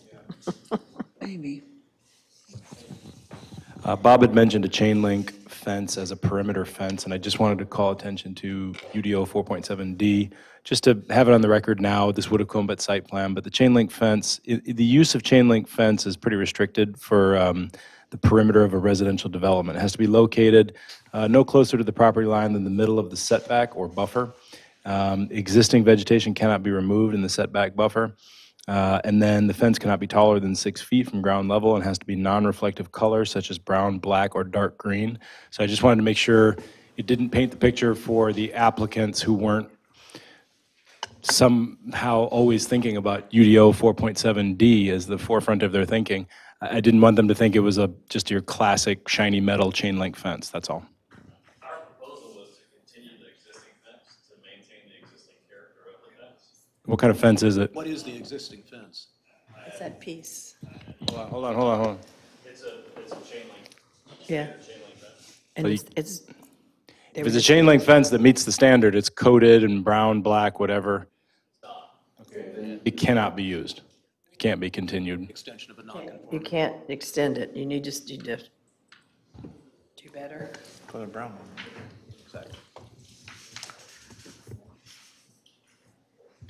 And while he's trying to find that slide, BJ or James, one of the other of you, this is probably a question for you.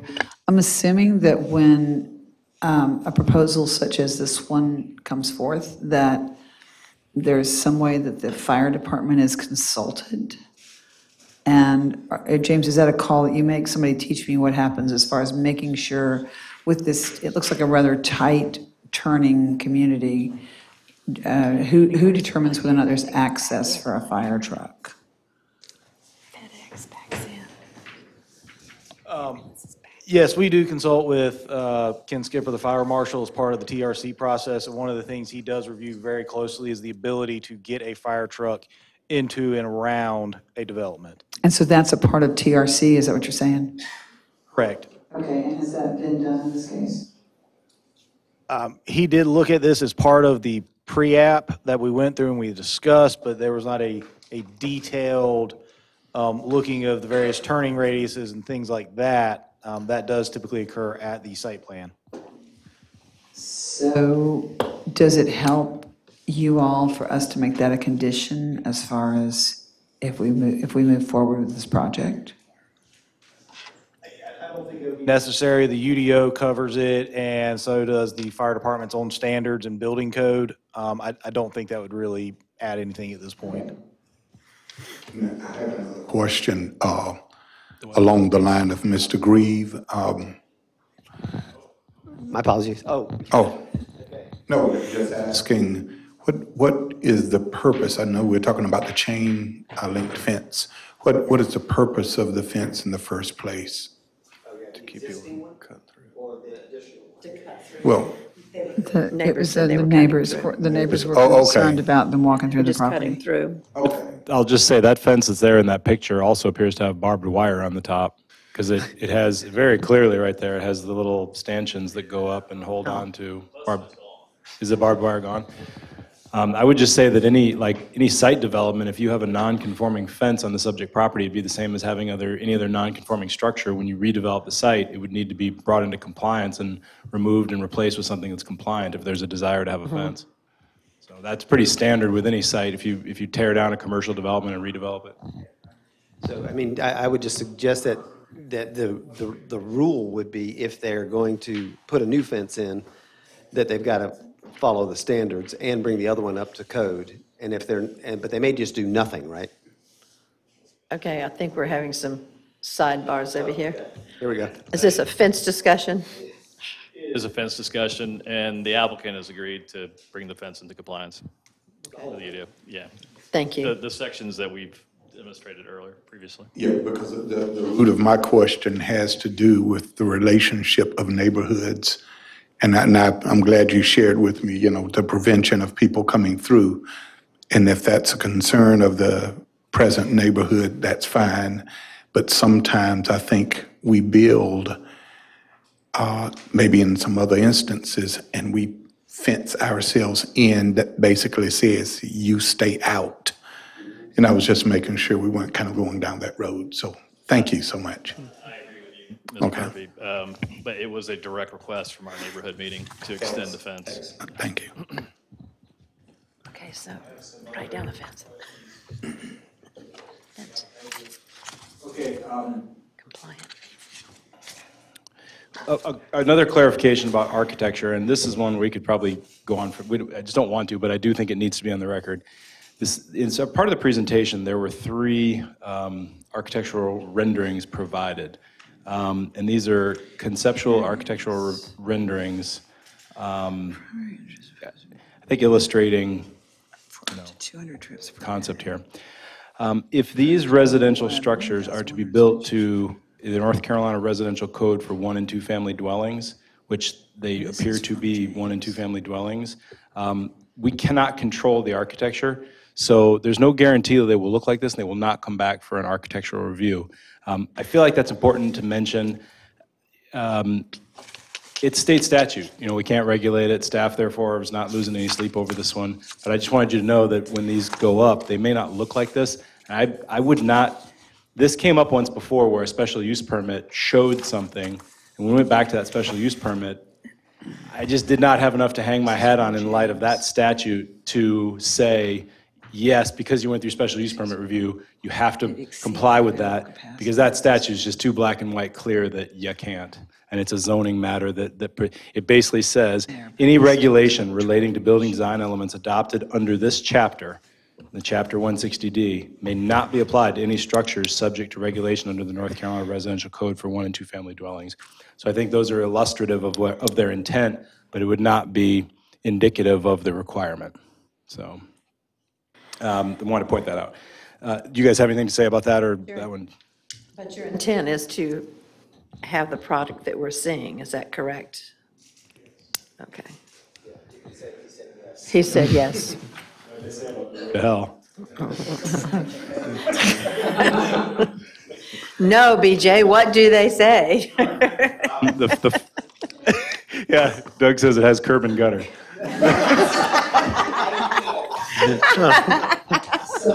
Take the mic away from BJ. All right, sorry. The last one I just want to clarify real quickly is, is uh, we, um, we just want some clarification. There was quite a bit of discussion about sidewalks as part of the project. Was there anything stated or clarified about off-premise sidewalks, commitments to off-premise sidewalks, be they on Long Street, Short Street, anything like that? Because that was a topic of discussion, and so I'm curious where you guys are at on that. Yes, we did, and I, I thought during the presentation, I mentioned that there will be sidewalks along Long Street, and that there would be a connection back to Murray Hill as well on Short Street. Um, I thought I had mentioned that. A sidewalk connection to Murray Hill is what we had discussed. Any other questions? Yes, I've got a question for James. James, have you been sworn in? Yes, he was a staff swearing. Well, great. So James, in your um, email to Jennifer dated May 9, of 22, you say regarding traffic, "The primary entrance to the proposed development will be off of Murray Hill Road at the intersection of Short Street. Short Street currently exists as a local street which is adequate for up to 200 trips per day as defined in UDO Section 4.11.2. Street classification, B2, the proposed development will add up to 1,172 trips per day, UDO Section um, 4112. Street classification B5 defines a road with more than 800 trips per day as a collector street. An improved cross-section from the development should be extended from the development to the intersection of Murray Hill to mitigate the impacts of the increased traffic. Can you please explain what you think would be the solution to that issue?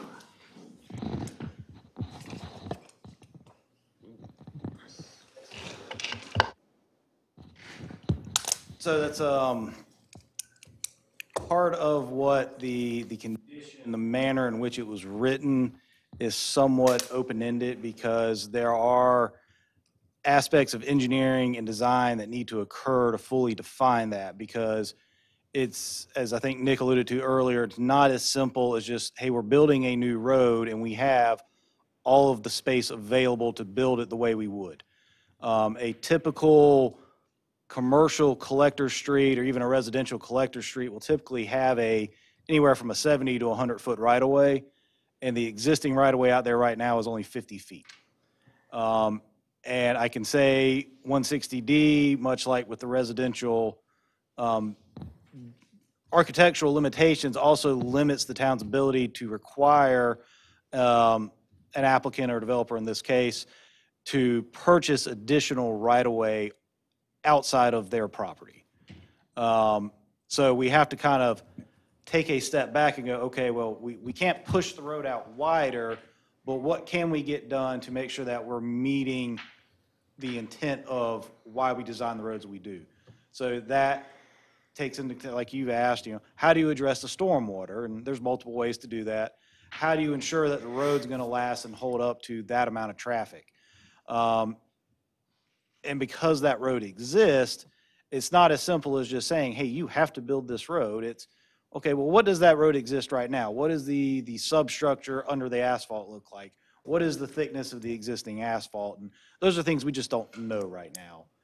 Um, So those are what we're trying to agree amongst myself and the, the developers team is that, yeah, we need to look at those things and we need to come up with something, but to define what that is right now, I don't know that we can. Okay. Second question, your, um, your number two is a pedestrian connection to the existing sidewalks on Murray Hill Road should be considered. Correct, and that was what BJ was just clarifying. Correct. And they just stated they are building that. They are doing that. Okay, number three, so we want to make that a condition if we were to approve this project. Okay, and then, and that's pede- pedestrian connection to existing sidewalk on Murray Hill. And then number three, you say, and, and this may be addressed by the easement that they seem to have obtained, analysis of the increased sewer for this development exceeds, exceeds the available capacity of the existing downstream sewer. It is staff's understanding that the applicant has coordinated with the adjacent commercial development to redirect a sewer toward their site. If this cannot be negotiated, the applicant should be responsible for the upgrades to the existing downstream sewer system to accommodate the additional flow. So if I use your language as a condition, as a contingency for approval, are we covered as far as the town not having a horrible disaster, infrastructure mess, literally? Yes, and that was the intent of it, putting that language in there. It Basically says if, if for whatever reason this agreement with the adjacent developer doesn't go through and you still want to build the project, you have to address the downstream capacity issue. Okay, all right. Yeah. Thank you.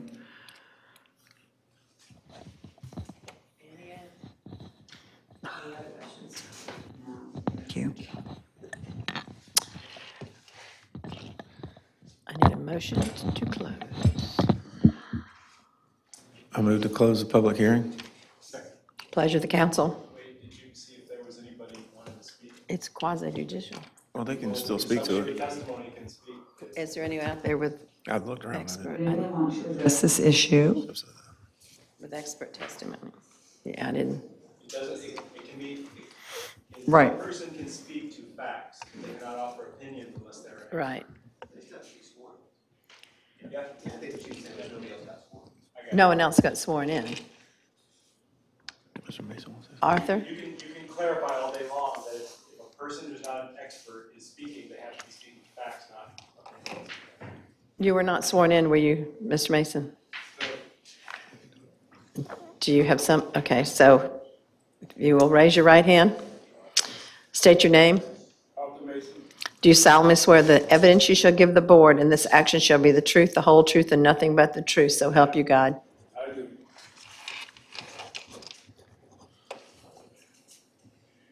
Born and raised here, Okay, state your name and address. Arthur Mason, 795 West New Hampshire Avenue. Okay, born and raised here, I understood the study that they said they performed concerning the traffic. Now, we have people up on Cox Street, that whole neighborhood back there. They have to come down there and they have to go south just to go north. This is a very, very serious problem for those folks. And when this other, when this other traffic come in, it's gonna be more of a serious problem. This is what I really want you to take under consideration. It is, it's gonna be terrible. It's terrible right now. I just, this is the point I wanted to make. Thank you. Thank you, Mr. Mason.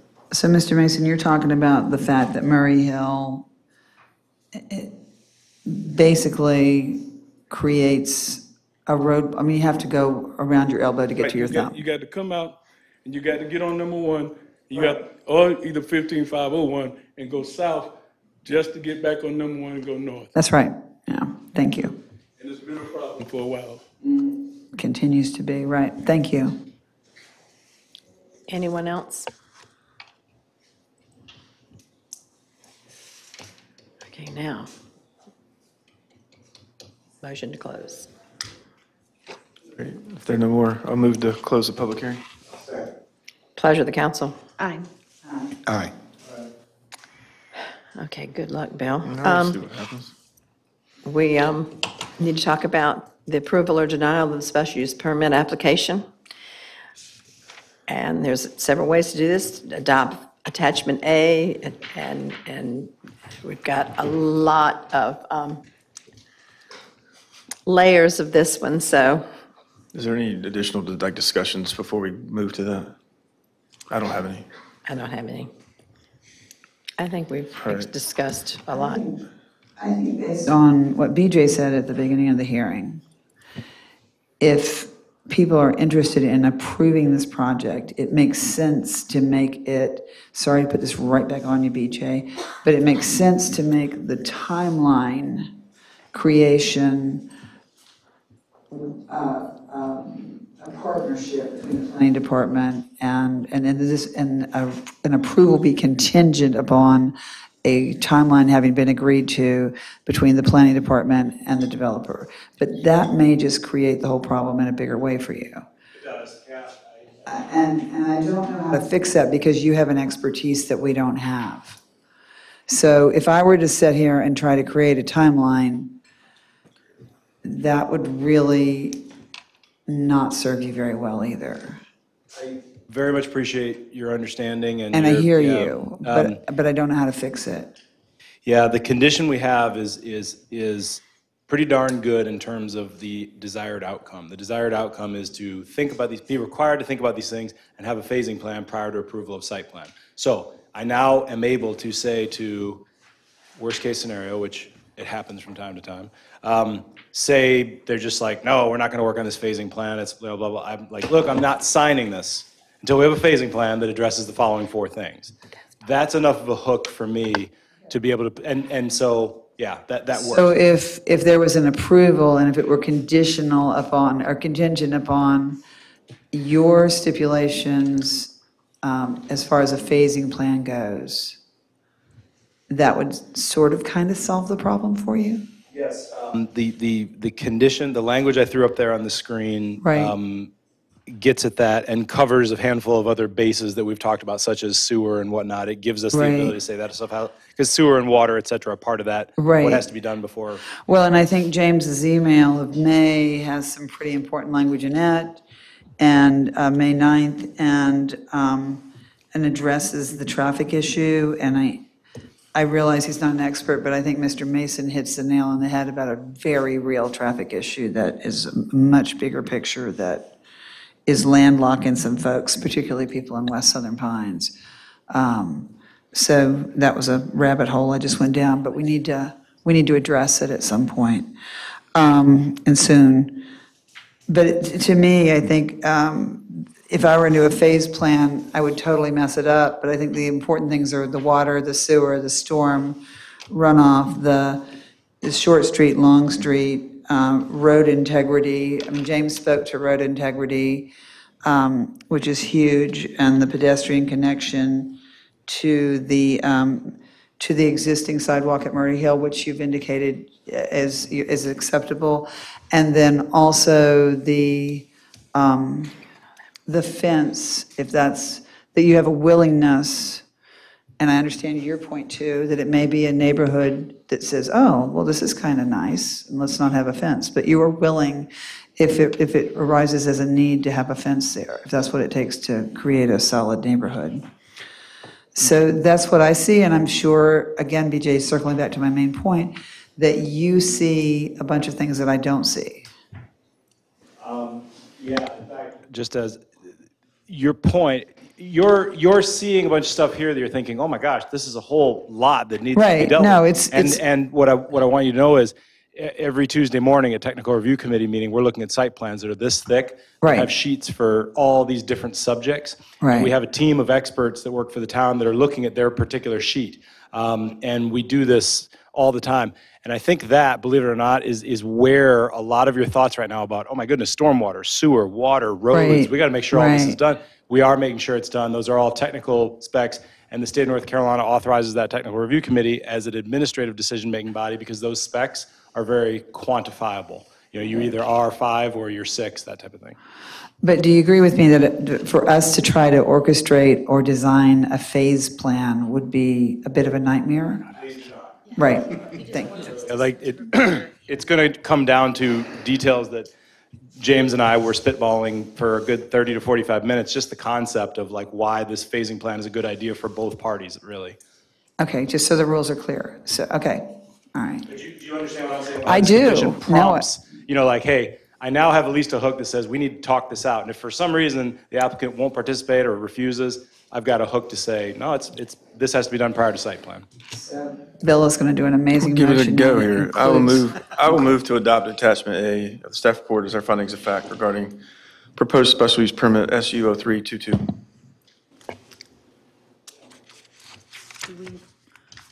Do we need to add, That's- are we going to do it I was- afterwards? I was going to Oh, add is all of that it? in the uh, approval. In the approval. The conditions will be in the section. Finding of facts with the sixth thing, yeah. Huh? Just a second. Okay, I thought you said, give me a second. I thought, for what? Okay. Um, Pleasure of the council. Aye. Seconded. Taylor did. Thank you. Okay.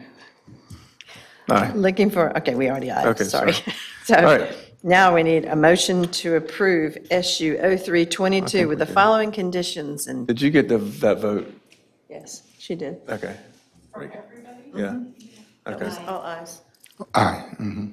Yeah, we all ayed. Aye. All right, so then I will, And here we go. I move to approve. Just to a- avoid confusion, I'm sorry, in your staff report, you'll notice there's some conditions that were drafted ahead of time. They're, they're on page 14 of 6, 13 and 14 of 66. Now, my proposal with these three, plus the fencing and the sidewalk connections to Murray Hill that you guys have come up with, are to replace those, because those are outdated, because the applicant submitted some, we had some additional conversation prior to the meeting, so. And I may uh, duplicate here, but we're, we'll see. I I move to approve special use permit SU 03-22 with the following additional conditions. That a phasing plan will be worked out between the town and the um, proponent at TRC or other appropriate venues that will address when building permits shall be allowed, which will include improvements to roads and sewer. Said sewer will either have provided a agreement with the local other development or have satisfied downstream capacity issues. We'll also deal with when COs will be signed, and that'll deal with trees, lights, asphalt lifts, and related topics. It'll also deal with the schedule for amenities such as the clubhouse and other things on the project. And also address short street improvements as to when and as, and how much and what that will comply. And Long Street. Yes, and Long Street as well. That also incorporate BJ's three components that were in his recommended conditions as part of Exhibit B on his report, including second level that incorporate by reference all of the proponents' agreements to this that were found in their Exhibit D and/or uh, verbal um, comments at the, at the hearing today. That also will include um, appropriate runoff control, full sidewalk to Murray Hill Road, um, compliant fencing on any perimeter fencing, And the establishment of road integrity. yeah, He which said is that. fine. I think that's it. Did we miss anything? Because it's a whole lot. Yeah, I, thank goodness for YouTube videos, because I will go back and review it multiple times tomorrow, so thank you. Um, And I will craft up, the findings of fact have been adopted, I will craft motions that, ref- I will, excuse me, I will craft conditions, and the- this will come- have to come back to you at the work session for approval. It'll be the um, decision of the board. That'll, We have all the language in there. I'll of the conditions, I'll sort it out into each topic, and then you guys will see it, and you'll have to take action on it at that work session. And I'll probably give a draft copy to the applicant's attorney, because he'll have, uh, he'll be hip to what the intent of the conditions were. And I think we're, we're probably going to be pretty close. Do you agree, Nick? May I address the board? Sure. Yeah, I, I was looking through the attachment A, and I'm a little concerned about it. because, um, yeah. Uh, I was just looking at finding of fact number one, which says the town council finds that the application is complete and that the facts submitted are relevant to the case because the request for special use permit approval has not fully met specified submittal requirements as, the- as required in the town of Southern Pines UDO appendices or provided through substantiated documentation. Um, So we might have to re-adopt attachment A with that change. Correction. And then, the, uh, as you read through finding of fact number two, um, th- these, these findings of fact, um, A, B, C, D, and E, uh, for each of the required fi- um, findings, were written before they knew whether we would get everything worked out. And I'm, I'm okay with that, with, with them saying, well, these basically say, if they work out the roadway, then they meet, then they meet this particular finding. Um, I'm fine with those saying this, but I was wondering if the board would consider adopting a third finding of fact that reads as follows, and it's basic, and it just says, "The town council finds that with the conditions applied to the project and all of applicant's evidence in the record, the application meets criteria A through F as set out in 2.21.7 of the UDO." Just to try to cover, cover the waterfront. That would With- be with helpful that- for us. Not being eliminated. Yeah. That, that okay with you? We're, can- are we, we're already kind of approving, but wait to see the, the, the, the actual approval. Can we do the same thing for attachment A? Or, No problem with the intent whatsoever. The intent of the findings of fact being worded the way they are is they are intending to find facts to tee up the legitimacy of imposing a condition. You see what I'm saying? You're, you're trying to create a rational nexus back to the criteria and make sure that the condition is roughly proportional to the impact. So a lot of that language is specific to that intent. Um, so therefore, the intent of what you're saying, which is to conclude by saying, with the conditions. Yes, with the uh, conditions. That, with the, to mitigate, that we're, we're good with it. I, that, that, I don't have a problem with. Are we good with that? then I'm okay with that. So take out the not. Take out the not. In the first paragraph, and, and then uh, we'll add the third finding, and I, and I would be more than happy than to just go back and forth with BJ, make sure that is done in accordance with what we've said tonight. Are you good with that, since you're in the middle of a motion? yeah, I guess, uh, do I back up and I move to readopt attachment A, of the staff report with the updates previously mentioned in the last two minutes? Second. Pleasure of the council. Aye. Okay, now, looking for a motion. For the, for the approval issue. Yes, now we'll vote on the, I think I made the motion. Now we just need a, a second and approval. Okay, so with all the stuff, we, we're good to approve SU 0322. Second, pleasure council. Aye. Aye. Aye. And I think now, before we get to the next quasi, we're going to take a break. Give us like 10 minutes.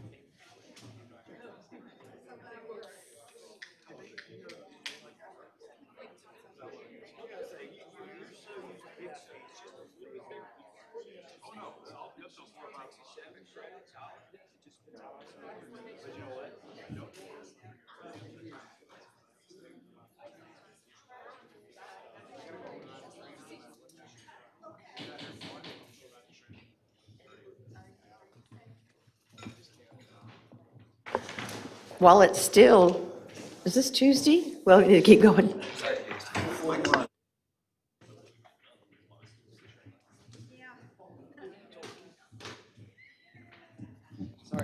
Uh, My, my car is blocked in by a, a gray Honda Accord and maybe a gray or black Toyota Camry. Is anybody driving one of those? Right back here. Oh, okay. Oh, okay. Um, I'm totally, I tried, I tried to maneuver, I can't get out. Sorry about that. Yeah, if you- if you- if you want to, I'll, I'll move your car and bring the keys in. I'm happy to do that.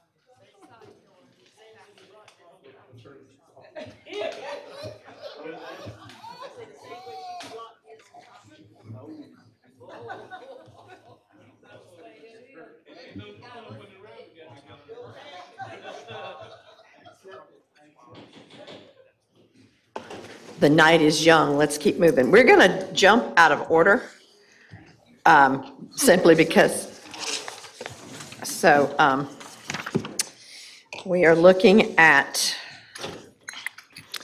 Considering WP hang on, hang on, Ann.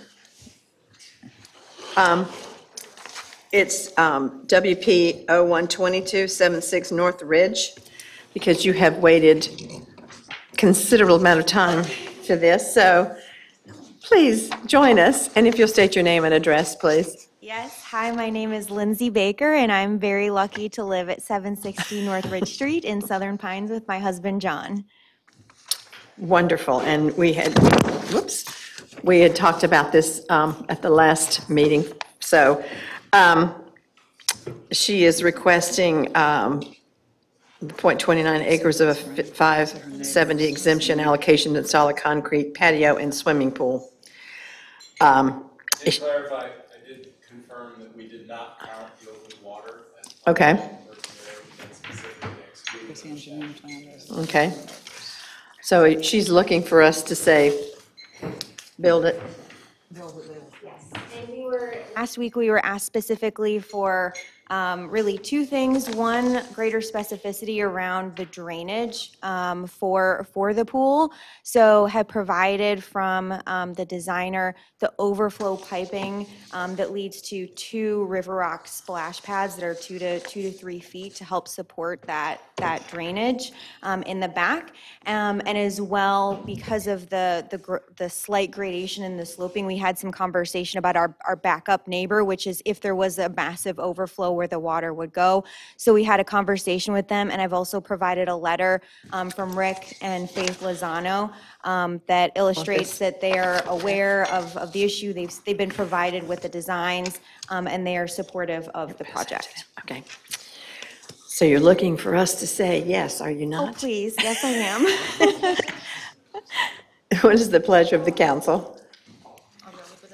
Do we need, do you want a motion? Sure. I need a motion. Motion that we approve the application in WP 0122, the home of seven, at the house at 760 North Ridge Street, for the improvements that they, um, the Bakers are asking to make. Second. Pleasure of the council. Aye. Good night. Thank you. You want, do you want your documents back? You want your documents back? I've already passed them to them. I'd like to have them in the record of the meeting, as they were submitted to the town council. We'll get a copy from the water protection firm, uh, we get a letter from us. Fantastic, thank you. Babies. Yeah, I figured we, okay, thank you and appreciate your patience. All right. And our last quasi judicial, PD 02-22, it's the Ace Hardware, you know the drill. Anyone involved parties with this, will you please stand, including staff? Did he get his car moved out? Okay. Yes. Okay, thank you, ma'am. Uh, Raise your right hand, and y'all are already doing that. Please state your name. Do you solemnly swear the evidence you shall give to the board in this action shall be the truth, the whole truth, and nothing but the truth, so help you God? Thank you very much. Council members, please discuss the following. Any site visits? No. Ex parte communications? No. Specialized knowledge you have of this case? No. Anyone have a fixed opinion that is not susceptible to change based on what they learn at this hearing? No. Where they have a close family, business, or other relationship with the applicant or other affected persons? No. Is there an attorney representing the petitioner? Okay, very good. And is there an opposition person? All right, so I'm assuming, because BJ's standing here, and Jennifer is not, that he will give the staff report. This is correct. Well, hello there. BJ Grieve, Town of Southern Pines Planning Department. Um, I'm here to present application PD 02-22, Ace Hardware Phase 1. This is a PDP. You guys are very familiar with the plan development process, three-step process. Starts with CDP. You already saw a CDP for this three-phase uh, development. This is the subject property. Uh, This is the, the um, the CDP plan on the right. On the left, you'll see the three phases of development. Uh, What you're seeing is what is outlined in yellow right here. Uh, To get you oriented with the subject property, just in case you are not already, this is the current Ace Hardware right here. This is the multi-unit uh, commercial building right here, and here is the traffic circle. Uh, You come down here, there used to be, Don Fry used to, used to have a house on the subject property, that has been torn down. Um, The subject property, uh, the entire CDP that was approved, again, was in three phases. Uh, You guys will remember that. Um, Phase one is a 64,825 square foot new Ace Hardware on 9.11 acres. There are a variety of design considerations. This, you'll see everything is oriented the same way, with north being the top of the screen, south being the bottom of the screen. We are now, in order to fit it on a landscape orientation, we're going to rotate that so that north is now the left of the screen. Um, So Airport Road is off to the left. Um, Now, the characteristics of this property are, uh, as far as access, the development does come off of Airport Road. They are going to have to work with NCDOT to make sure that this uh, arrangement is done safely. They have prepared a TIA. The TIA uh, regarding the, the access, the ingress, the egress, the traffic impacts. The TIA was submitted. It contained a list of improvements, but it did not contain a uh, schedule for those, for the timing of those improvements. Uh, Our town engineer got back with them and said, hey, we need a little bit more information on that because it was, there was some discrepancy over whether or not it was good, they were going to try to match up their improvements that were required with other development in the area that also had to do improvements. Turns out that other development is on pause for right now, so they went and they came up with their own schedule of improvements, and the applicant should and will speak to that, um, about that TIA. But the gist is, you're going to come in here off of Airport Road. You will come in, and the internal subdivision road will connect through to Capitol Drive. And then, uh, well, excuse me, I said internal subdivision road. Um, Internal road of the development. Again, if you rotate this over, you'll come in here, and this road over here will go to where Roast is. That, that- that's that building right here. And then we'll continue on, as it does now, over to, um, this is Capitol Drive. It would continue over to Olive Seed. Yeah, yeah, okay. Olive Tree, thank you, Olive Tree. That was really close, though. Olive Seed, Olive Tree, Olive Leaf, Olive Branch. Um, All right, so we'll go over here. Now, you'll come into the subject property, and some interesting elements of this is that the applicants have committed to tying the existing sidewalks, which you actually can connect all the way through the Tyler's Ridge multifamily, back to the Greenway Trail that will get you into Reservoir Park. Um, That, you'll actually be able to walk all the way over here, connect in through here. Originally, the design was going to connect into the Sandhills Horticultural Garden, but it came up at Planning Board that that is no longer the case. So unfortunately, it is not going to connect to that network. I would ask the applicants to speak to that and you guys to ask them about that and the reason for that. Instead, they said they would bring it up here. Unfortunately, it doesn't serve a lot of function to bring it up here and drop you at Airport Road. Um, Future connections are always just that, future connections, but um, it's not quite the, the same as before, but I would ask them to speak to that.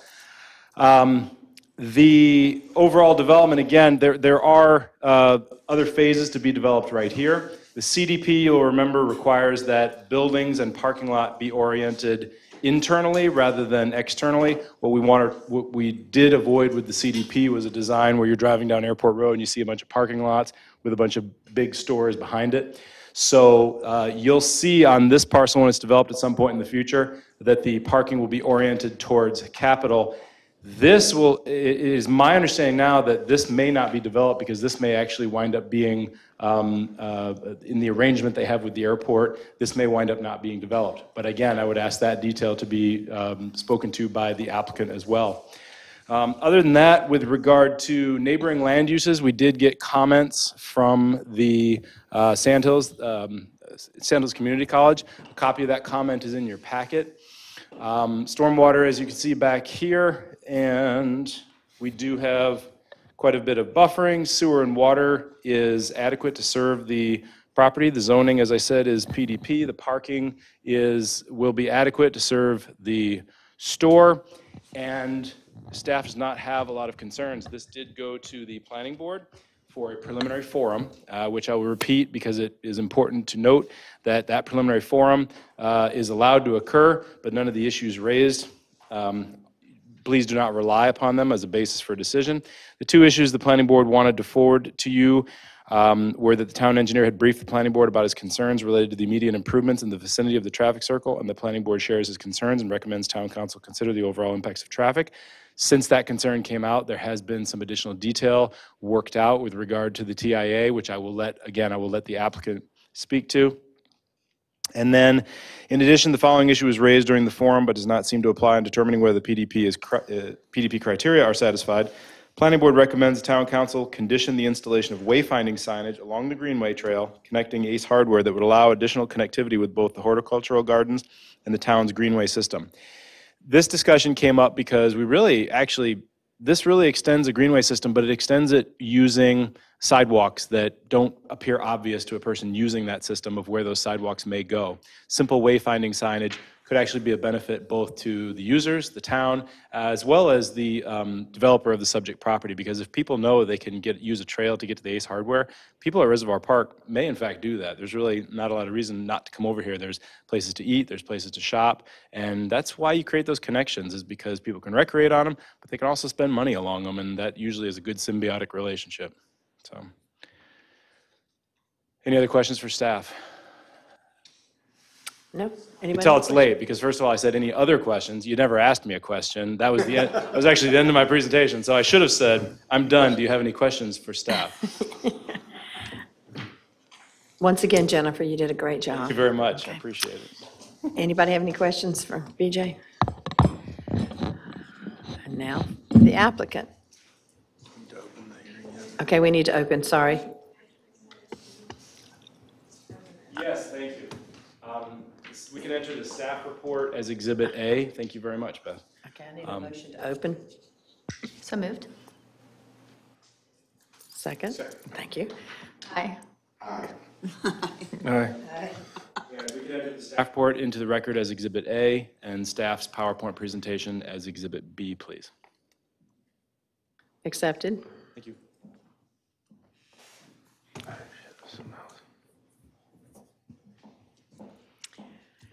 A new face. Yes, no kidding. Feels a little dangerous. Um, thank you. My name's Rihanna Smith. I am with the law firm of Smith Bowers. My address is one twenty-seven West Hargett Street, Suite five oh four, Raleigh, two seven six zero one. Um, we're gonna open this up. We're here obviously for the, um, applicant. We've applied for the PDP. Can you get the microphone? For? Thank you. Really close? Okay. Um, We are here today for uh, the applicant's uh, approval for their PDP. Um, The prior step was the CDP, which um, in our position today is that it has, we meet all four criteria, and we're not asking uh, for any changes to the CD CDP or any um, I'm sorry, I've just lost my word for being this late. We so understand. So, yeah, thank you. Deviations. Thank you, I appreciate it. Um, So what I'd like to do now, uh, if there's no objection, is to tender uh, Bob Koontz as our expert for land planning and site design, um, since he's already been tendered twice this evening. Um, If no objection. Objections. Come on up, Bob. Thank you, Rihanna.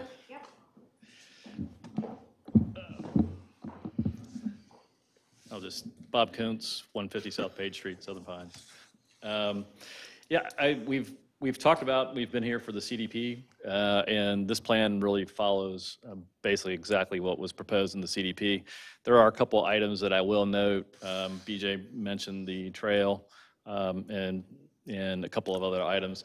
Um, But in, in general, this is the project site. Uh, I'm not going to rehash that. BJ really uh, went through this pretty well.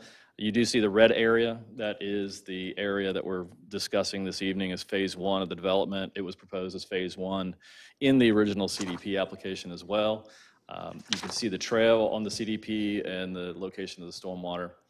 Um, Existing conditions, uh, we've talked about in the past with the connection uh, of Capitol uh, Drive, which extends, um,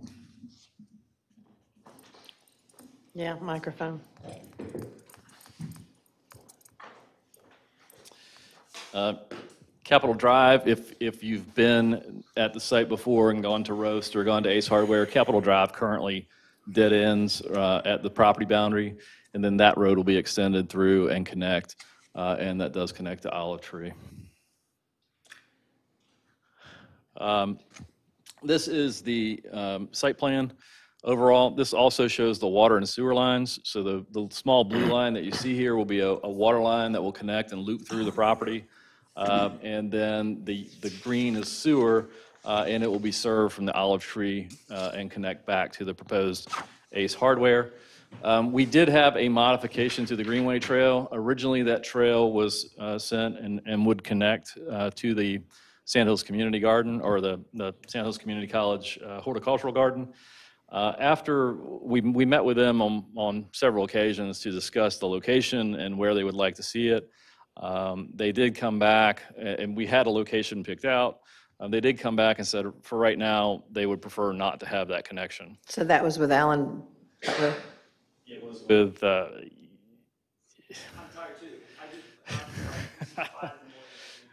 yeah. I, I can't remember exactly who it came from, but yeah, it was. Well, with- Alan's in charge of the horticulture. It horticulture. was Al- Alan, yeah, the horticultural garden. Okay. Jim Westman, that- that's right. So for the temporarily, and so instead of doing that, uh, we decided to go ahead and make that connection out to Airport Road. That would allow people to come back around um, and come back in e- eventually, or long-term, if uh, the, cen- the the gardens do decide that they would like to have that connection, the trail will be here and they can connect to it relatively easily. Um, But they did request that that not occur now, so but um, just control of, of the space, et cetera, so. um, Oh, can you go back to that screen? Because you talked about that the airport doesn't want that, anything to do with that property on the far left? uh, On this piece? Yeah. Um, Actually, I'll, I'll let Randy address that. Um, I would prefer to have Randy address the agreement between the airport. The agreement that we have with the airport at the CDP Uh-huh. um, is still fine. Okay. Um, And we're just progressing along at this point. That was a terms agreement. Now we're actually making those terms into a codified document. Um, We've been in discussion with Misty Leland. Um, Our attorney has, the airport's attorney has, of course, Misty's Moore County's attorney. Um, And she's very familiar with land swaps. Their county's done it numerous times. They have no concern. So for now, you know, this, we don't see where this area right here will ever be developed. This will actually become um, uh, airport and county property at some point in time. But because of the property we're talking about swapping, um, had some FAA money involved in that. It's just a little bit of a slower process. So um, you probably won't see anything happen on that officially for, it could be up to 12 months.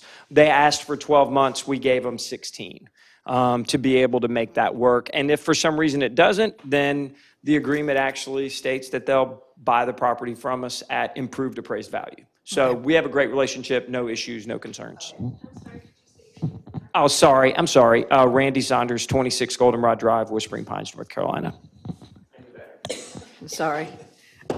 I thought everybody knew Randy. No.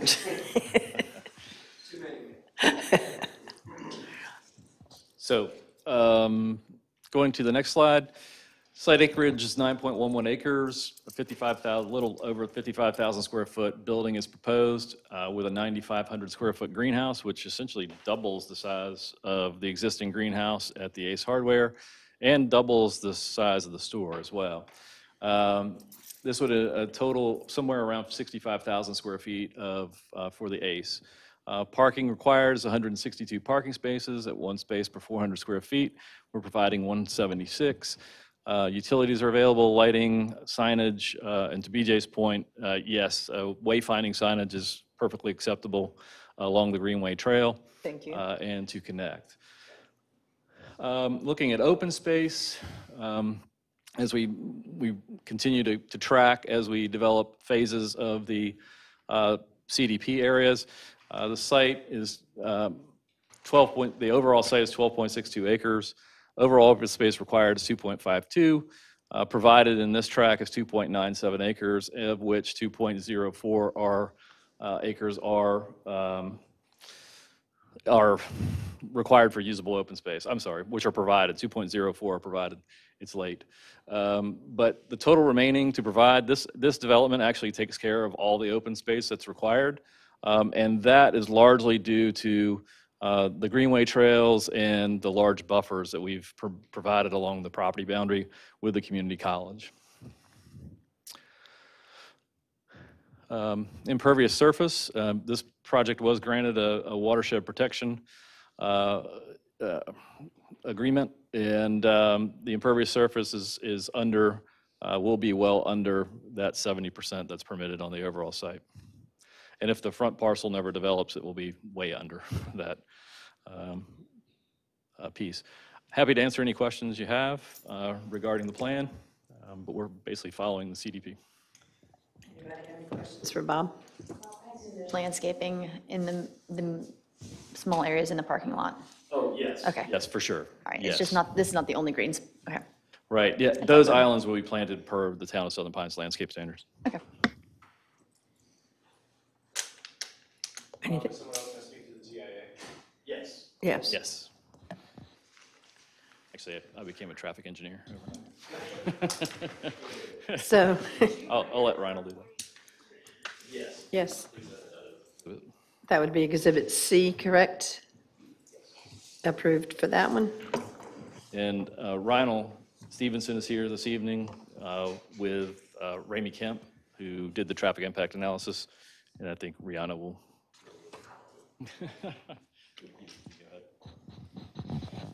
So you're supposed to be an expert, so you're going to do the usual yeah, the stuff, you know, you know the drill. And if he'll state his name and address, and then we can move on. Okay, um, good evening. Rynal Stephenson with Ramey Kemp Associates, 5808 Faringdon Place, Raleigh, North Carolina. Um, My job title with the company is Director of North Carolina. Uh, I have a uh, professional engineering license in the state of North Carolina. Uh, I've been practicing uh, traffic engineering for over 20 years. Uh, I've prepared uh, hundreds of uh, TIAs and traffic studies for various developments um, all over really the, the East Coast.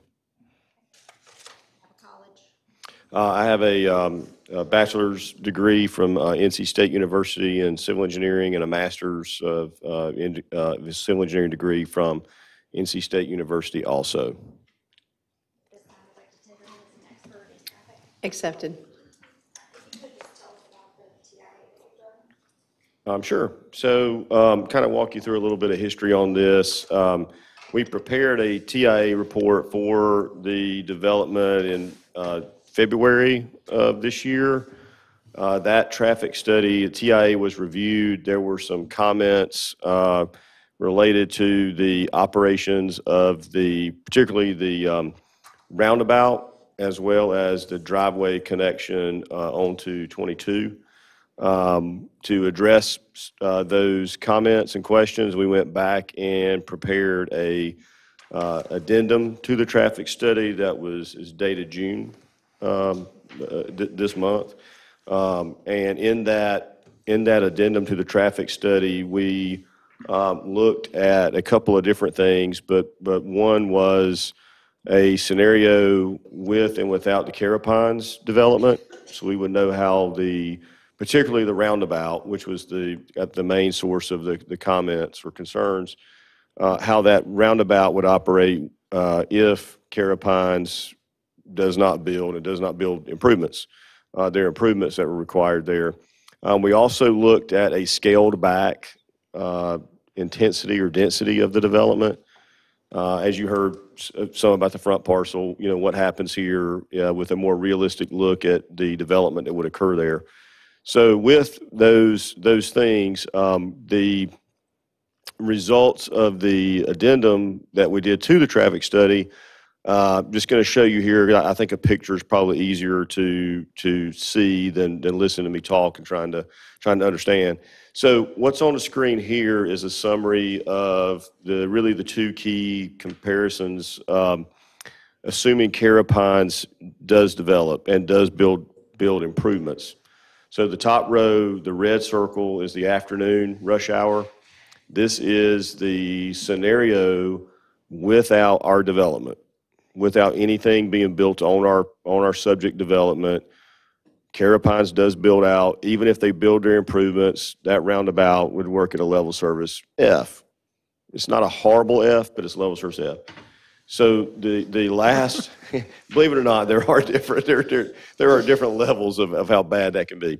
But uh, the, the second row, the bottom row, what I want to go compare to here is uh, this is um, with our development completely built out and with the improvements that we would make to the roundabout, it goes to a level service D, and you can see that delay goes from 65 to 29, so it drops in more than half.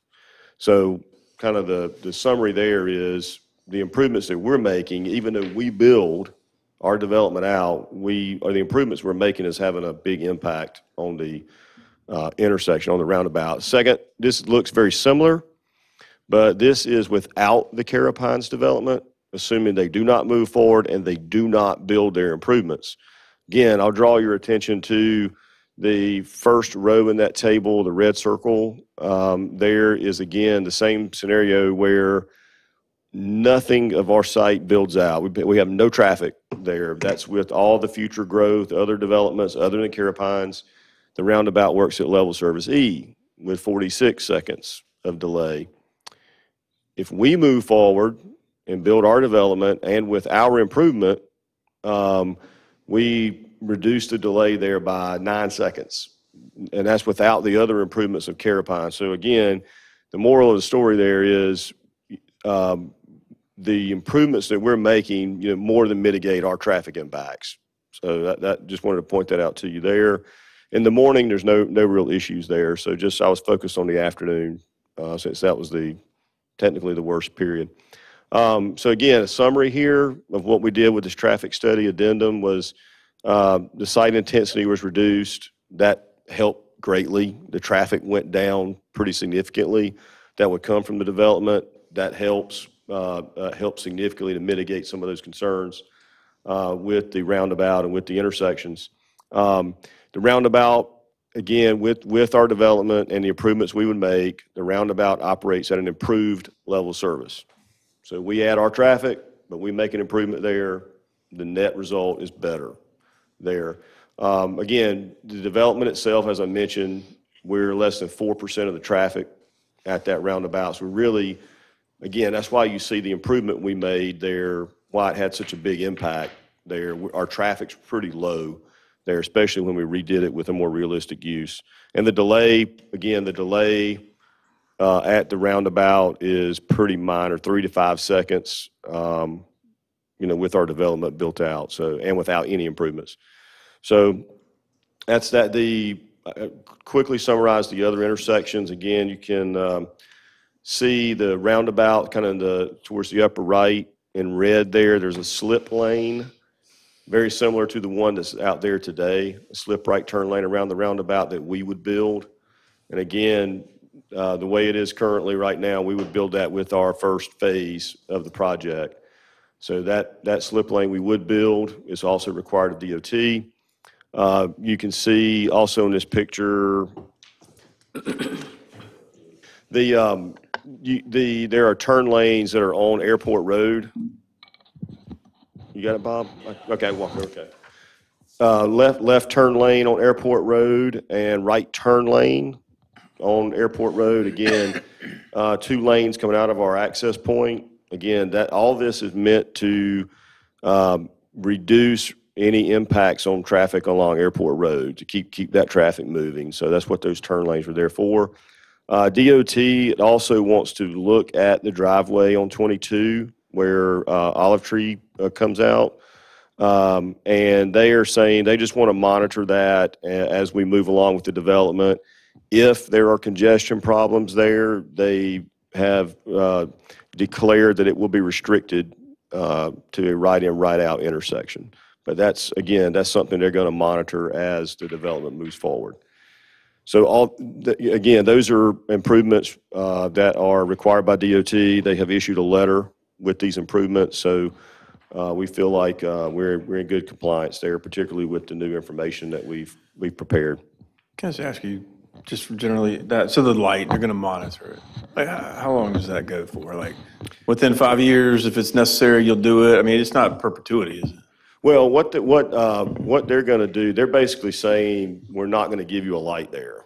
Right now. What they're saying is, we're going to continue looking at it as development builds out, we're going to look at it, because every time we come in with a development or new, new uh, site plan, they want to take a look at it, you know, typically through the TRC process, they'll, they'll have an avenue to look at it.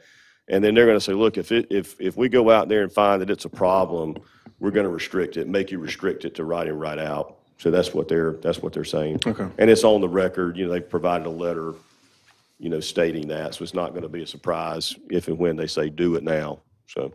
Thank you. Yes, sir. I just want to clarify, your traffic analysis, does it assume that the current Ace Hardware location is replaced by another retail store? Or is the traffic offsetting what you have? to Uh, get- a Great, great question. And so the way we really accommodate that is when we went out to do traffic counts, you know, there's traffic already ge- being generated by that store. So we didn't take that out. We left all this, that traffic there, assuming it, you know, it could get filled. So yes, yeah, absolutely. Great, great question. Thank you. Any other questions? The cut-through road, the cut-through. Hypotenuse that you're sort of creating is, um, that is a public road, is that correct? Or is that, what is, what happens with that, Randy? Is that, is that a, is it private road and can, eh, can anyone use it? Or if kids cut through that way, do they end up getting trespassing tickets? What happens? I mean, I mean, it's, we would love but I don't live in town. Just to be clear. Um, We, we want, you know, but People we're, we're not gonna, you know, obviously, we're in the business of not de- being developers, but having people come to our businesses and shop.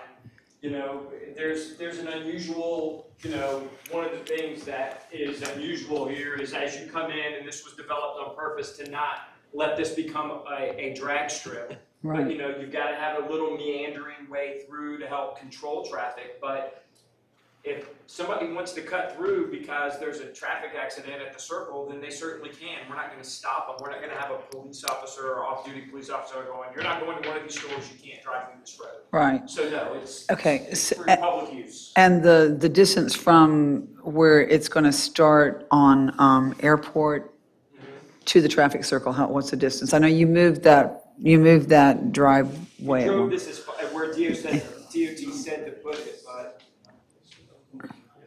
I know that the stack lane is two hundred feet to turn left in. It was, I think, Yeah, without, without measuring exactly, we think it's around 900 feet. Okay. Yeah, so it's a, it's a good distance. Okay, good, thanks. If I can, uh, the cut-through will also provide additional access for emergency personnel, Mhm. Um, which will be an additional benefit. Sure, yeah, thank you. Thank you. Any other questions for the applicant or for the traffic analysis? I have a question for the applicant. Sure. Um, Bob, this might be for you. The parking as presently shown on the site plan, is that your final parking or? The reason I say that is when I look at this, I see a a fairly limited amount of parking because our parking code for retail is one to two hundred. The site plan is currently parked at one to four hundred. So it shows uh, required parking of hundred and sixty-two. I'm looking at a very small copy and my eyes are squinting and then it says provided parking is hundred and seventy something. Um, but at a one to two hundred, that would be three hundred and twenty-five spaces.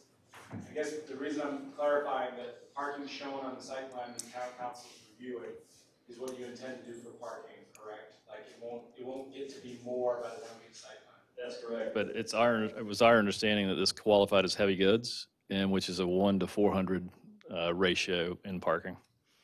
Because it's an Ace Hardware store, because of the type of store that it is, it would qualify as a one per 400. Just to be clear, I'm totally fine with parking as shown because it's, it's less than a sea of parking, which is a good thing. I actually was just kind of wanting to visit because the parking expanding as you got closer to site plan and said, oh man, we need more parking. So I'm, I'd be, if this is what you want, I'd be comfortable capping it at this and saying, yep, this is where we're at. Yeah, our, our parking was based on the UDO as a heavy goods, heavy goods. for heavy goods at one to 400 Heavy square feet. goods. I'm not sure if park fees, I'd be good, but regardless, Yep. I'm okay with what's shown here. Based on the definition, that was our, our, our interpretation. Yeah, we were trying to, heavy goods, okay. All right. Any other questions? All right, I need a motion to close. So, oh, wait, yeah. Oh, wait. Just one second, I just want to make sure the addendum was part of the record as exhibit, the June ninth traffic study. You want to use it for the view? Oh, sorry, I took a D, yes, D, right? D, okay. Yeah, it's D. What's the date of that TIA amendment? Uh, June ninth. Thank you, Jamie.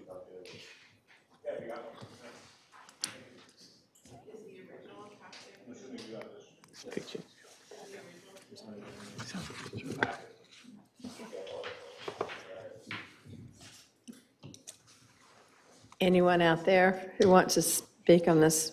You have a question, excuse me? Anyone I want to say anything about this one? Okay, with that, we're gonna, You sound excited about it. Does anyone- I will uh, move to close public hearing. Aye. Aye. looking for a motion to adopt attachment A, finding of fact. So moved. Paul, you got it. We're getting- We're getting really, all right. Aye. Aye, yeah, I think we've all eyed. Um, Looking for a motion to approve the preliminary development plan for PD 02-22. Pleasure of the council. We're looking to, I can't find it anymore. Oh, um, I approve the preliminary here. development plan PD-02-22. Second. pleasure of the council. Aye. Thank you very much. And y'all get to go home, isn't that nice, unless we've, someone's blocked you in? Thank you, you too. Good morning. Y'all have a good morning, Yeah, that's right. Good morning, all right. Whew, all righty. I believe we are now at the second public hearing of the uh, annual budget. Mr. Parsons. Oh, there you are. I was looking for, I thought, I thought maybe you left. I thought, oh, he left.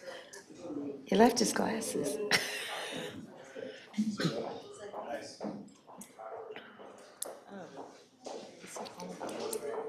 Oh, I can, um, All right, you're up. Good morning. I don't think I can get this in before the end of the day now, but, uh, I would, to uh, really, Madam really, really Mayor, members of council, uh, thank you for the opportunity. Second public hearing of the fiscal year 22-23 budget. Uh, I'll begin by thanking uh, a number of the people at the table behind me here, beginning, uh, beginning with Tess and James and Jessica, BJ. All of them certainly had input Yes. uh, on the document. I I am going to make this much shorter than it was last month, um, in large part, not only because it's late, but because there really aren't any changes.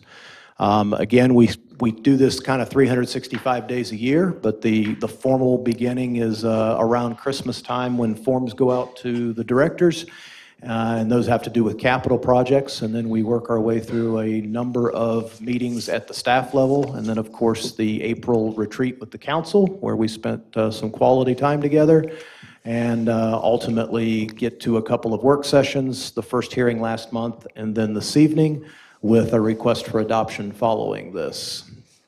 The economic realities we're facing, no surprises to anyone.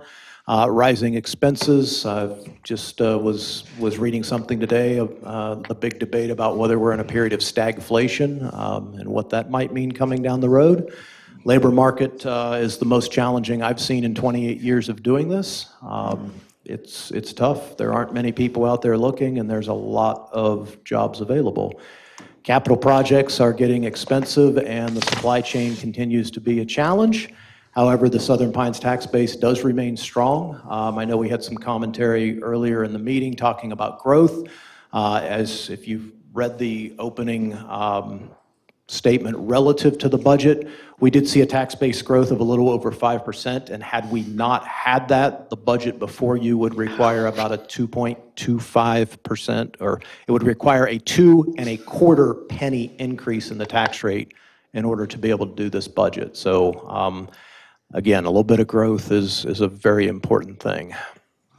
A lot of commentary about the American Rescue Plan Act earlier. Um, Let me just clear the air and say, I know there's a lot of misinformation, also misunderstanding relative to the act and what is or isn't occurring with it. Uh, To be clear, Southern Pines has not spent the first nickel of ARPA funds yet, um, and council's all very much aware of this. We talked about this at length during the retreat.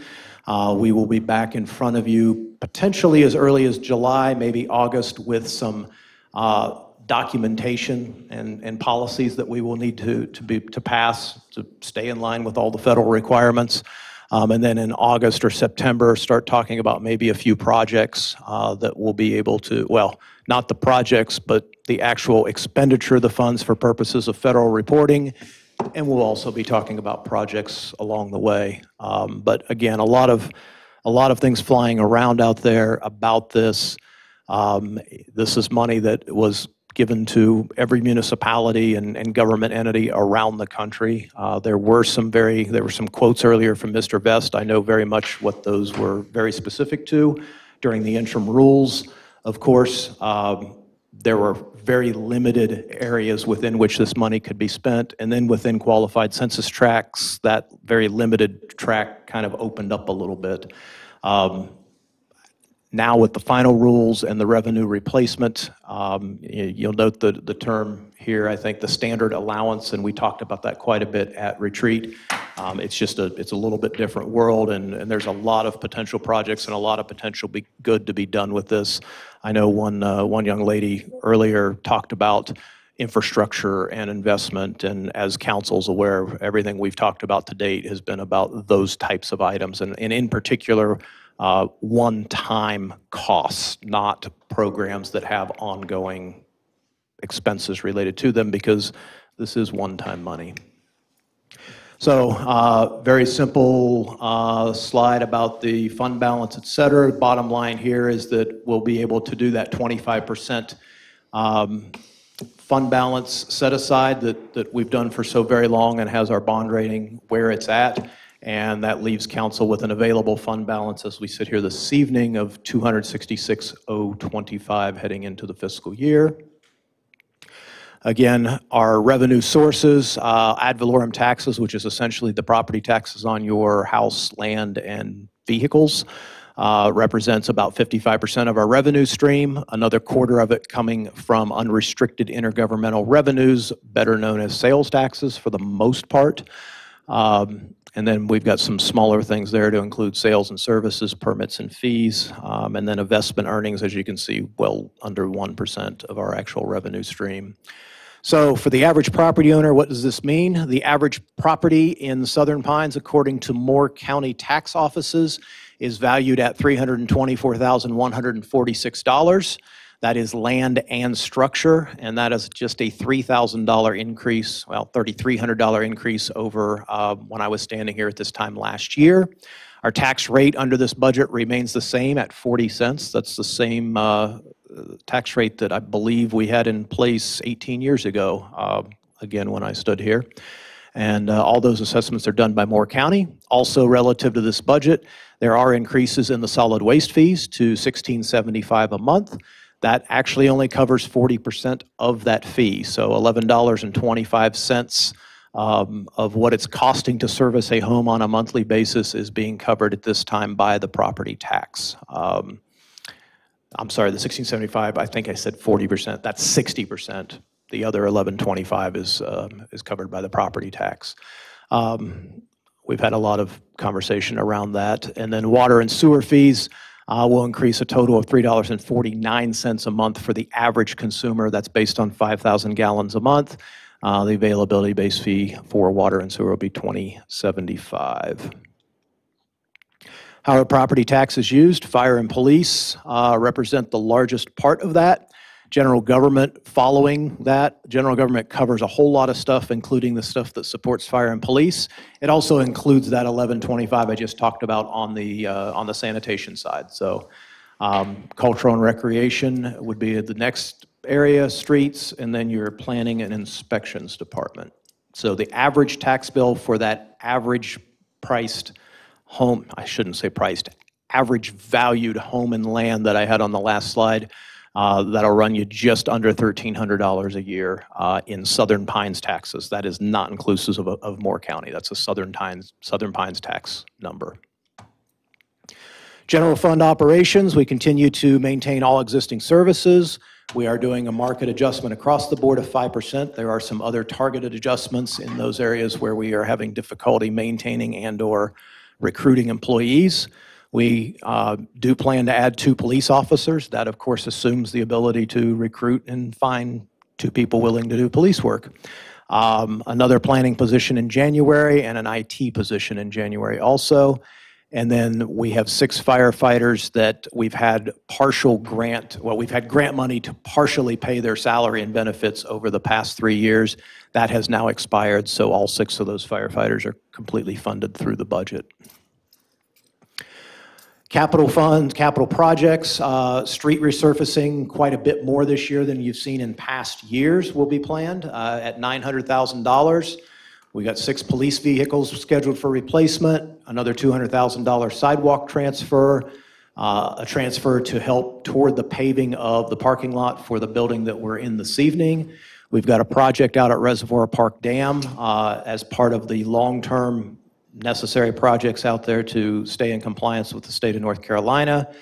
Uh, Two uh, command-level fire vehicles, so those are SUVs, not big fire trucks.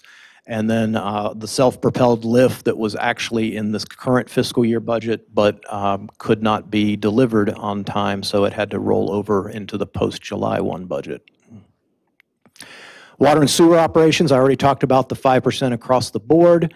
Uh, That will increase revenues. We do have increasing expenditures, but the big part of the reason for those increases is our long-term uh, rate study and plans toward the improvements necessary in water and sewer. Um, And here you see some of those capital appropriations, $874,000 into sewer modernization, another 665 into the water treatment plant, $130,000 uh, toward water repair and rehab, and 75 toward sewer repair and rehab. Um, So again, well over a million dollars in capital represented there on that, uh, on that slide.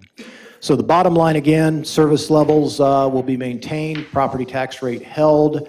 Uh, We continue to put money toward our capital assets and facilities. We continue to maintain the 25% operating expenses uh, as a set aside in the fund balance.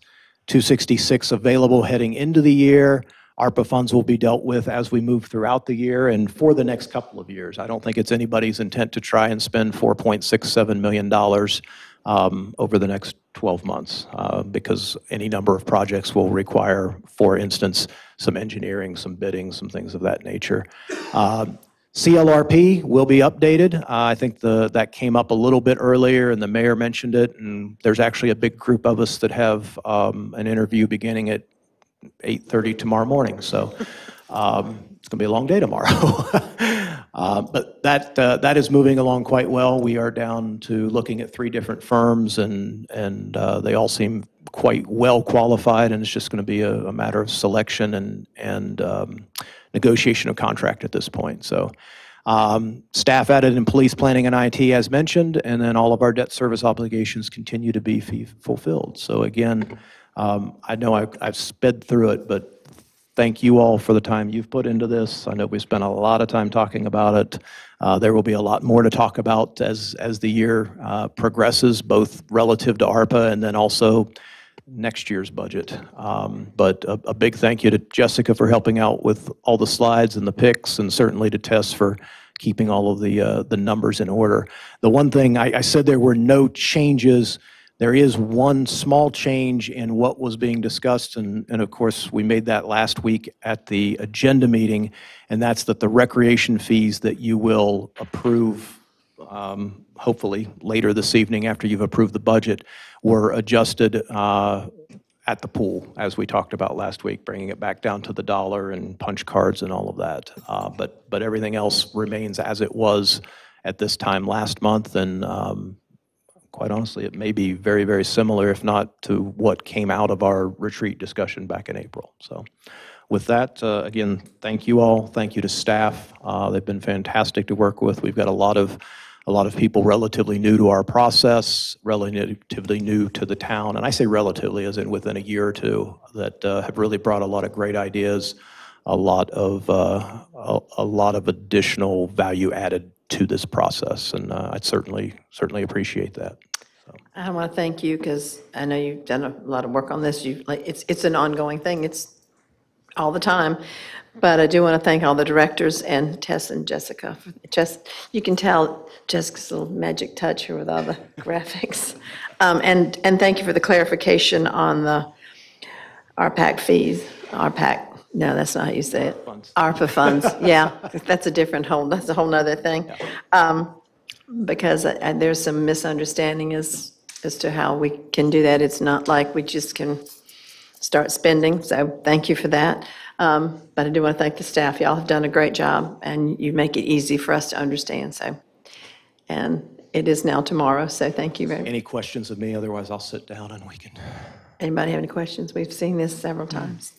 I guess this is a public hearing, so if Yeah. um, anybody's. Yeah, anybody else have anything to say out there? All right.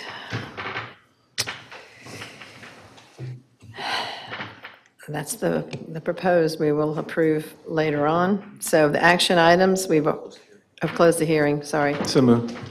Second. Aye, Aye, thank you. The action items, we've done A and we've done B. So we have C, D, and E. Um, Did you actually take? I don't know that we voted on that. Well, actually, it's not a hearing. You don't need to continue A. We just know to bring it back and, yeah. you're Right, good. we, we, Okay. yeah, we've already t- discussed that, and we've already done B. So this is an ordinance 1993.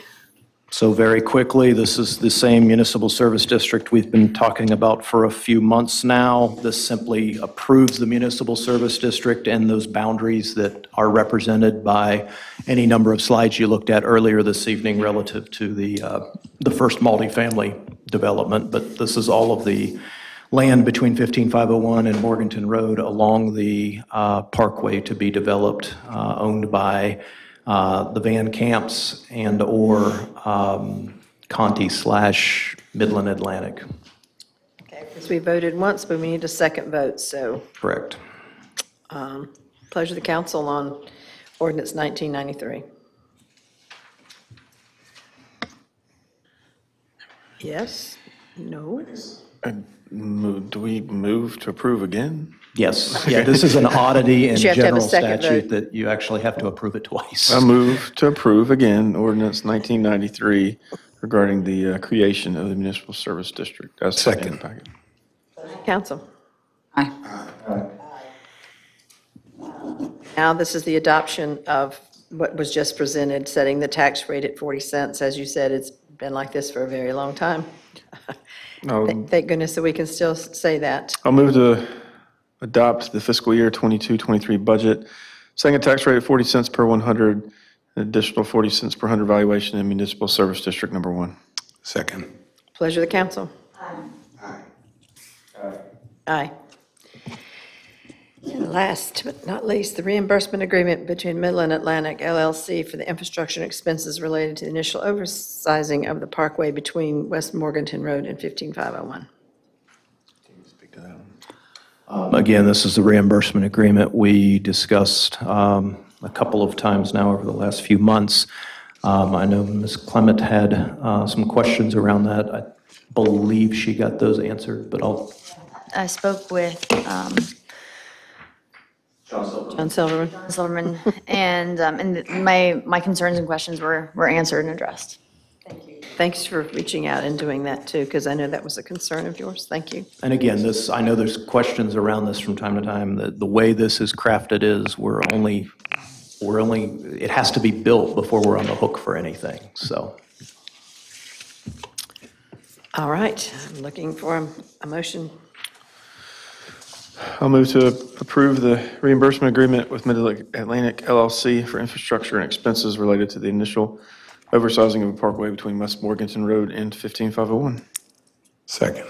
Pleasure of the council. Aye. Aye.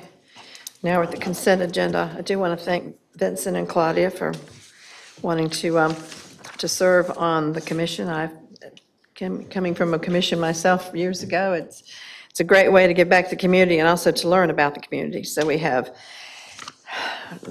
let's see, we're going to read this all, or are you just going to, we've gone over this, but we've got The consent agenda to start the A- meeting, so yeah, if there aren't A- any questions, A this is through- a single they're- motion and They're vote. 14, they're actually 14, so looking, unless there's a change or a question, looking for uh, a motion to appro- approve the consent agenda as written. So move. Close the council. I need a second. Aye. Aye. With that being said, good morning Thank you all. and good night. And we can adjourn. Thank you all. And thank you, staff, for hanging in there, because I know some of you have to, you have a meeting early in the morning, and I thank you all for your service, because you, you, you make us proud. Thank you very much.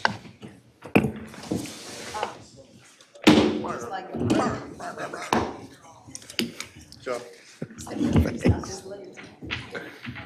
haven't been, a ro- been able to go to Rotary like a month. Forget how to get there. That's, I'm not going to be there till I don't know when, so. Go back and read it.